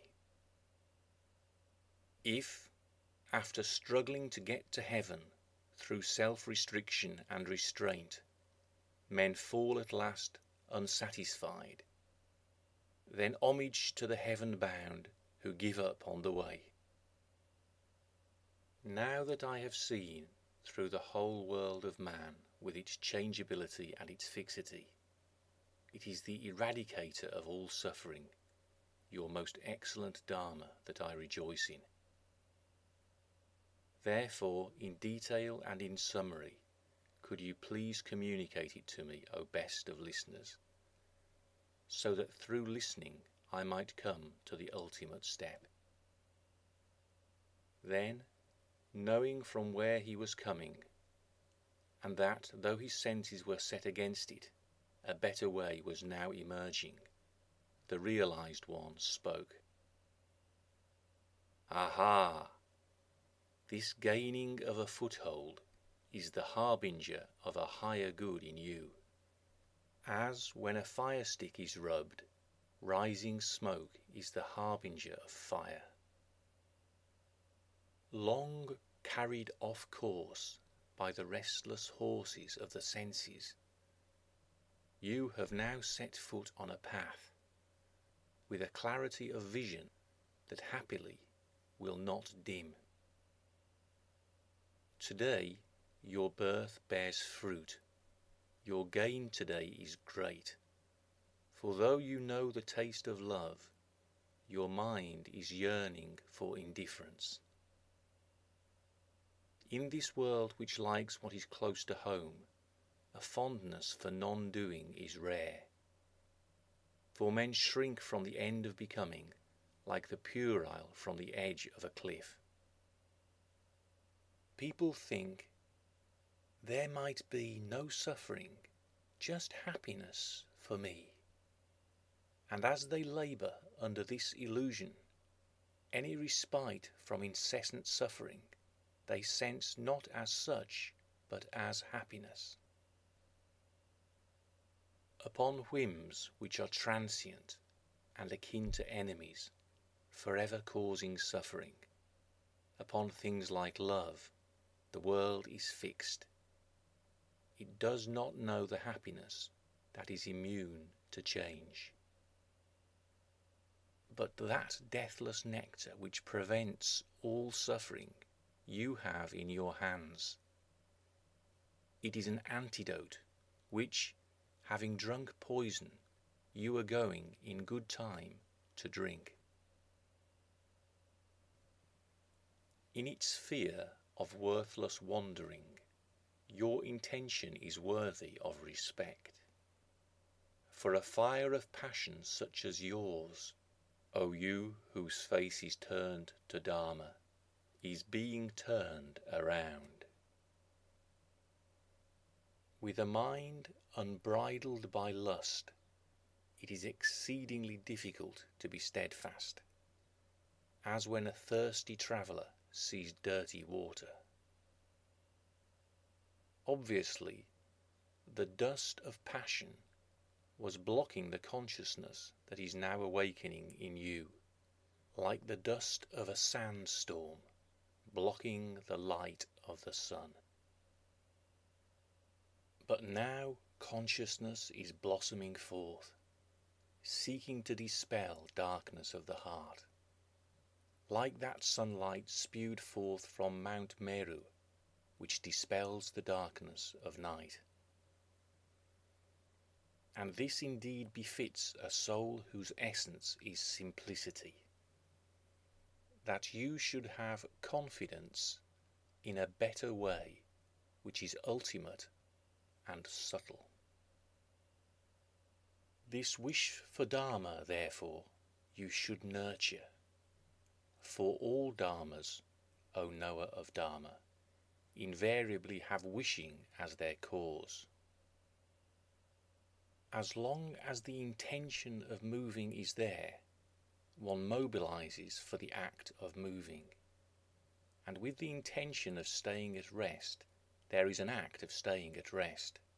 With the intention of standing, likewise, there is standing up. When a man has confidence that there is water under the ground and has need of water, then, with an effort of will, here the earth he digs. If a man had no need of fire, nor confidence that fire was in a fire stick, he would never twirl the stick. Those conditions being met, he does twirl the stick. Without the confidence that corn will grow in the soil he tills, or without the need for corn, the farmer would not sow seeds in the earth.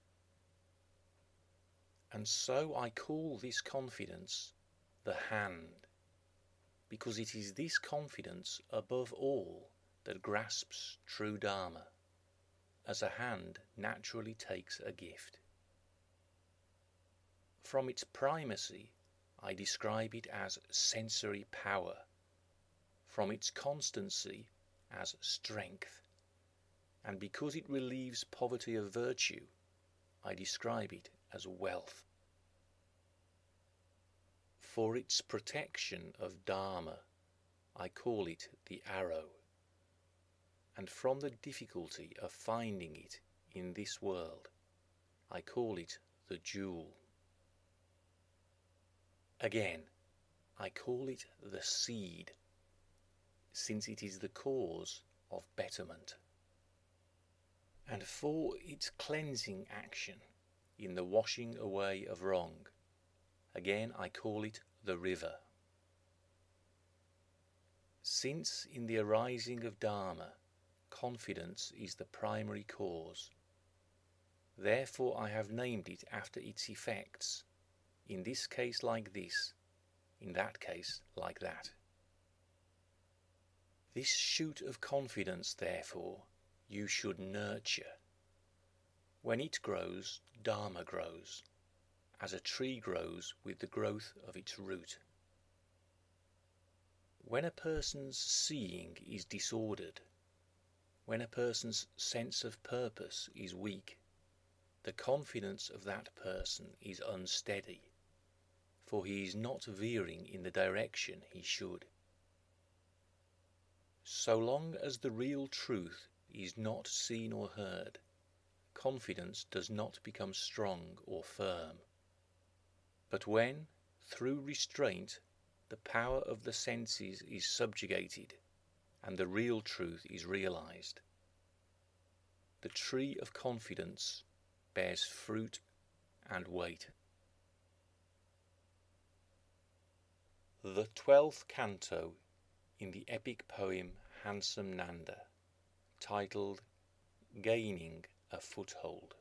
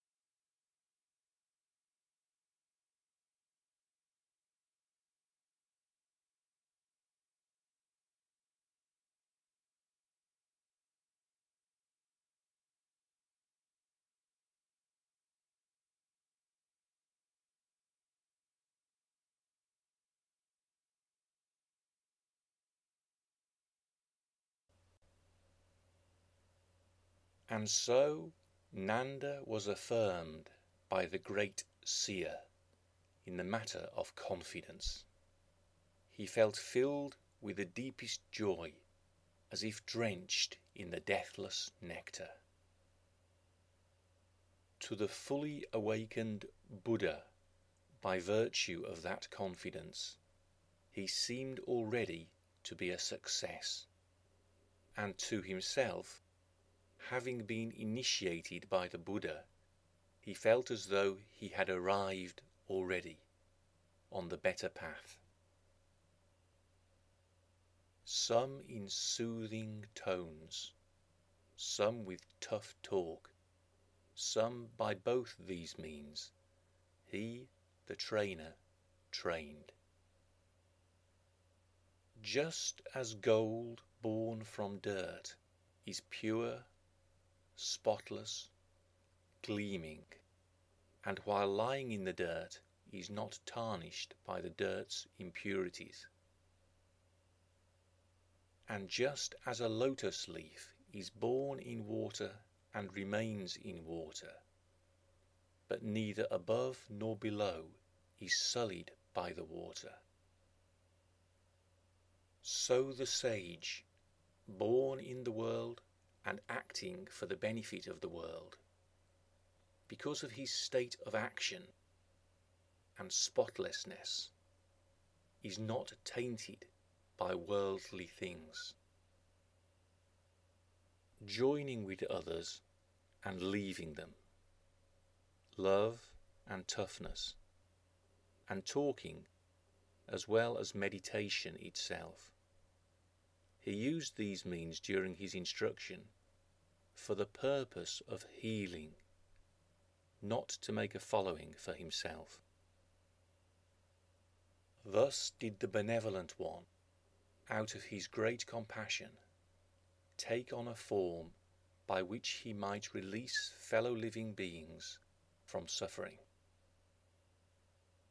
Seeing then that by boosting Nanda he had made a receptacle, the best of speakers, the knower of processes, spoke of better ways as a process. Starting afresh from here, my friend, with the power of confidence leading you forward, in order to get to the nectar of deathlessness, you should watch the manner of your action so that the use of body and voice becomes simple for you. Make it expansive and open and guarded and free from disconnectedness. Expansive by reality's doing, open from not hiding, guarded because aimed at prevention and unbroken through absence of fault. With regard for purity of body and voice, and with regard also for the sevenfold prohibition on bodily and vocal conduct, you should work to perfect a proper way of making a living on the grounds of integrity on the grounds of not indulging the five faults, beginning with hypocrisy, on the grounds of fleeing the four predators of practice, such as astrology, on the grounds of not accepting things to be avoided, such as valuables linked to the needless killing of living creatures on the grounds of accepting the established rules for begging with their definite limits. As a person who is contented, pristine, and pleasant, you can, through making a living cleanly and well, counteract suffering all the way to liberation. Separately from overt action, and from the origin of the use of body and voice, I have spoken of making a living, because it is so hard to make a pure one. For hard to be washed away is the view of a householder with his many and various concerns, and also hard to be kept pure is the livelihood of a beggar whose subsistence depends on others. Such is termed the discipline of integrity. In sum, it is conduct. Without it, there could truly be no going forth, nor state of being at home. Steeped in good conduct, therefore, lead this life of devout abstinence, and in what is even minutely blameworthy, see danger being firm in your purpose. For founded on integrity, unfurl all actions on the better path, just as events like standing unfold when a force resists the earth. Let it be grasped, my friend, that release is seated in dispassion. Dispassion in conscious awareness, and conscious awareness in knowing and seeing. And let it be experienced again that the knowing is seated in a stillness, and that the seat of the stillness is a body mind at ease. An assurance on which sits ease of the body mind is of the highest order, and the assurance is seated in enjoyment. Again, let this be realized in experience. The enjoyment is seated in a great happiness, which, similarly, is understood to be of the highest order.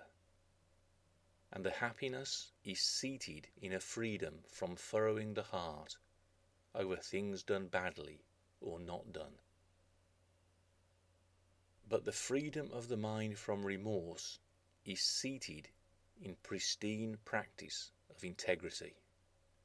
Therefore, realizing that integrity comes first, purify the discipline of integrity.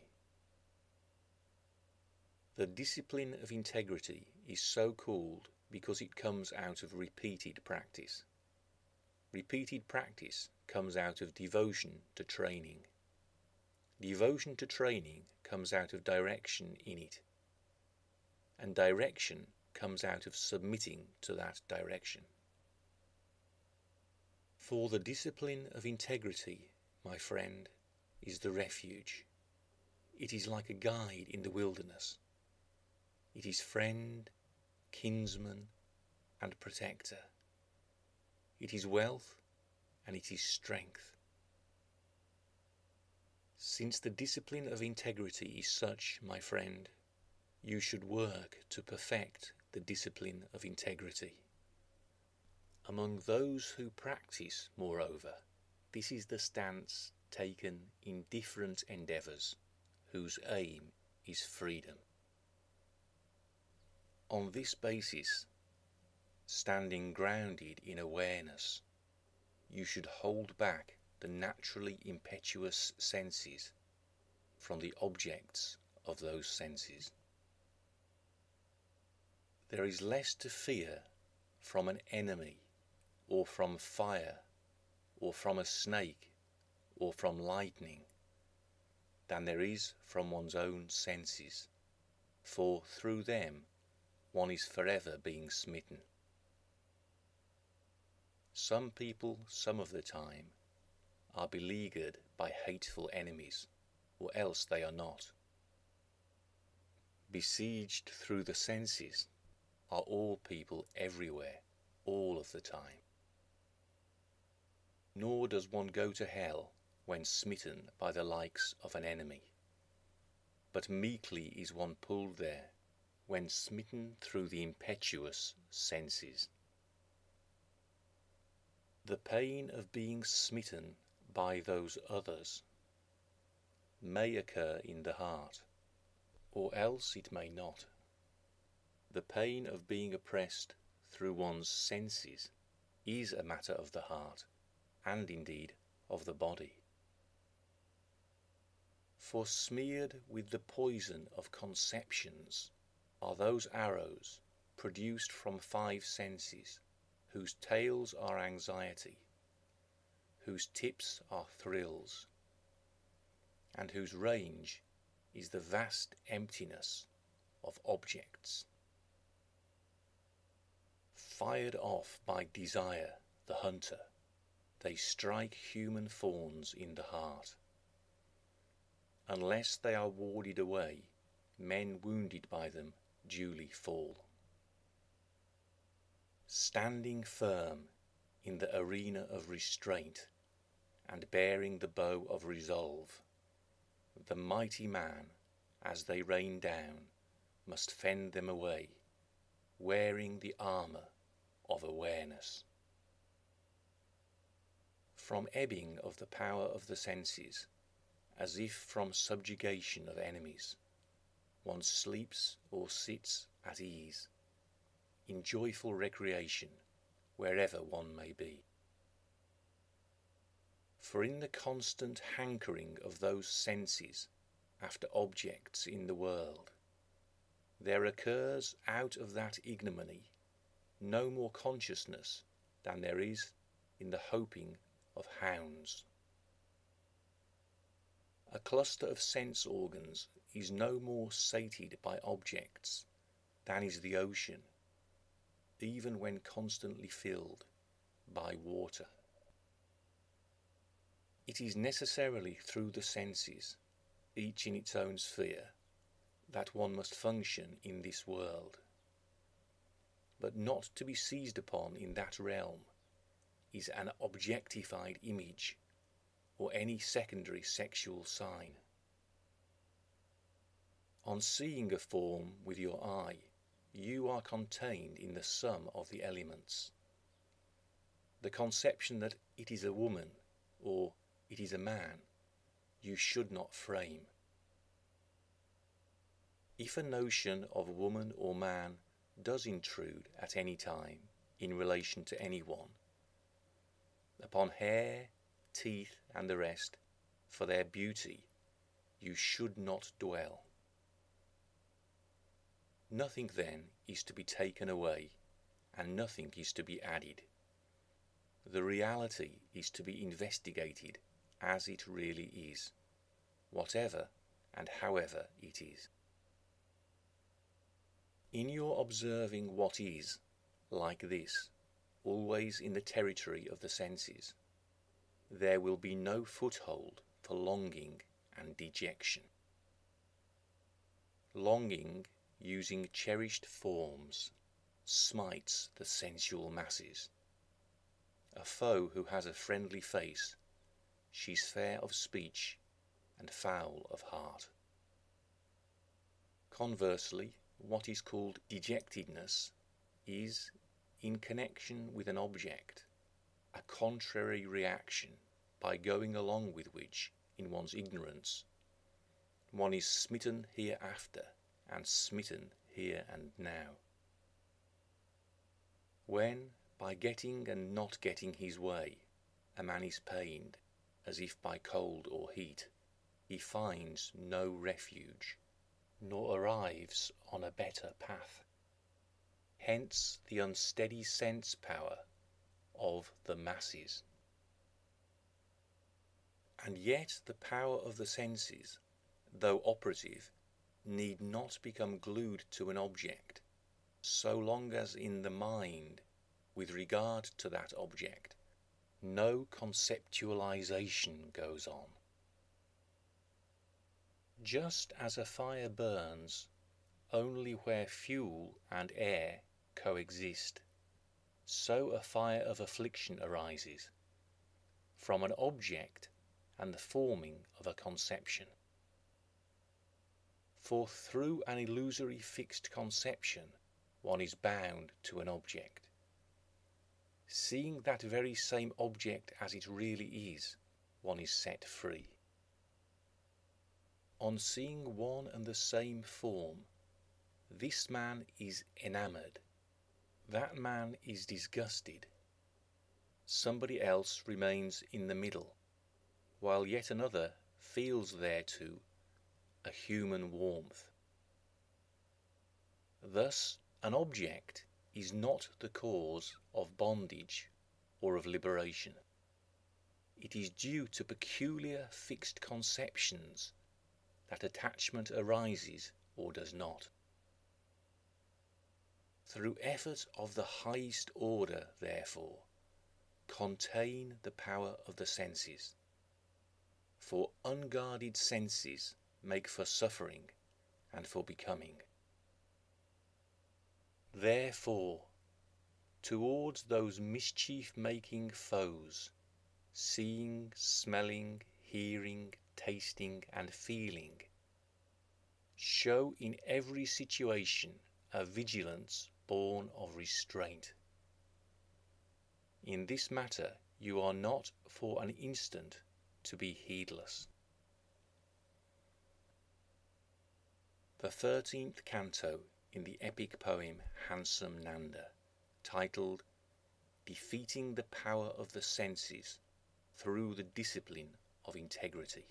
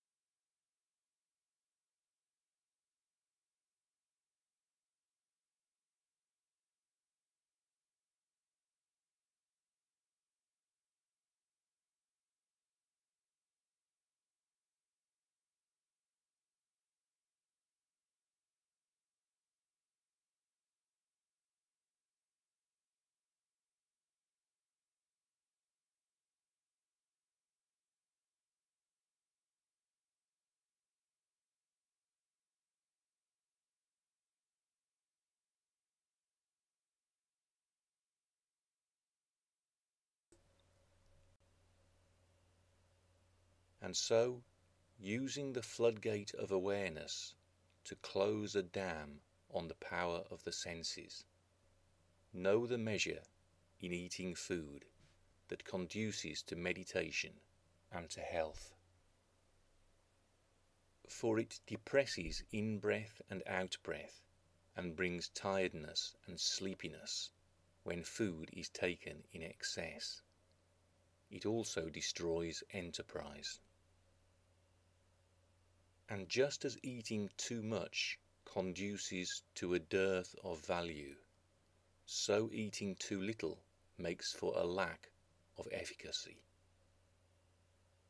Of its substance, lustre, and stamina, of its usefulness and its very strength, a meagre diet deprives the body. Just as a weighing scale bends down with a heavy weight, bends upwards with a light one, and stays in balance with the right one, so does this body according to intake of food. Therefore, food is to be eaten, each reflecting on his own energy, and none apportioning himself too much or too little under the influence of pride. For the fire of the body is damped down when it is burdened by a heavy load of food, like a small blaze suddenly covered with a big heap of firewood. Excessive fasting also is not recommended, for one who does not eat is extinguished like a fire without fuel. Since without food there is none that survives among those that bear breath, therefore eating food is not a sin, but being choosy in this area is prohibited. For on no other single object are sentient beings so stuck as on the heedless eating of food. To the reason for this one must be awake. Just as one who is wounded for the purpose of healing puts ointment on a wound, so does one who wills freedom for the purpose of staving off hunger eat food. Just as, in order to ready it for bearing a burden, one greases a wagon's axle, so in order to journey through life, does the wise man utilize food. And just as two travellers, in order to cross a wasteland, might feed upon the flesh of a child, though grievously pained to do so, as its mother and father. So food should be eaten, consciously, neither for display nor for appearance, neither to excite hilarity nor to feed extravagance. Food is provided for the upkeep of the body, as if to prop, before it falls, a dilapidated house. Just as somebody might take pains to build and then carry a raft, not because he is so fond of it, but because he means to cross a great flood. So too, by various means, do men of insight sustain the body, not because they are so fond of it, but because they mean to cross a flood of suffering. Just as a king under siege yields in sorrow to a rival king, not out of devotion nor through thirsting, but solely to safeguard life. So the devotee of practice tenders food to his body, solely to stave off hunger, neither with passion nor as devotion.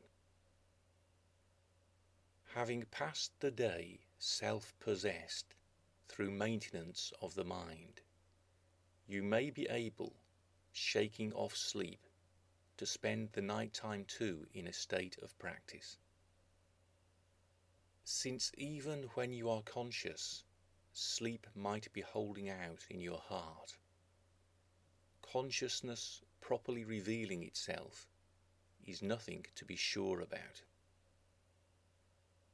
Initiative, constancy, inner strength, and courage are the elements always to bear in mind while you are being oppressed by sleep. Recite clearly those Dharma teachings that you have learnt. Point others in their direction and think them out for yourself. Wet the face with water, look around in all directions, and glance at the stars, wanting always to be awake. By the means of inner senses that are not impetuous, but in a state of subjection, by the means of a mind that is not scattered, walk up and down at night, or else sit. In fear, in joy, and in grief, one does not succumb to sleep. Therefore, against the onslaughts of sleep, resort to these three. Feel fear from death's approach, joy from grasping a teaching of Dharma, and from the boundless suffering inherent in a birth, feel the grief.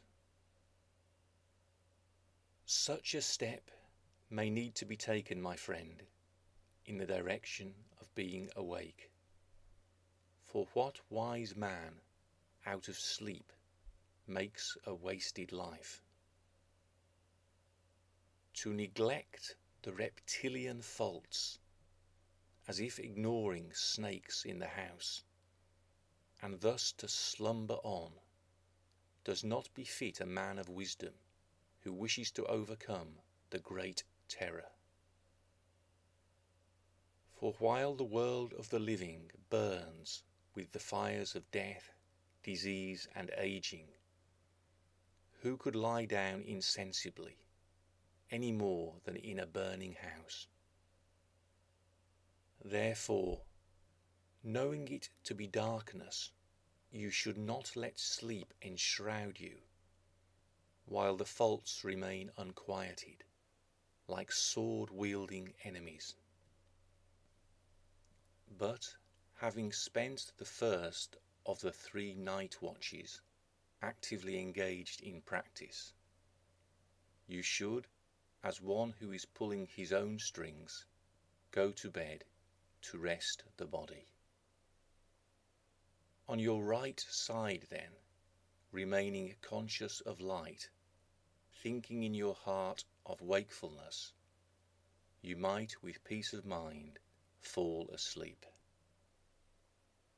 Again, by getting up in the third watch and going into movement, or indeed just sitting, you might renew your practice with mind refreshed and power of the senses curbed.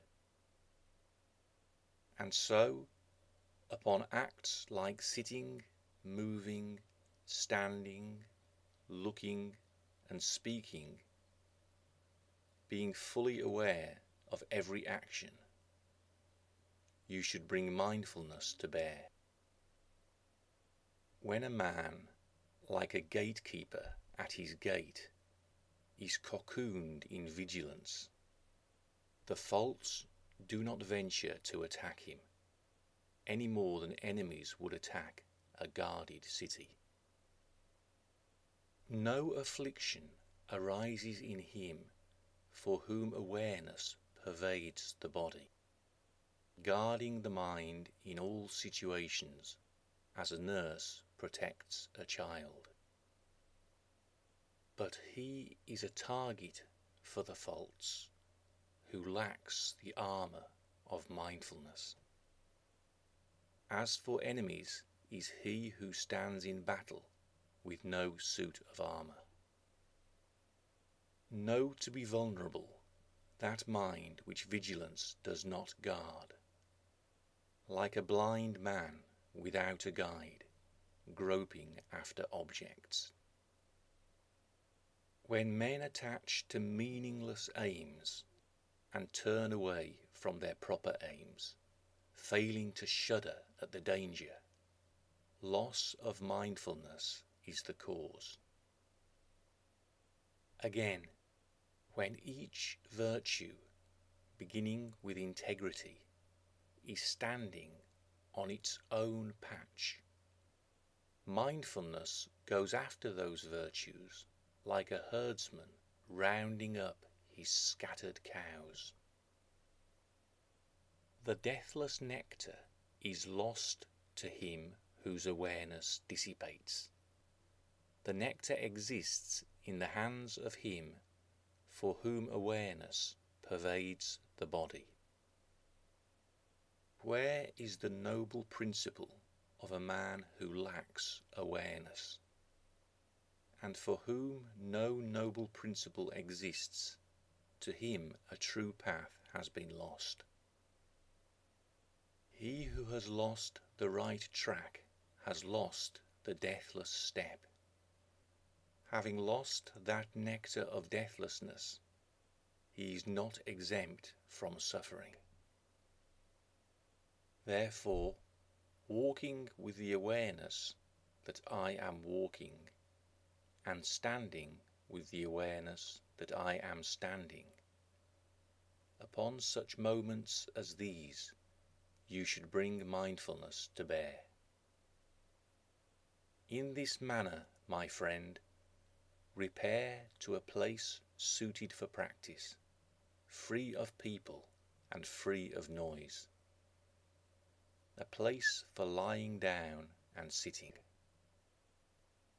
For by first achieving solitude of the body, it is easy to obtain solitude of the mind. The man of redness, the tranquillity of his mind unrealized, who does not take to a playground of solitude, is injured as though, unable to regain a track, he is walking on very thorny ground. For a seeker who fails to see reality, but stands in the tawdry playground of objects, it is no easier to rein in the mind than to drive a foraging bull away from corn. But just as a bright fire dies down when not fanned by the wind, so too in solitary places does an unstirred mind easily come to quiet. One who eats anything at any place and wears any clothes, who dwells in enjoyment of his own being and loves to be anywhere without people. He is to be known as a success, a knower of the taste of peace and ease, whose mind is made up. He avoids involvement with others like a thorn.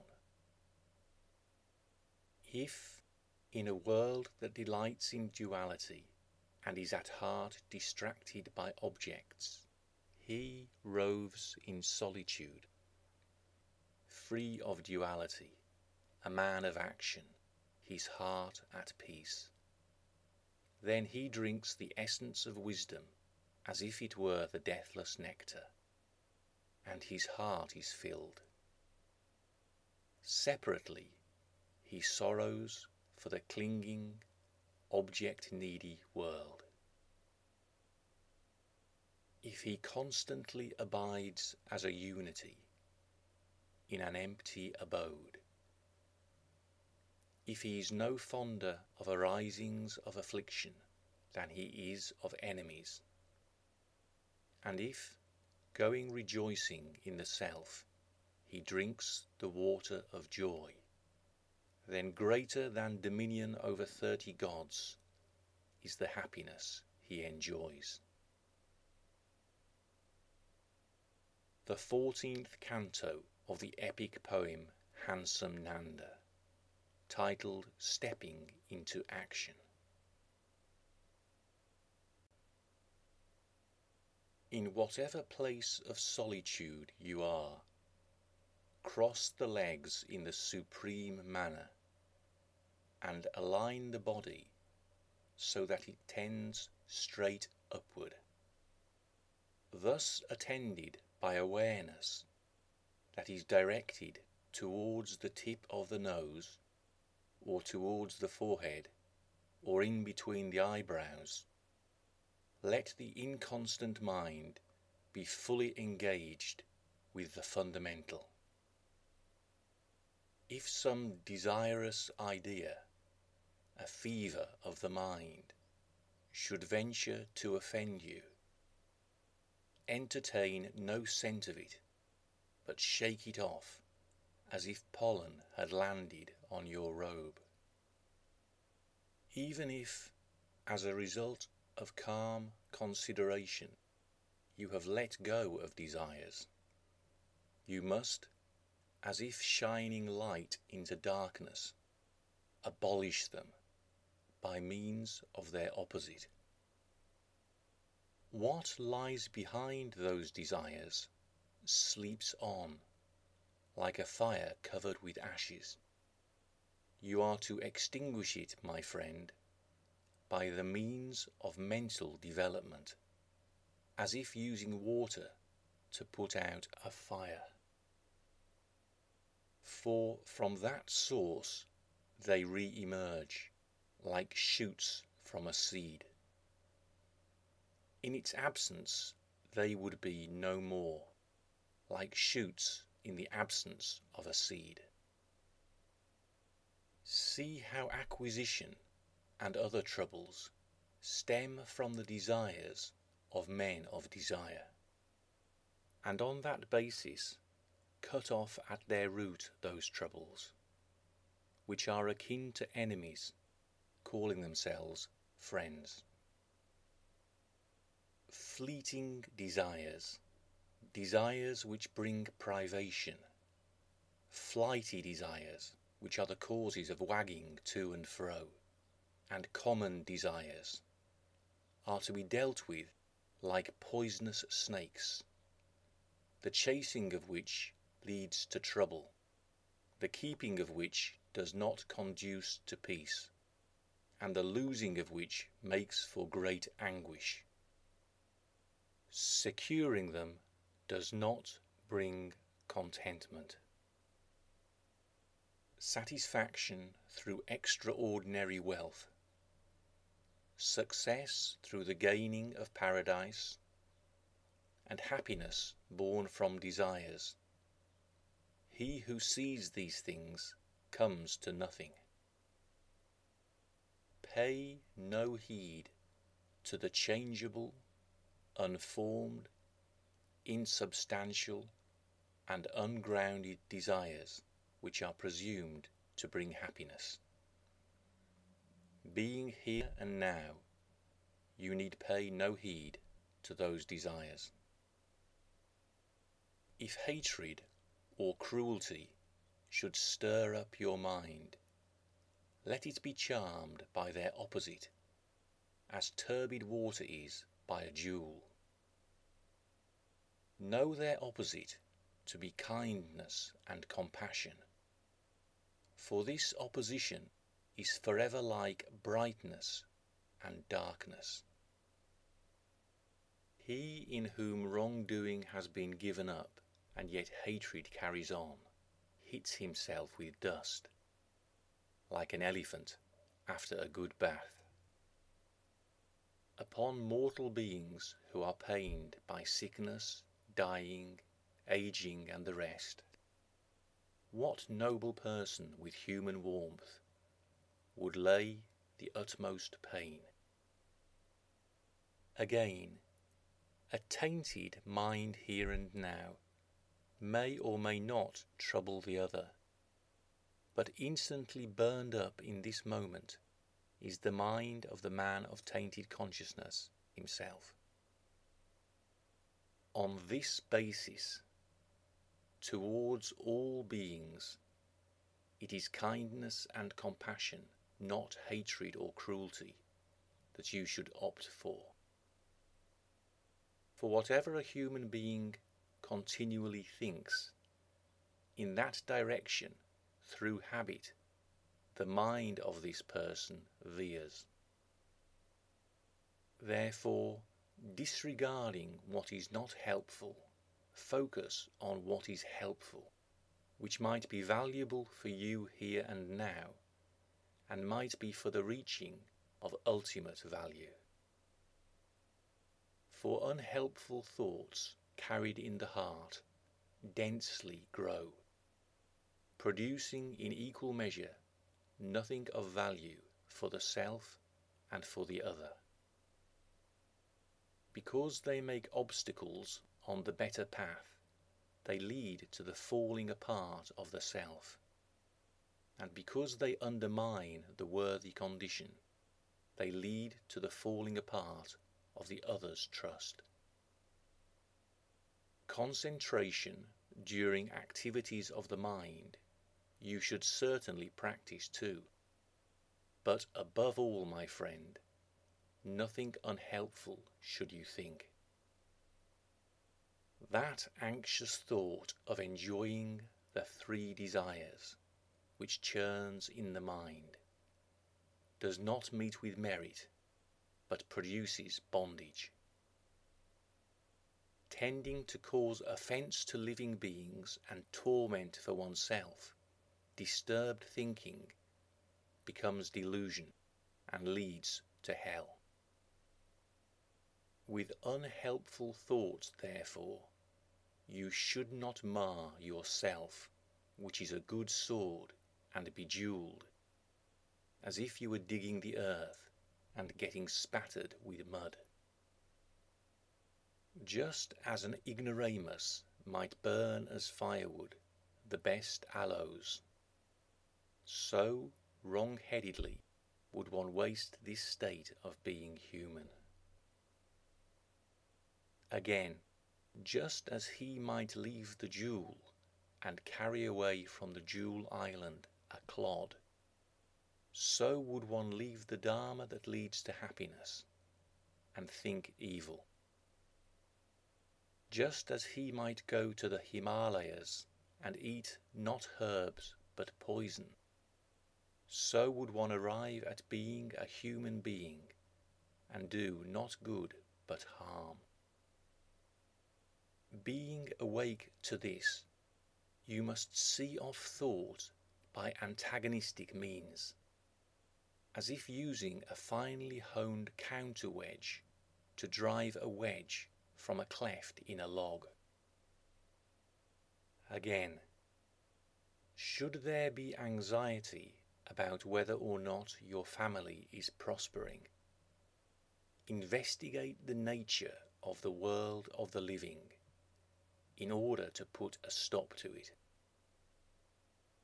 Among beings dragged by our own doing through the cycle of samsara, who are our own people and who are other people?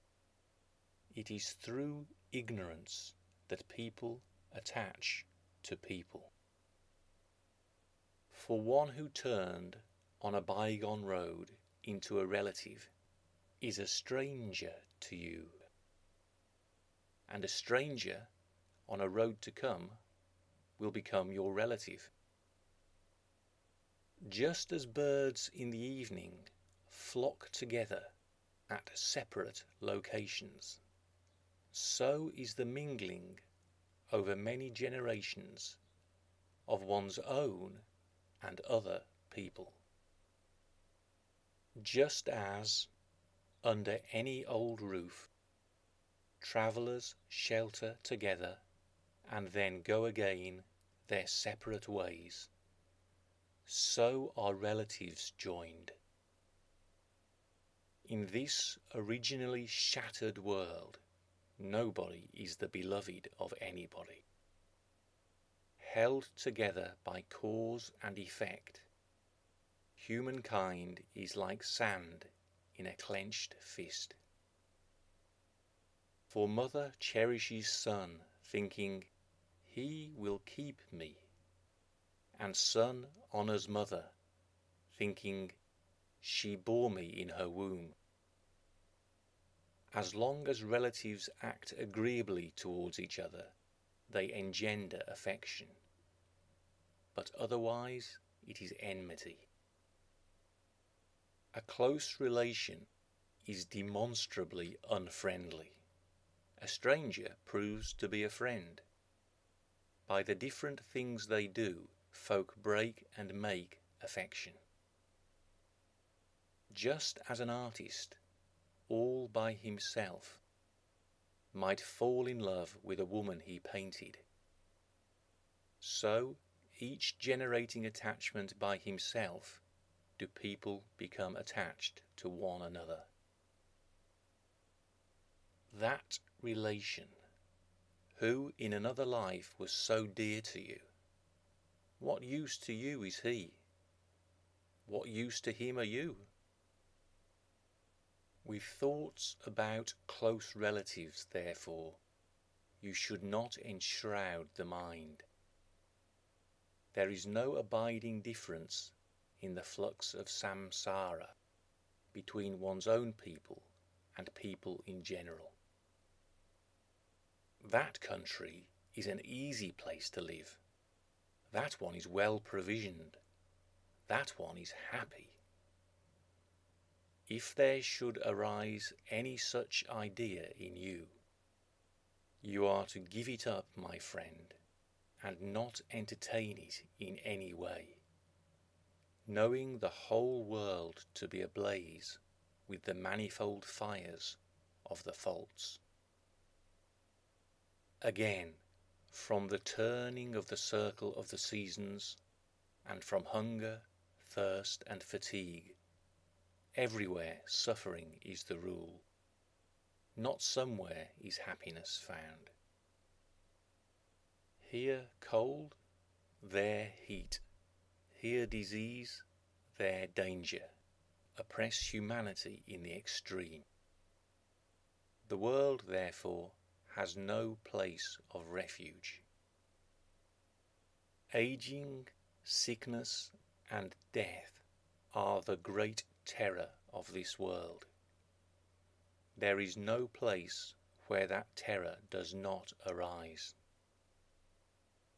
Where this body goes, there suffering follows. There is no way in the world going on which one is not afflicted even an area that is pleasant, abundant in provisions, and safe, should be regarded as a deprived area where burn the fires of affliction. In this world beset by hardships physical and mental, there is no cosy place to which one might go and be at ease while suffering everywhere and for everyone continues at every moment, you are not to enthuse, my friend, over the world's shimmering images. When your enthusiasm is turned back from all that, the whole living world you will deem to be, as it were, on fire. Any idea you might have then that has to do with not dying is, with an effort of will, to be obliterated as a disorder of your whole being. Not a moment of trust is to be placed in life. For like a tiger lying in wait, time slays the unsuspecting that I am young or I am strong should not occur to you. Death kills in all situations without regard for sprightliness. As he drags about that field of misfortunes which is a body, expectations of well being or of continuing life do not arise in one who is observant.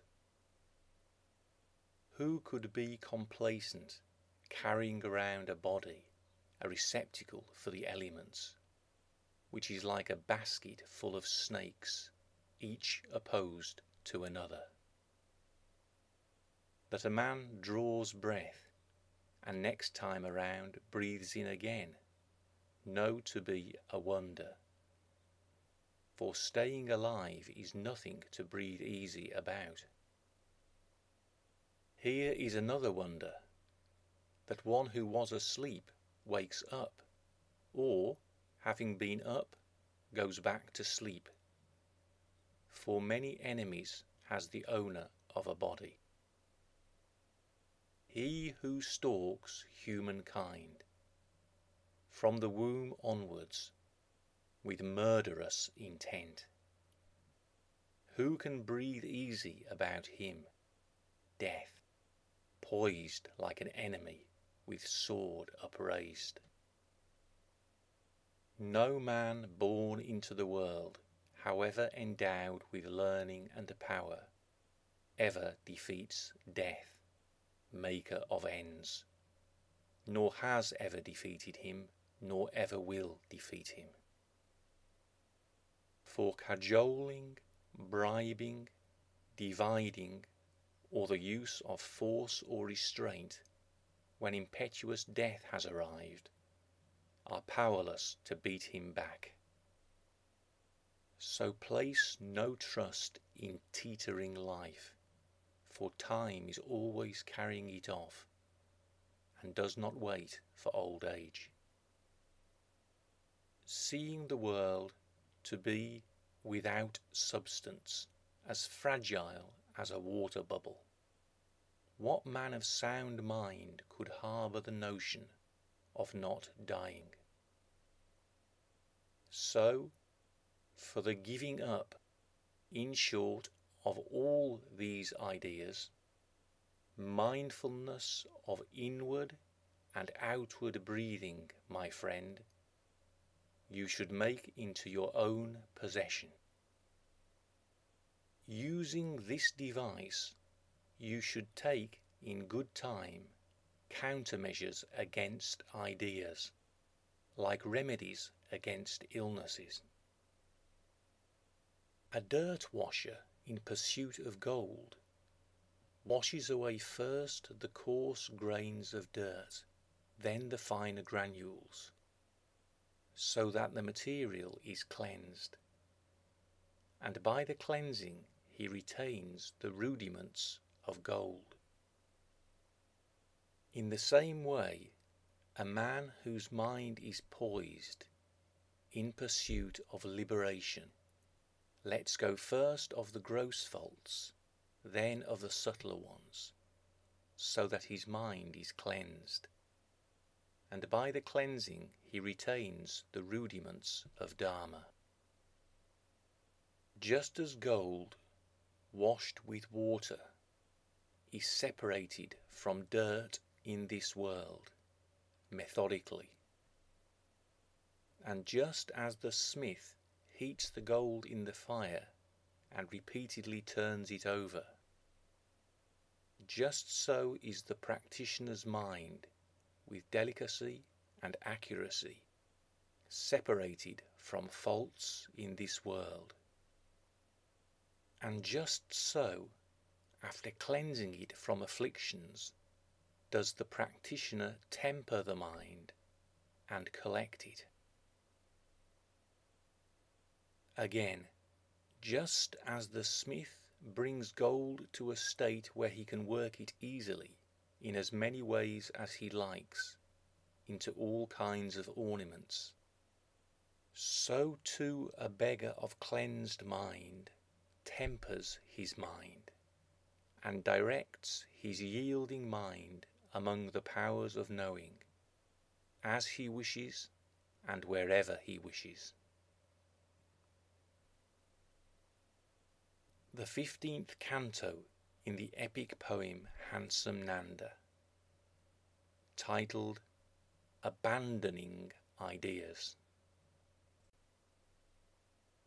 Thus, by methodically taking possession of the mind, getting rid of something and gathering something together, the practitioner makes the four dhyanas his own and duly acquires the five powers of knowing.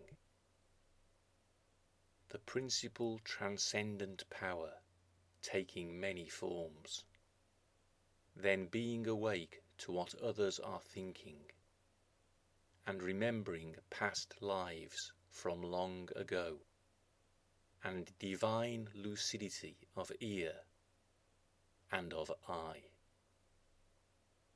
From then on, through investigation of what is, he applies his mind to eradicating the polluting influences.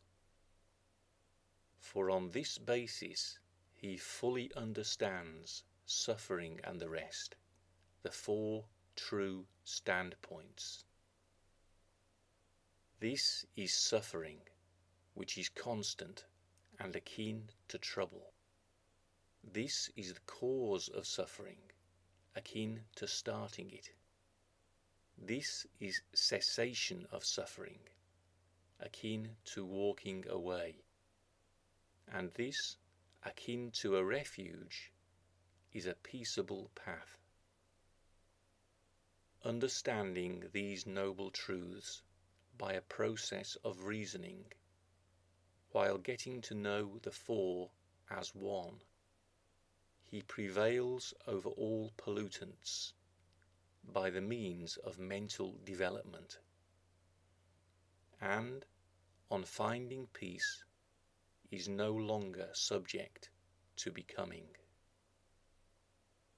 For by failing to wake up and come round to this four, whose substance is the reality of what is, humankind goes from existence to existence without finding peace, hoisted in the swing of samsara.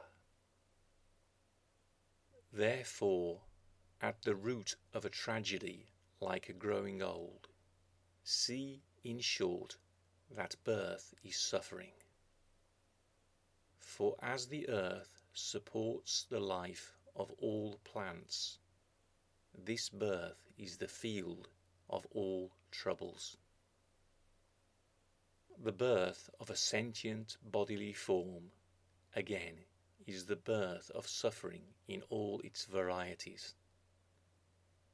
And he who begets such an outgrowth is the begetter of death and of disease. Good food or bad food, if mixed with poison, makes for ruin and not for sustenance.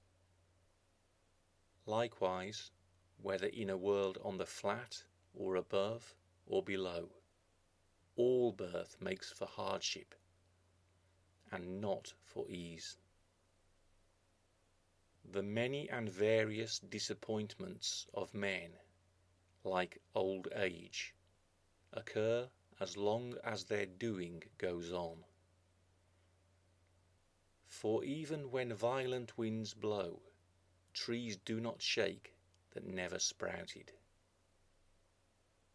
As wind is born from the air, as fire sleeps in the womb of shami wood, and as water gestates inside the earth, so does suffering spring from an expectant mind and body.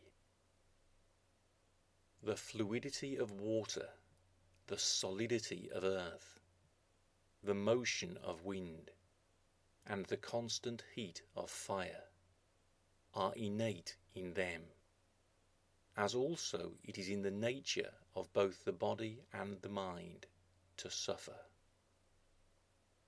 In so far as there is a body, there is the suffering of sickness, aging, and so on and also of hunger and thirst, and of the rains, and summer heat and winter cold. In so far as a mind is bonded, tied to phenomena, there is the suffering of grief, discontent, anger, fear, and so on. Seeing now before your eyes that birth is suffering, recognize that likewise in the past it was suffering. And just as that was suffering and this is suffering, know that likewise in the future it will be suffering. For just as it is evident to us now what kind of thing a seed is, we can infer that it was so in the past and that it will be so in the future. And just as fire burning before us is hot, so was it hot, and so will it be hot. In conformity with its kind, then, a distinguishable bodily form develops, wherein, O man of noble conduct, suffering exists right there. For nowhere else will suffering exist or has it existed, or could it exist? And this, the suffering of doing in the world, has its cause in clusters of faults which start with thirsting. The cause is certainly not in God, nor in primordial matter, nor in time nor even in one's inherent constitution, nor in predestination or self will. Again, you must understand how, due to this cause, because of men's faults, the cycle of doing goes on, so that they succumb to death who are afflicted by the dust of the passions and by darkness. But he is not reborn who is free of dust and darkness. In so far as the specific desire exists to do this or that, an action like going or sitting happens. Hence, in just the same way, by the force of their thirsting, living creatures are reborn as is to be observed. See sentient beings in the grip of attachment, dead set on pleasure among their own kind, and from their habitual practice of faults, observe them presenting with those very faults. Just as the anger, lust, and so on of sufferers of those afflictions give rise in the present to a personality trait. So too in new lives, in various manifestations, does the affliction created trait develop. In a life dominated by anger arises violent anger. In the lover of passion arises burning passion. And in one dominated by ignorance arises overwhelming ignorance. In one who has a lesser fault, again, the lesser fault develops. Seeing what fruit is before one's eyes, one knows, from past knowledge of that fruit, the seed it was in the past. And having identified a seed before one's eyes, one knows the fruit it may be in the future. In whichever realms of existence a man has ended faults, thanks to that dispassion, he is not born in those realms. Wherever he remains susceptible to a fault, that is where he makes his appearance, whether he likes it or not. So, my friend, with regard to the many forms of becoming, know their causes to be the faults that start with thirsting, and cut out those faults if you wish to be freed from suffering. For ending of the effect follows from eradication of the cause. Again, the ending of suffering follows from the disappearance of its cause. Experience that reality for yourself as peace and well being, a place of rest, a cessation, an absence of the red taint of thirsting, a primeval refuge which is irremovable and noble, in which there is no becoming, no aging, no dying, no illness, no being touched by unpleasantness, no disappointment, and no separation from what is pleasant. It is an ultimate and indestructible step in which to dwell at ease.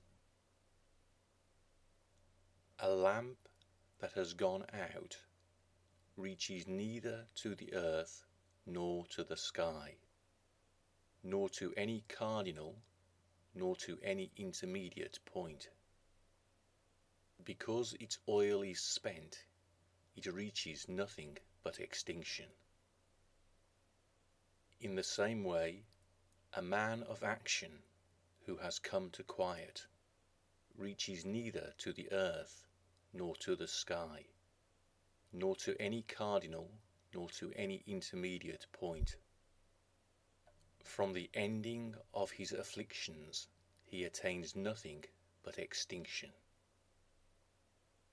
A means for gaining that end is the path of threefold wisdom and twofold tranquility. It is to be cultivated by a wakeful person working to principle, abiding in untainted threefold integrity.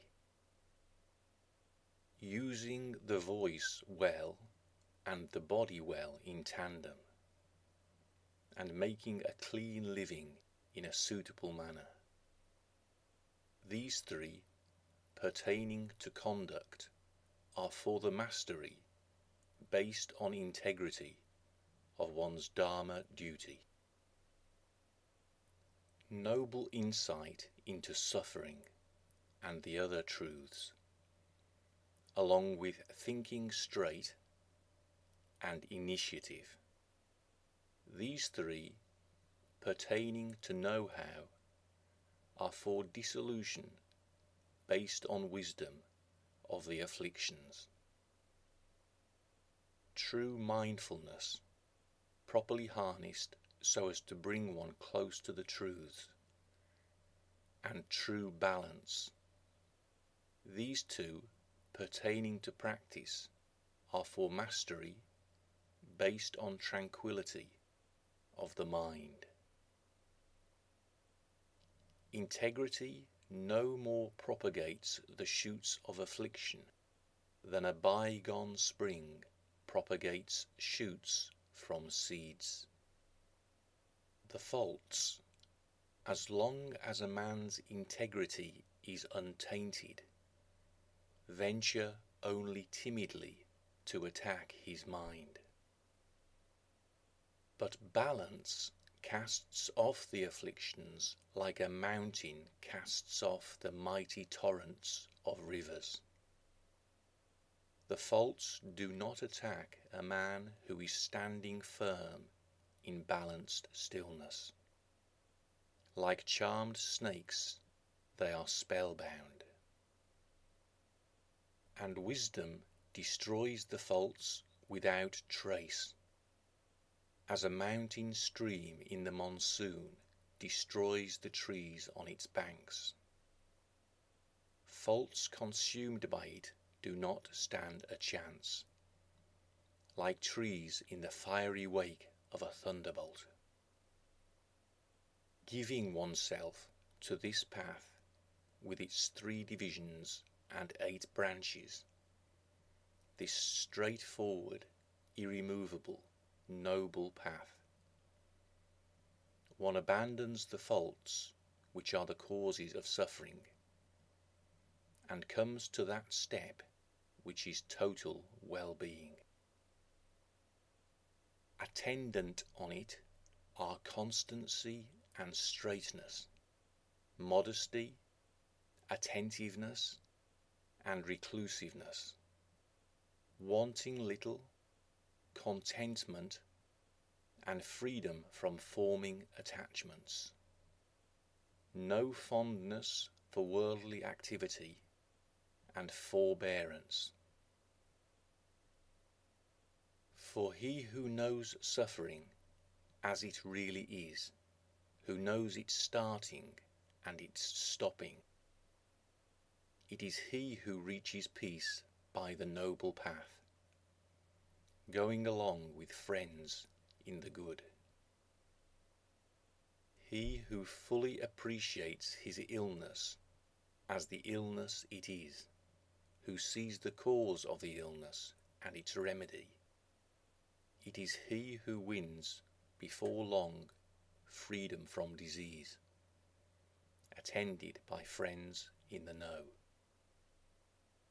So, with regard to the truth of suffering, see suffering as an illness. With regard to the faults, see the faults as the cause of the illness. With regard to the truth of stopping, see stopping as freedom from disease. And with regard to the truth of a path, see a path as a remedy. Comprehend, therefore, that suffering is doing. Witness the faults impelling it forward. Realize its stopping as non doing, and know the path as a turning back.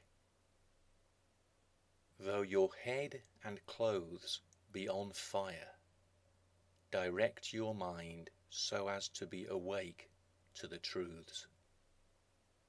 For in failing to see the purport of the truths, the world has burned, it is burning now, and it will burn. When a man sees a separate bodily form as decrepit, that insight of his is accurate. In seeing accurately, he is disenchanted, and from the ending of exuberance ends the red taint of passion. By the ending of the duality which is exuberance and gloom, I submit, his mind is fully set free. And when his mind is fully liberated from that duality, there is nothing further for him to do. For in him who sees a separate bodily form as it is, and who sees its origin and passing away, from the very fact of his knowing and seeing, I predict the complete eradication of the pollutants. So, my friend, garner your energy greatly and strive quickly to put an end to polluting influences, examining in particular the elements as suffering, as impermanent and as devoid of self. For in knowing the six elements of earth, water, fire, and the rest, generically, and each as specific to itself, he who knows nothing else but those elements knows total release from those elements. One set on abandoning the afflictions, then, should attend to timing and method. For even practice itself, done at the wrong time and relying on wrong means, makes for disappointment and not for the desired end. If a cow is milked before her calf is born, milking at the wrong time will yield no milk. Or even at the right time, no milk will be got if, through ignorance, a cow is milked by the horn. Again, one who wants fire from damp wood, try as he might, will not get fire. And even if he lays down dry wood, he won't get fire from that with bad bushcraft. Having given due consideration to the time and place, as well as to the extent and method of one's practice, one should, reflecting on one's own strength and weakness, persist in an effort that is not inconsistent with them.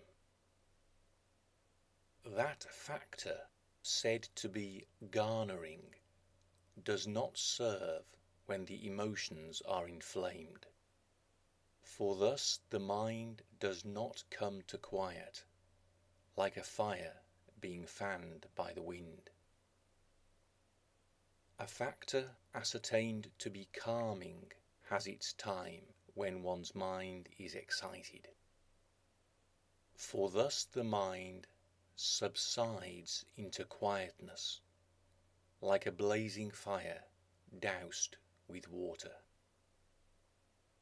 A factor ascertained to bring calm does not serve when one's mind is dormant. For thus the mind sinks further into lifelessness, like a feeble fire left unfanned. A factor determined to be garnering has its time when one's mind is lifeless. For thus the mind becomes fit for work, like a feebly burning fire plied with fuel. Nor is equanimity a valid factor when one's mind is either lifeless or excited, for that might engender severe adversity, like the neglected illness of a sick man. A factor ascertained to conduce to equanimity has its time when one's mind is in its normal state for thus one may set about work to be done, like a wagon setting off with well trained horses. Again, when the mind is filled with the red joys of passion, direction towards oneself of loving kindness is not to be practiced. For a passionate type is stupefied by love like a sufferer from phlegm taking oil. Steadiness lies when the mind is excited by ardour, in resorting to an unpleasant factor. For thus a passionate type obtains relief, like a phlegmatic type taking an astringent. When the mind is wound up, however, with the fault of malice, unpleasantness is not the factor to be deployed. For unpleasantness is destructive to a hating type, as acid treatment is to a man of bilious nature. When the mind is agitated by the fault of malice, loving kindness should be cultivated by directing it towards oneself. For loving kindness is calming to a hate afflicted soul, as cooling treatment is to the man of bilious nature. When there is wandering of the mind, tied to delusion, both loving kindness and unpleasantness are unsuitable. For a deluded man is further deluded by these two, like a windy type given an astringent. When working of the mind is delusory, one should appreciate the causality therein. For this is a path to peace when the mind is bewildered, like treating a wind condition with oil. Holding gold in the mouth of a furnace, a goldsmith in this world blows it at the proper time, douses it with water at the proper time, and gradually, at the proper time, he leaves it be. For he might burn the gold by blowing it at the wrong time. He might make it unworkable by plunging it into water at the wrong time, and he would not bring it to full perfection if at the wrong time he were just to leave it be. Likewise, for garnering, as also for calming, as also when appropriate for leaving well alone, one should readily attend to the appropriate factor because even diligence is destructive when accompanied by a wrong approach. Thus, on retreat from muddling through, and on the principle to come back to, the one who went well spoke to Nanda. And knowing the varieties of behaviour, he detailed further the directions for abandoning ideas. Just as, for a disorder of bile, phlegm, or wind, for whatever disorder of the humours has manifested the symptoms of disease, a doctor prescribes a course of treatment to cure that very disorder. So did the Buddha prescribe for the faults. It may not be possible, following a single method, to kill off bad ideas that habit has so deeply entrenched. In that case, one should commit to a second course, but never give up the good work. Because of the instinct led accumulation from time without beginning of the powerful mass of afflictions. And because true practice is so difficult to do, the faults cannot be cut off all at once.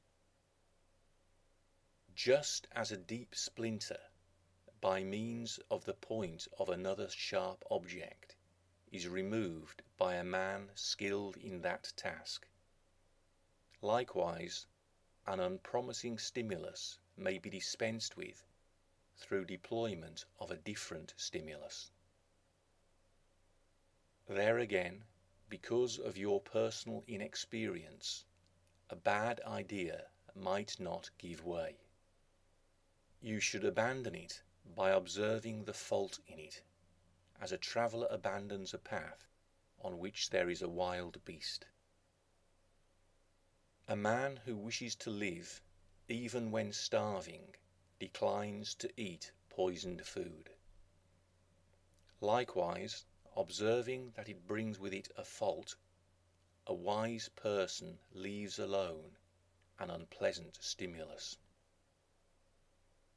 When a man does not see a fault as a fault, who is able to restrain him from it? But when a man sees the good in what is good, he goes towards it despite being restrained. For those brought up well are ashamed of unpleasant occurrences going on in the mind. As one who is bright, young, and good looking is ashamed, of unsightly, ill arranged objects hanging around his neck. If, though they are being shaken off, a trace persists of unhelpful thoughts, one should resort to different tasks, such as study or physical work, as a means of consigning those thoughts to oblivion.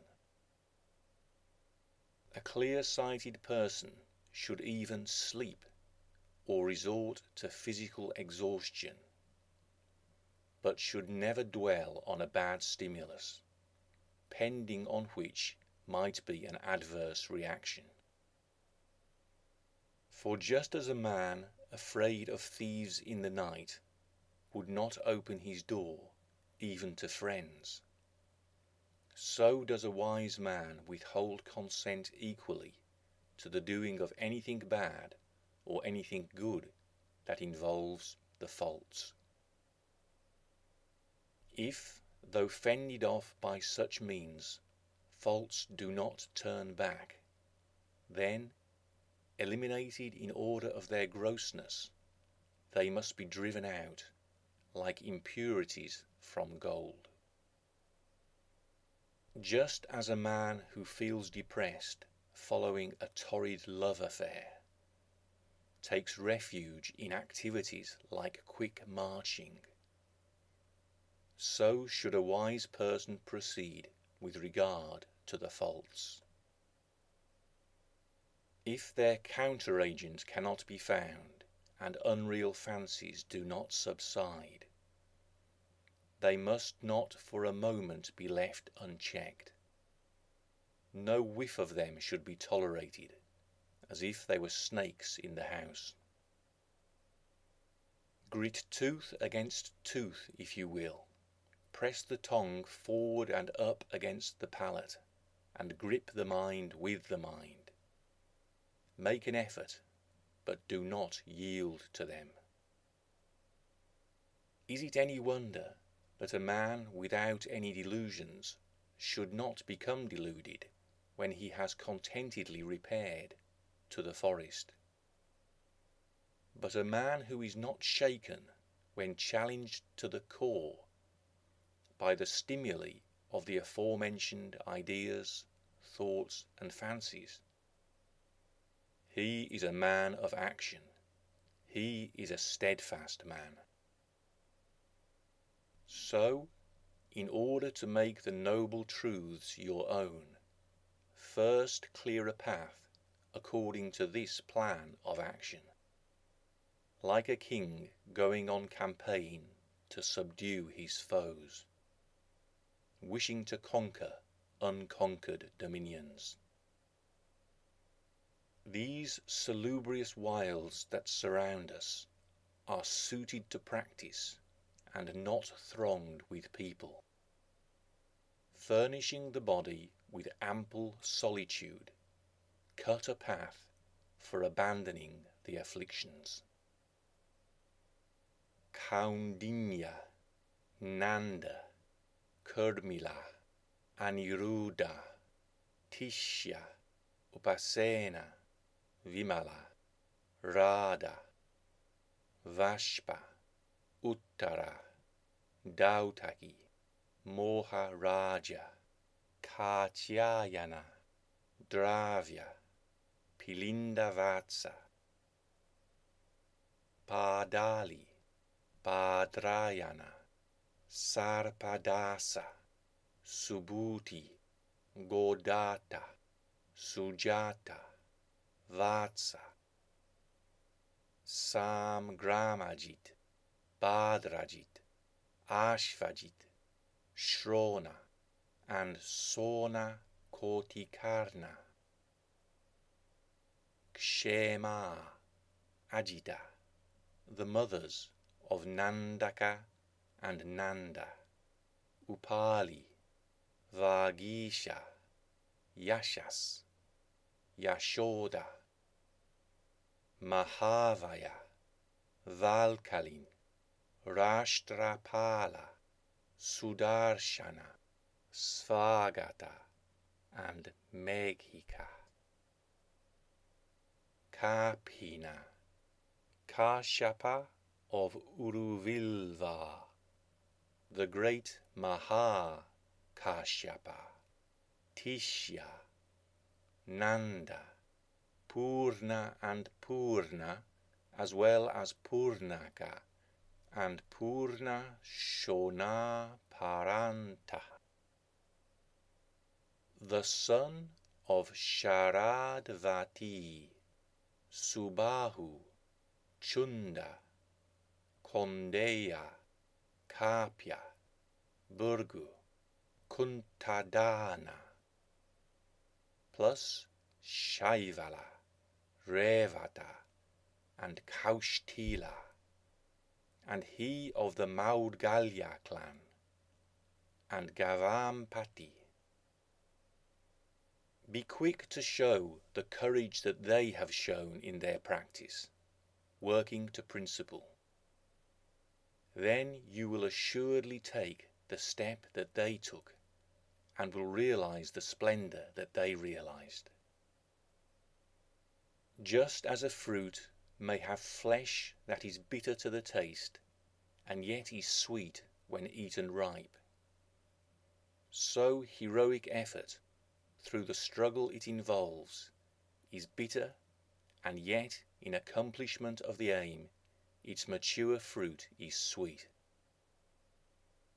Directed energy is paramount, for in doing what needs to be done, it is the foundation. Without directed energy, there is no accomplishment at all. All success in this world arises from directed energy and in the absence of directed energy, wrongdoing is rampant. No gaining of what is yet to be gained, and certain loss of what has been gained.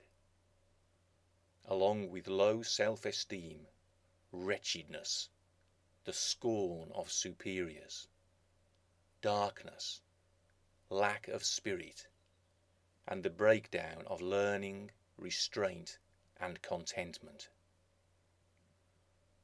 For men without directed energy, a great fall awaits.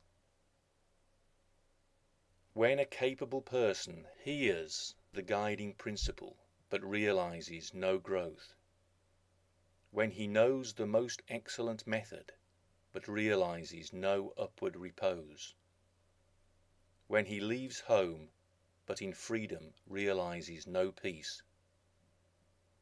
The cause is the laziness in him, and not an enemy. A man obtains water if he digs the ground with unflagging exertion, and produces fire from fire sticks by continuous twirling. But those are sure to reap the fruit of their effort whose energies are harnessed to practice. For rivers that flow swiftly and constantly cut through even a mountain. After ploughing and protecting the soil with great pains, a farmer gains a bounteous crop of corn. After striving to plumb the ocean's waters, a diver revels in a bounty of coral and pearls. After seeing off with arrows the endeavour of rival kings, a king enjoys royal dominion. So direct your energy in pursuit of peace. For in directed energy, undoubtedly, lies all growth. The sixteenth canto in the epic poem Handsome Nanda, titled Exposition of the Noble Truths.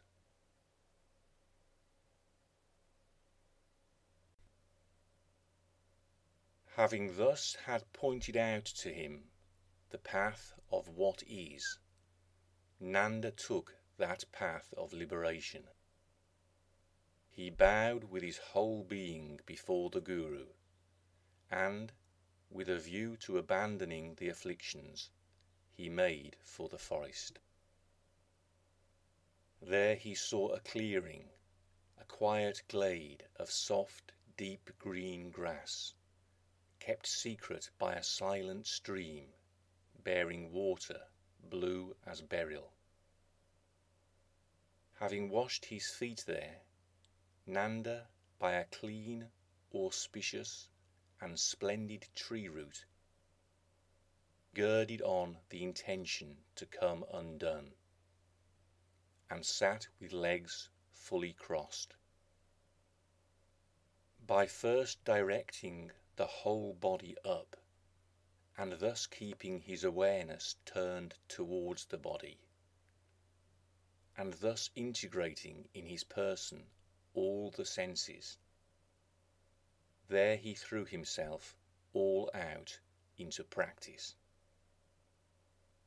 Wishing to practice on that basis the truth that has no gaps, and wishing to perform practices that would be favourable to release. He moved using mundane know how and stillness into the stage of readying of consciousness. By holding firm, keeping direction of energy to the fore, by cutting out clinging and garnering his energy, with consciousness that was calmed and contained, he came back to himself and was not concerned about ends. Though his judgment had been tempered and his soul inspired, now a vestige of desire, arising out of habit, made his mind turbid, like lightning striking water in a monsoon.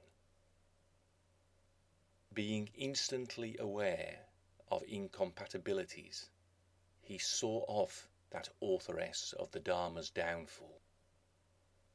As a man whose mind is seized by anger shoos away a loved but excitable woman when he is trying to concentrate. Nanda redirected his energy in order to still his mind.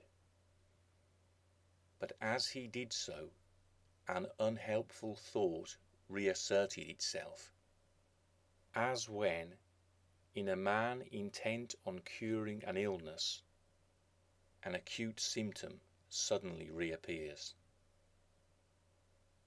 To fend against that, he turned skilfully to a different factor, one favourable to his practice, like an enfeebled prince who seeks out a powerful protector when being overthrown by a mighty rival.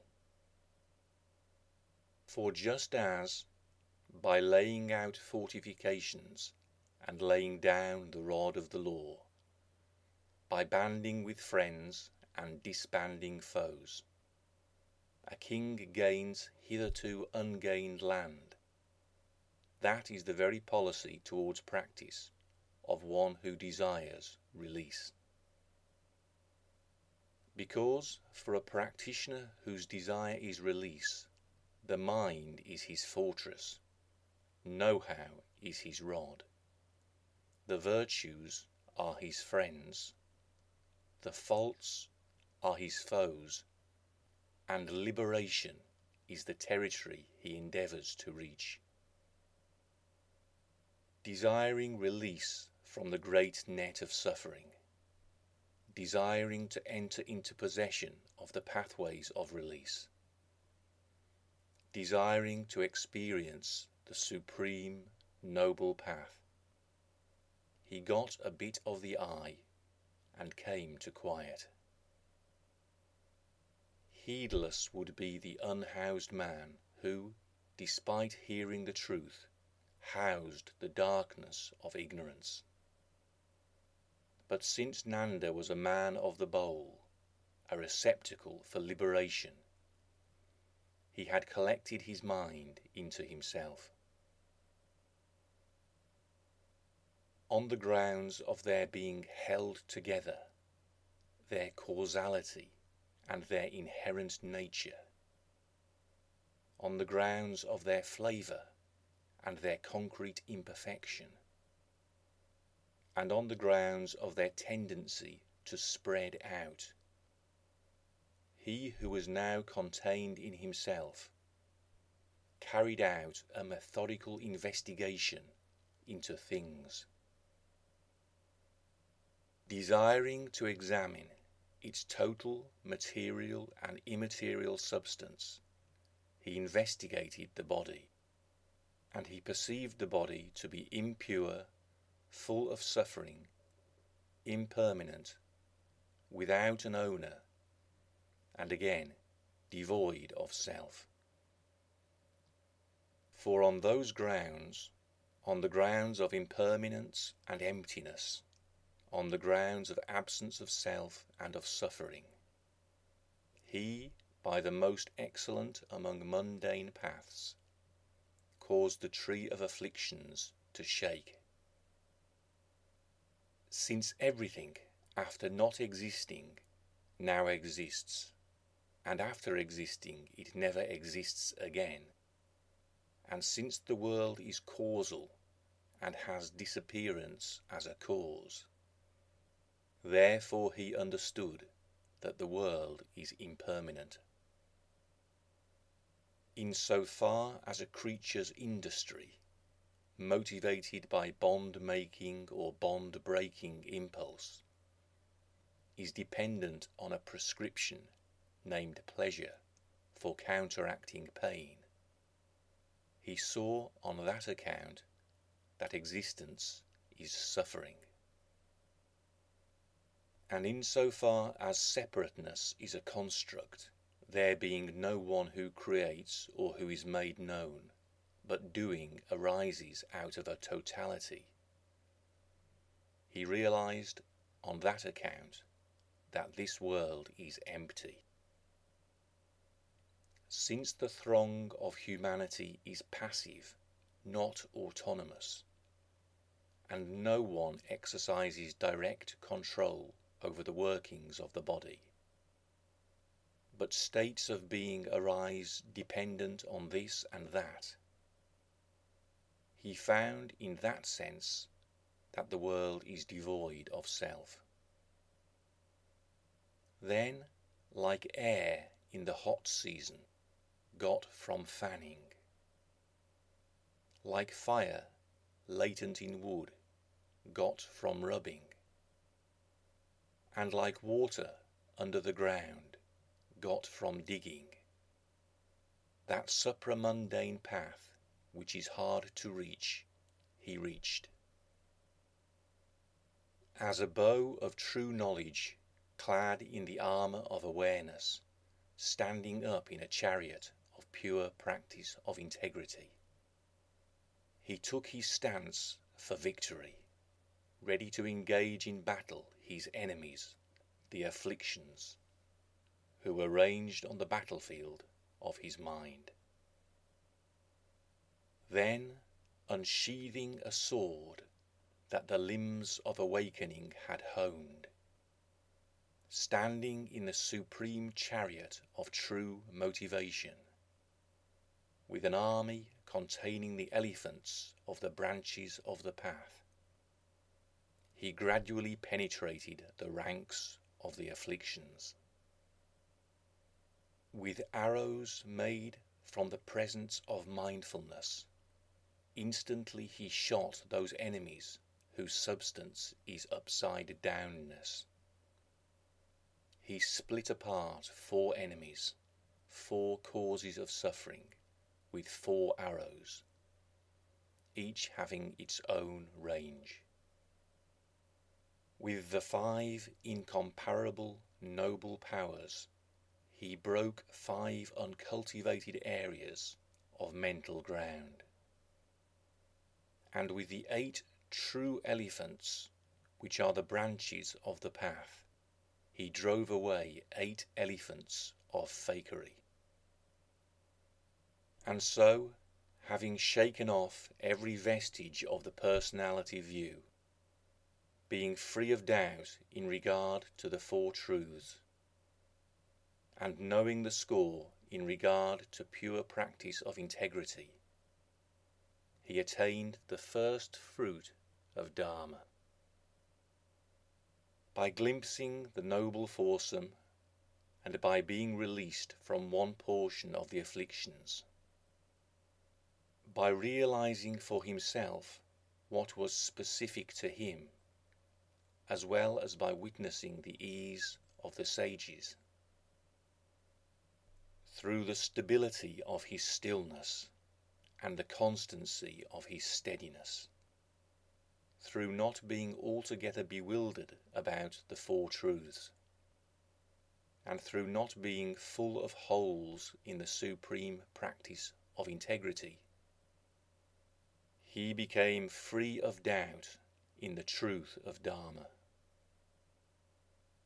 Released from the net of shabby views, seeing the world as it really is,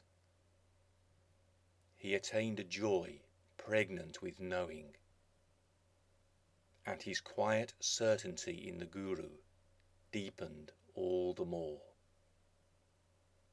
For he who understands that the doing in this world is determined neither by any outside cause nor by no cause, and who appreciates everything depending on everything, he sees the ultimate noble Dharma.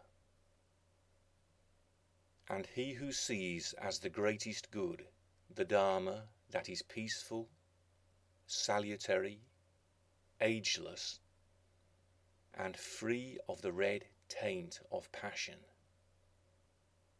and who sees its teacher as the noblest of the noble, he, as one who has got the eye, is meeting Buddha. When a healthy man has been freed from illness by salutary instruction, and he is aware of his debt of gratitude, just as he sees his healer in his mind's eye, gratefully acknowledging his benevolence and knowledge of his subject. Exactly so is a finder of reality who, set free by the noble path, is the reality of being noble. His body being a seeing eye, he sees the realized one, gratefully acknowledging his benevolence and all knowingness. Sprung free from pernicious theories, seeing an end to becoming, and feeling horror for the consequences of affliction. Nanda trembled not at death or hellish realms. As full of skin, sinew, fat, blood, bone, and flesh, as full of hair and a mass of other such unholy stuff. Nanda then observed the body to be. He looked into its essential reality and found not even an atom. By the yoke of that very practice, he, firm in himself, minimized the duality of love and hate. Being himself big across the chest, he made those two small, and so obtained the second fruit in the noble Dharma. A small vestige of the great enemy, red passion, whose straining bow is impatient desire, and whose arrow is a fixed conception. He destroyed using weapons procured from the body as it naturally is, using the darts of unpleasantness, weapons from the armory of practice. That gestating love rival, malice, whose weapon is hatred and whose errant arrow is anger. He slayed with the arrows of kindness, which are contained in a quiver of constancy and released from the bowstring of patience. And so the hero cut the three roots of shameful conduct, using three seats of release, as if three rival princes bearing bows in the van of their armies had been cut down by one prince using three iron points. In order to go entirely beyond the sphere of desire, he overpowered those enemies that grab the heel, so that he attained, because of practice, the fruit of not returning, and stood as if at the gateway to the citadel of Nirvana. Distanced from desires and tainted things, containing ideas and containing thoughts, born of solitude and possessed of joy and ease, is the first stage of meditation which he then entered. Released from the burning of the bonfire of desires, he derived great gladness from ease in the act of meditating. Ease like a heat exhausted man diving into water, or like a pauper coming into great wealth. Even in that he realized ideas about aforesaid things and thoughts about what is or is not good are something not quieted, causing disturbance in the mind. And so he decided to cut them out.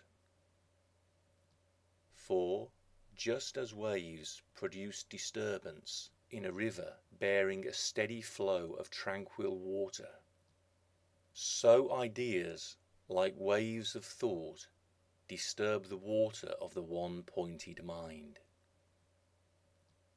And just as noises are a source of bother to one who is weary and fallen fast asleep, so do ideas become bothersome to one who is indulging in his original state of unitary awareness. And so, gradually bereft of idea and thought, his mind tranquil from one pointedness, he realized the joy and ease born of balanced stillness, that inner well being which is the second stage of meditation. And on reaching that stage, in which the mind is silent, he experienced an intense joy that he had never experienced before. But here too he found a fault in joy, just as he had in ideas. For when a man finds intense joy in anything, paradoxically, suffering for him is right there. Hence, seeing the faults there in joy, he kept going up into practice that goes beyond joy. And so, experiencing the ease enjoyed by the noble ones from non attachment to joy, knowing it totally with his body. He remained indifferent, fully aware, and, having realized the third stage of meditation, steady. Since the ease here is beyond any ease, and there is no progression of ease beyond it, therefore, as a knower of higher and lower, he realized it as a condition of resplendent wholeness, which he deemed, in a friendly way, to be superlative. Then, even in that stage of meditation, he found a fault. He saw it as better to be quiet, not excited. Whereas his mind was fluctuating tirelessly because of ease circulating. In excitement there is interference, and where there is interference there is suffering. Which is why, in so far as ease is excitatory, devotees who are desirous of quiet give up that ease. Then, having already transcended ease and suffering and emotional reactivity, he realized the lucidity in which there is indifference and full awareness. Thus, beyond suffering and ease is the fourth stage of meditation. Since in this there is neither ease nor suffering, and the act of knowing abides here, being its own object, therefore utter lucidity through indifference and awareness is specified in the protocol for the fourth stage of meditation. Consequently, relying on the fourth stage of meditation, he made up his mind to win the worthy state. Like a king joining forces with a strong and noble ally, and then aspiring to conquer unconquered lands.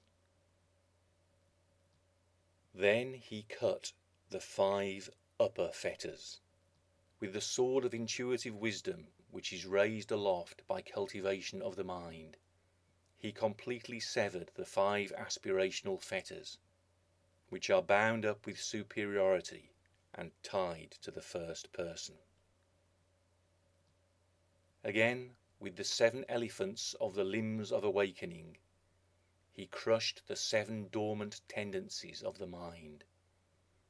Like time, when their destruction is due, crushing the seven continents by means of the seven planets. The action which on fire, trees, ghee, and water is exerted by rain clouds, wind, a flame, and the sun. Nanda exerted that action on the faults, quenching, uprooting, burning, and drying them up. Thus he overcame three surges, three sharks, three swells, the unity of water, five currents, two shores, and two crocodiles. In his eight piece raft, he crossed the flood of suffering which is so hard to cross. Having attained to the seat of arhathood, he was worthy of being served. Without ambition, without partiality, without expectation, without fear, sorrow, pride, or passion. While being nothing but himself, he seemed in his constancy to be different. And so Nanda, who, through the instruction of his brother and teacher, and through his own valiant effort, had quieted his mind and fulfilled his task, spoke to himself these words Praise be to him, the Sugata, the one gone well, through whose compassionate pursuit of my welfare great agonies were turned away and greater comforts conferred. For while being dragged by ignoble physicality down a path pregnant with suffering. I was turned back by the hook of his words, like an elephant in musk by a driver's hook. For through the liberating knowledge of the compassionate teacher who extracted a dart of passion that was lodged in my heart, now such abundant ease is mine. Oh, how happy I am in the loss of everything. For, by putting out the burning fire of desires, using the water of constancy as if using water to put out a blaze, I have now come to a state of supreme refreshment, like a hot person descending into a cool pool. Nothing is dear to me nor offensive to me. There is no liking in me, much less disliking. In the absence of those two, I am enjoying the moment, like one immune to cold and heat. Like gaining safety after great danger. Like gaining release after long imprisonment. Like having no boat and yet gaining the far shore after a mighty deluge. And like gaining clarity after fearful darkness like gaining health out of incurable illness, relief from immeasurable debt, or escape from an enemy presence, or like gaining, after a famine, plentiful food. Thus have I come to utmost quiet through the quieting influence of the teacher. Again and repeatedly I do homage to him. Homage, homage to the worthy one, the realized one. By him I was taken to the golden peaked mountain and to heaven, where, with the example of the she monkey, and by means of the women who wander the triple heaven, I who was a slave to love sunk in girl-filled strife, was lifted up and out. From that extreme predicament, from that worthless mire, up he dragged me like a feeble-footed elephant from the mud, to be released into this quieted, dustless, feverless, sorrowless, ultimate, true reality, which is free from darkness. I salute the great, supremely compassionate seer, bowing my head to him, the knower of types, the knower of hearts, the fully awakened one, the holder of the ten powers, the best of healers, the deliverer. Again I bow to him. The seventeenth canto in the epic poem Handsome Nanda, titled Obtaining the Deathless Nectar. And so, like a young initiate who mastered the Vedas, like a trader who turned a quick profit, or like a royal warrior who conquered a hostile army, a success, Nanda approached the Guru. For it is pleasant at a time when wisdom has been fully realized, for teacher to see student, and for student to see teacher. Each thinking, Your toil has rewarded me for which same reason the wish to see Nanda arose in the sage. Thus is a noble person obliged to pay respect to his face to the one through whom he has acquired distinction. Even a noble person who retains the taint of redness is so obliged, out of gratitude how much more is one with no red taint, all pride having perished? For when devotion springs from an agenda or desire, there it remains rooted. But when a person has love and devotion for Dharma, that person is steeped to the core in tranquility. And so a glowing gold in his yellow-red robe, he bowed his head to the Guru, like a Karnikara tree, with an outburst of ruddy shoots, and a glorious blaze of flowers, nodding in the wind.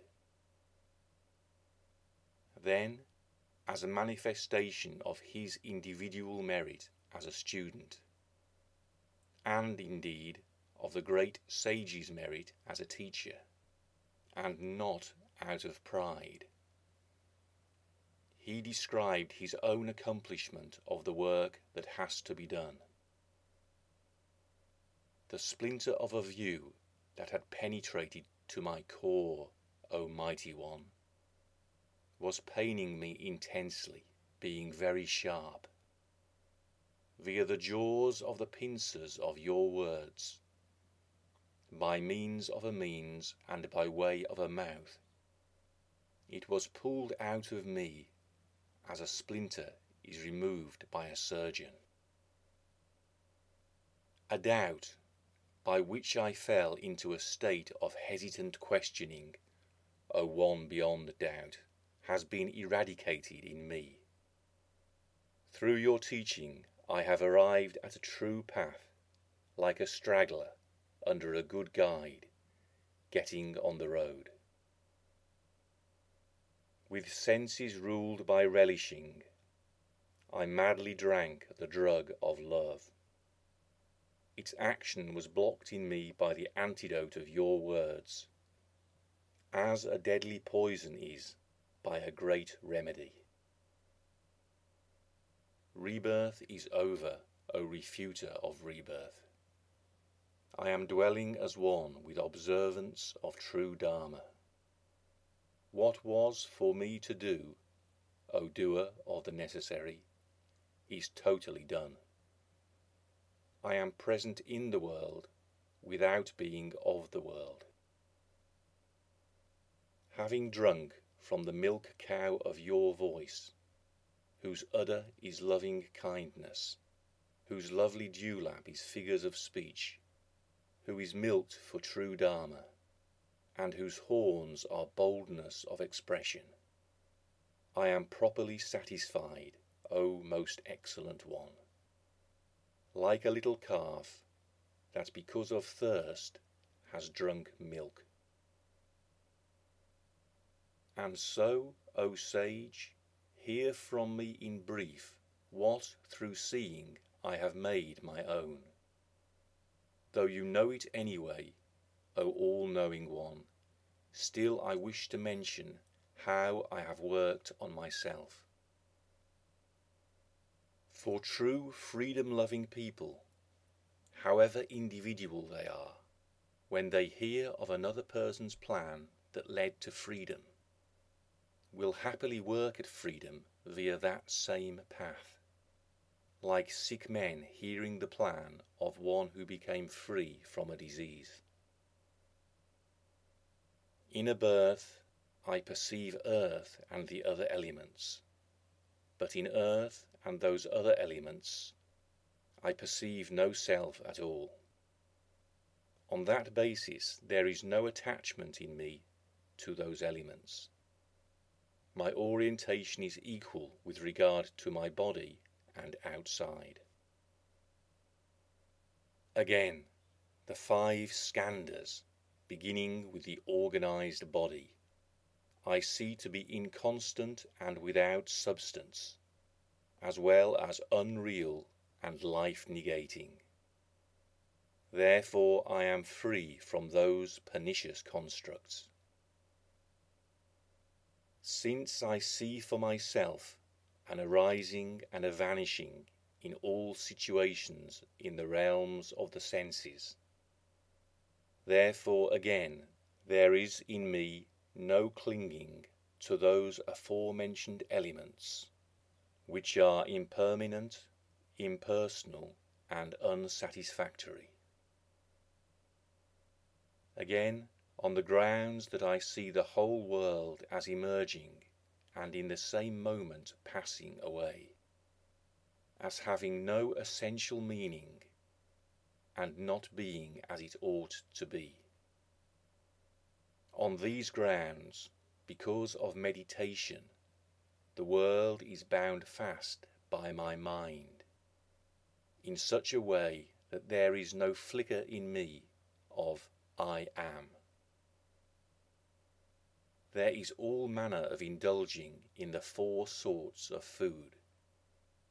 But since I am not attached to how I take food, since when it comes to food I am not congealed or trussed up, I am free on that score from three kinds of becoming.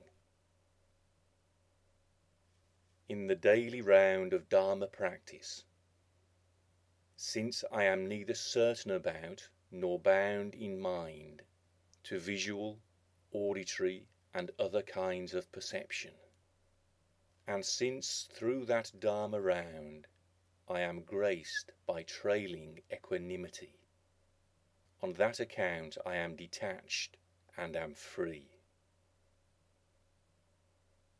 After speaking thus, he prostrated himself on the ground with his whole body, out of deep appreciation for the Guru. He looked like a great fallen column of gold tinged with red sandalwood. Then, after listening to him who had emerged already out of heedlessness, after hearing his firmness and his testimony, and a clarity consistent with the gist of Dharma. The sage boomed at him like a thundercloud. You who stands firm in the Dharma which is loved by those who study it, stand up. Why are you fallen with your head at my feet? The prostration does not honour me so much as this sure-footedness in the Dharma.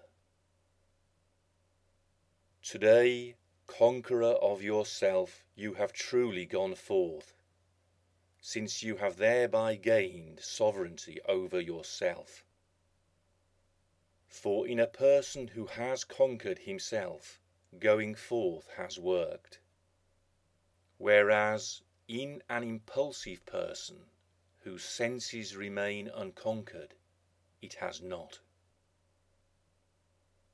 Today you are possessed of purity of the highest order, in that your voice, body, and mind are untainted, and in that henceforward, my gentle friend, you will not again be confined in the ungentle womb of unready slumber. Listening ears open to the truth which is replete with listening and with purpose. Today you stand sure-footed in the Dharma, in a manner that befits the listening tradition. For a man equipped with listening ears who is wavering is like a swordsman lacking valour. He is worthy of blame. Ah, what firmness in you, who is a slave to objects no more, in that you have willed the means of liberation. For, facing the end of existence in this world and thinking, I will be finished, it is a fool who gives in to a state of quivering anxiety. Happily, this meeting with the present moment, which is so hard to come by, is not being wasted under the sway of ignorance. For a man who has been down goes up with difficulty, like a turtle to a hole in a yoke in the foaming sea. Having conquered Mara, who is so hard to stop in battle, today, at the forefront of the fight, you are a hero among men. For even a hero is not recognized as a hero who is beaten by the foe-like faults. Today, having extinguished the flaming fire of redness, happily you will sleep well, free of fever. For even on a fabulous bed he sleeps badly who is being burned in his mind by the fires of affliction. You used markedly to be mad about possessions. Today, because you have stopped thirsting, you are rich. For as long as a man in the world thirsts, however rich he may be, he is always deprived. Today you may fittingly proclaim that King Shuddhodana is your father. For it is not commendable for a backslider, after falling from the Dharma alighted on by ancestors, to proclaim his lineage. How great it is that you have reached the deepest tranquillity, like a man making it through a wasteland and gaining possession of treasure. For everybody in the flux of samsara is afflicted by fear, just like a man in a wasteland. When shall I see Nanda settled, given over to the living of a forest beggar's life? So thinking, I had harboured from the start the desire to see you thus. What a wonderful sight you are for me to behold! For even an unlovely sort is a sight to behold, when he is well adorned with his own best features. But a man who is full of the befouling faults, strikingly beautiful man though he may be, is truly ugly. Developed in you today is the real wisdom by which you have done totally the work you had to do on yourself. For even a highly educated man lacks wisdom if wisdom fails to show in his practice of a better way. So it is with seeing among people with eyes open and with eyes closed.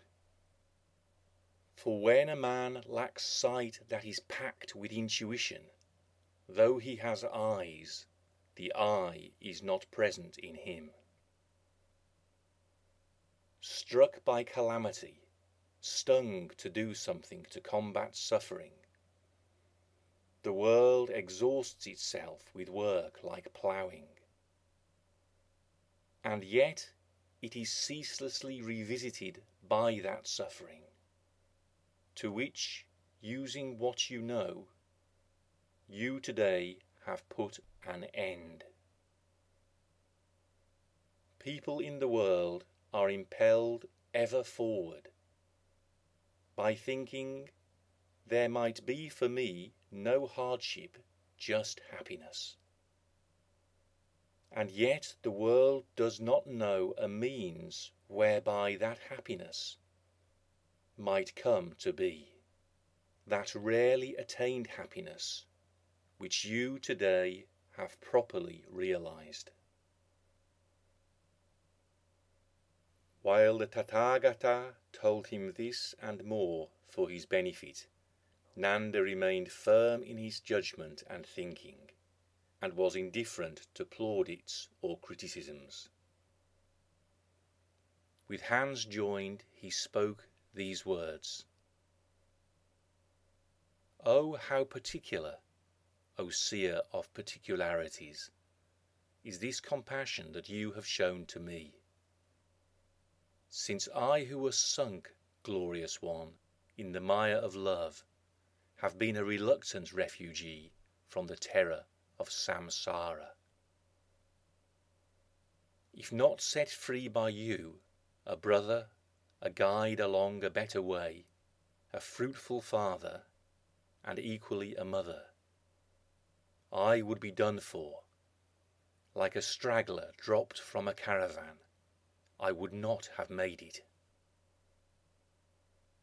Solitude is sweet for one who is calm and contented, who looks into and has learned what is.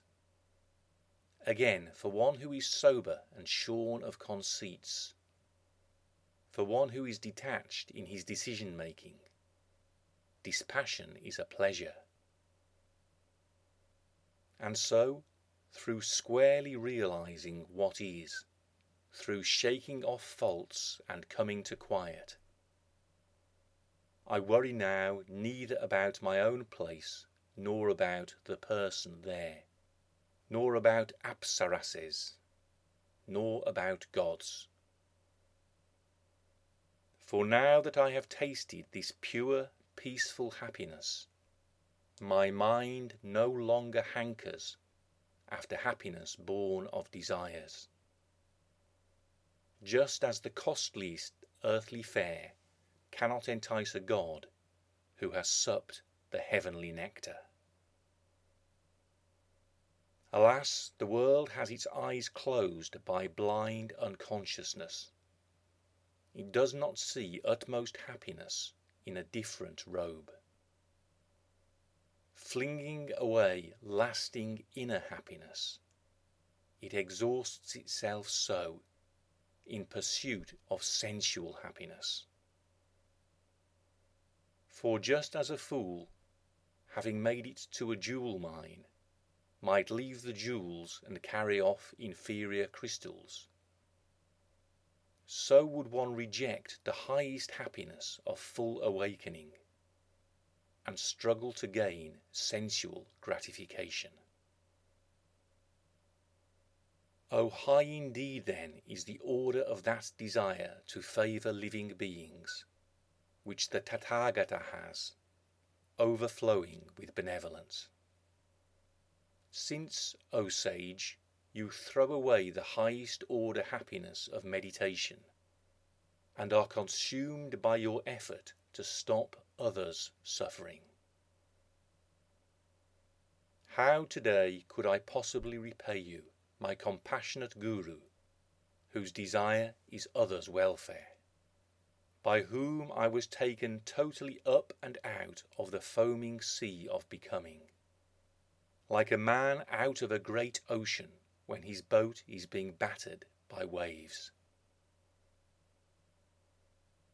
Then the sage, hearing his well-founded words, which signified the removal of all pollutants, voiced as the very best of speakers these lines that none but a Buddha, being sheer radiance, should voice.